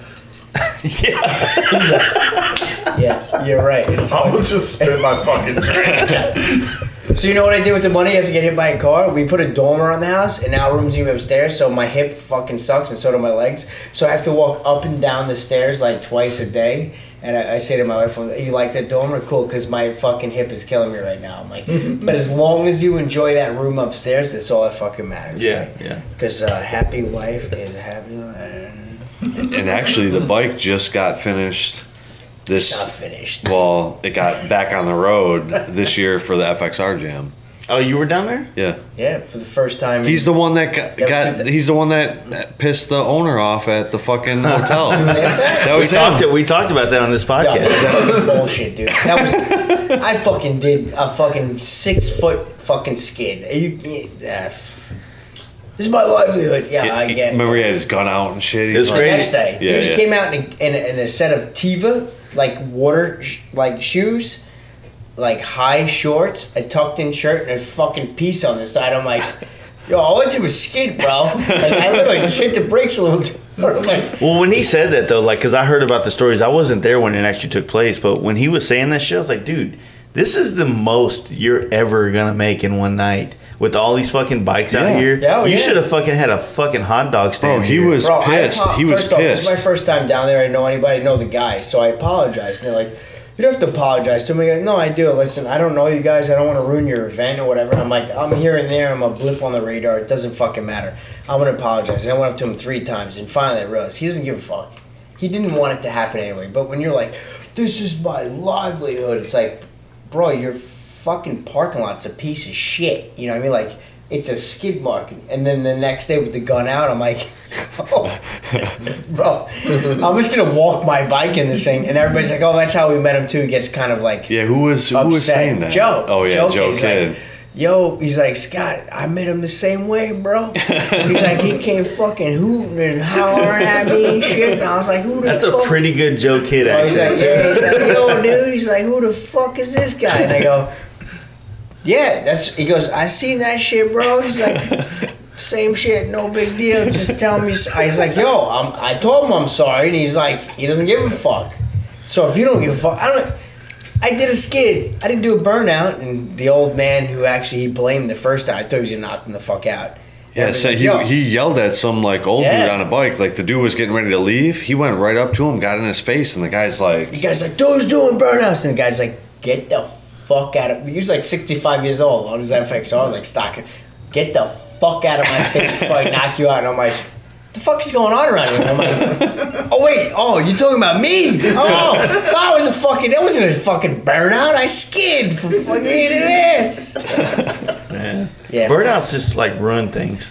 what about skids? It's too. Skids ruin FXR jams, man. No, I, I remember hearing. I think I was oh, either I either oh, showed oh, up boss after. Shit. Oh, boss hog. What? Do you, hog shit. hog shit, He's like, yo, Scott, have some hog shit. hog shit. That's Joe Kid's thing. Hog shit. I remember when I showed up, I immediately uh, saw you and um and uh, Danny D, and I was like, "What's up? What's up?" Blah blah blah. And then I saw Chris, Harry, and uh, Yeah. and Joe Kidd and all them. And then I started hearing about this situation that took place. And then Skin it was like- situation? yeah, yeah. And it's just funny because like now I'm sitting here with the fucking culprit. I'm the, yo, I'm the skid. I'm the skid man. That's Yeah. it. I'm the skid mark in your underwear. I'll fucking. I'll ruin anything. I'll fucking. Oh wait, hey, wait a minute, hold on. Let's back it up a little bit. A couple years ago, uh, Thursday night bike night, Hard Rock. You got us kicked out at the Hard Rock too. Here, Well, that was. Was that last year? no, this was like that was easy to do though. that That, was was, an old lady. yeah, that was an old lady. That That was old like lady looked like a man. probably three years ago. Yeah, she did. She looked like my, actually she looked like my grandmother slash grandfather. Like if you could put them together, she had short hair and it, I think she was wearing Sergio Tacchini, which is pretty fucking badass. Yeah, she came fucking screaming at me. It's my fucking neighborhood. I go, nobody fucking lives here. We're, we're like literally Midtown. time, Times It's like we're in Square. time. Nobody lives Yeah. in fucking Times Square. Times Square at the Hard Rock, and they started What ripping doing burnouts burnouts. down my block. What are you fucking? She lived. She was. She lived on the street, but still, it's like, oh, okay. All right, makes sense. I felt bad. I gave her a pound. It was a nice thing. Yeah, when you watch, you know, uh, like this is my first time ever being in New York. When you watch every TV show that's ever based out of here, you feel like normal people live in the city, right? And then you're like, when you're here, you're like, how the fuck can anybody live over Nobody there on does. that island? Fucking assholes. Nobody fucking does. Nobody from New York lives in the city. yeah, That's. I guess it's almost like. Uh, I mean, where would it be for you guys? Uh, like, do people from Texas actually live in Austin? Uh, Californians live in Austin. There, Exactly, There you yeah. go. Right. Ohio, you know, people from No, California nobody- and people nobody from lives in Ohio, Ohio. live in fucking in Manhattan and, and even in Brooklyn too. It's like Brooklyn people aren't. I mean, there's still people from Brooklyn in Brooklyn, but Well, it hasn't like over the last like 10, 15 years, like Brooklyn went from being like a place where you literally had to be like in a gang to now like it's, you know, Yeah, you're like a yoga gang or some shit. or like a vegan gang. Oh, oh, you're not straight edge gang? Oh, fuck. Don't fuck with those vegan gangs. Like, it's the same shit. It's. how was that like? Because I mean, I, you gotta understand. Like I said, I my can't say I- my I nuance of this situation is uh is very like um, pop culture. Uh, how I, I grew up listening to you know rap music and um, you know hip hop and shit like that. And then you like grow up hearing like all these certain rappers from these certain like boroughs basically around here, and then like you you hear some people that live here now. Like I met at other places, like nah, Brooklyn's dope. I'm like, isn't that where like all the hardcore rappers were in Queens and like Nas and it right. Crees and No, all that's this where it started. Yeah. And then all the like I grew up playing basketball, so like you know Coney Island with all like S- Stephon Marbury and, Yeah. and and all these different people and No, that's where that shit happened. Yeah. And then they were like, oh, you ever hear this term gentrification?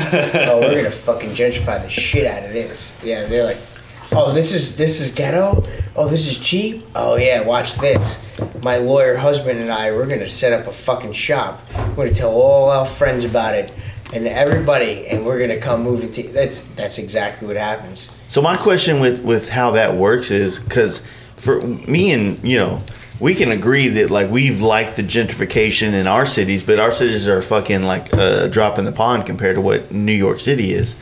So how is that for like locals here? Well, out here it doesn't happen. Well, it is happening. You want to know why it's happening? Because people are moving from the city out here, and it's driving out property value up. So I'm like, keep coming, motherfuckers. You want to live in these shithole fucking neighborhoods, and like, and like everybody's like, oh, this shithole neighborhood's now like the, the most happening thing. I'm like, that's cool. Come out here.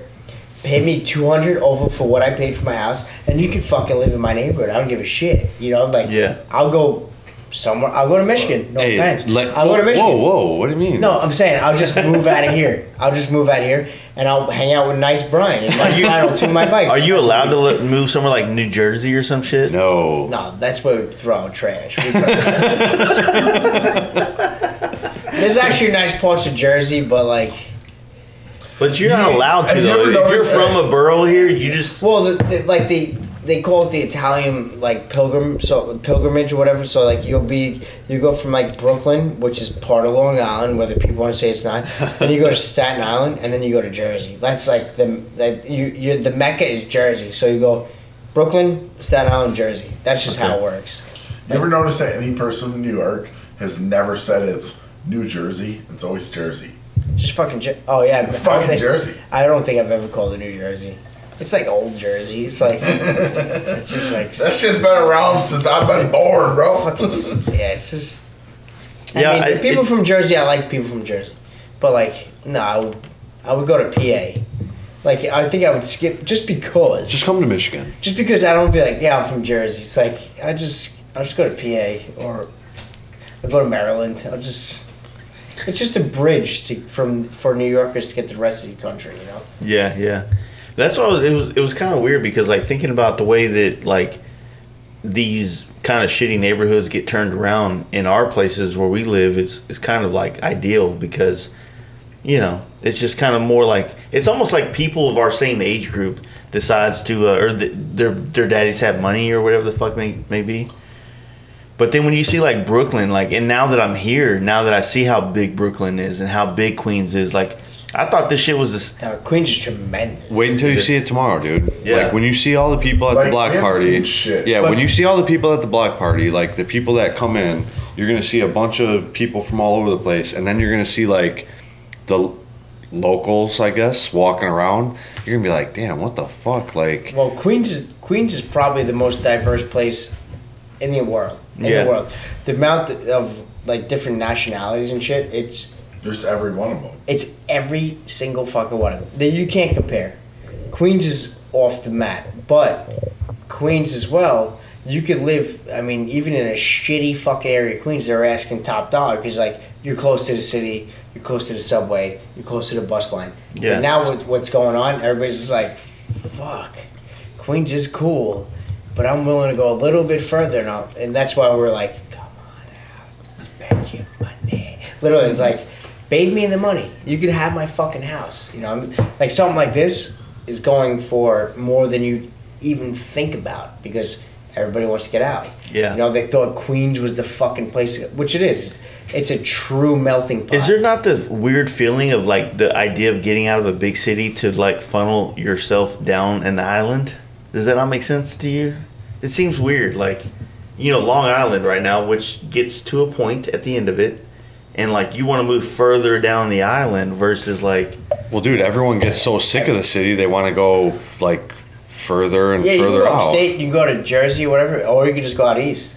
It's Yeah. like, but if you go out east, you got to start taking the train. And, you know, it's just so eh, you know, the rest of the country uh, heard that like when the COVID happened here, like everybody was dropping like flies. bullshit. My wife works at a hospital. She's a respiratory therapist. Nobody's dropping. Yeah. I'll say it right now, and I and I have a person. Did you feel like you needed to quarantine, wait for us to quarantine for 14 days once we came to town for you Never, to not once, no. And your wife is, My- in fact, a respiratory, Respiratory therapist. therapist. Therefore, we have this on record, Your Honor. Yeah. this shit's bullshit. COVID's over. Seagull, See you later. Seagull said it. now, I'm telling you now. I gotta mouth. piss, but when we get you guys, you know, talk so much yourselves, and uh, No, we're waiting on you. it's not because No, of the this facts. I'm not podcast trying to dodge yours. facts or whatever. Who's got those giant fucking? Sh- those yours? Those, Those are mine, bro. Holy Yeah. shit. There's a marina down the block if you have to adopt those things.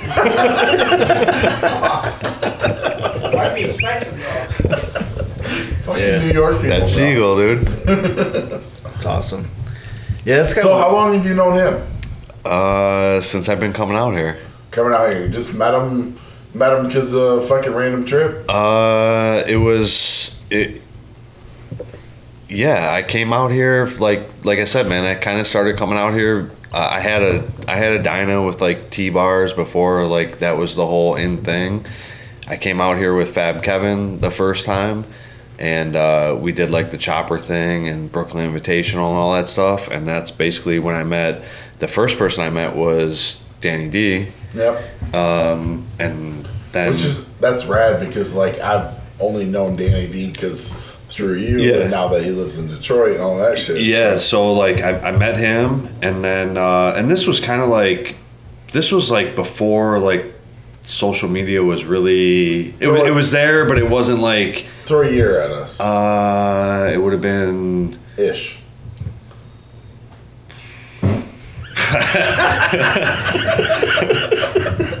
What's that picked up on the button?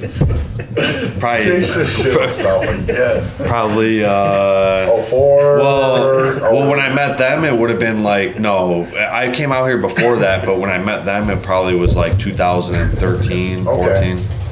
oh shit, so not that long. Yeah, yeah, yep. Okay.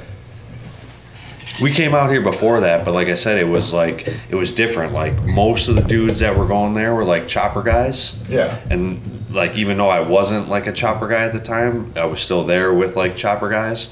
And then as soon as like the, I mean, they had been doing the you know Dyna FXR thing for a while between him and Chris. And as soon as like we were all in one area together, and like you, there was a bunch of people there, but you just still saw the bikes that you were kind of into. Like I said, I, I met Danny, and then fucking him and Chris kind of followed behind that. Oh yeah. Let's uh pause right here real quick, and then we'll pick this back up. Want to thank you guys for checking out this podcast. Uh, I want to thank Brian as well and the rest of the Michigan homies for the hospitality, allowing me to uh, crash their Airbnb and get this podcast recorded. Uh, thank you guys for checking it out. If you want to support this podcast, you can do so by checking out our Patreon, patreon.com forward slash Fast Life Garage. You can donate a dollar a month, and that helps us do all this cool shit on this podcast. Also, check out Dream Rides John on Instagram and teamdreamrides.com. Paint Huffer Metal Flake on Instagram and painthuffer.com. Fast Life 25 saves you uh, 10% off at checkout. Thundermax EFI, my computer of choice. ShopTmax.com. Say use Fast Life and save 10% off. Getting a little ahead of myself there. Lexin Moto on Instagram, lexin-moto.com, and Fast Life saves you 15% off. Check out their new stuff that's out now. It's uh, pretty badass. Can't wait to get my hands on one. Simpson Motorcycle Helmets, as always, SimpsonMotorcycleHelmets.com, Letric Lighting Co., and NamzCustomCycleProducts.com. Fast or FL 2020 saves you shipping. We'll be back with the next podcast, which will be my good buddy Tim O'Keefe.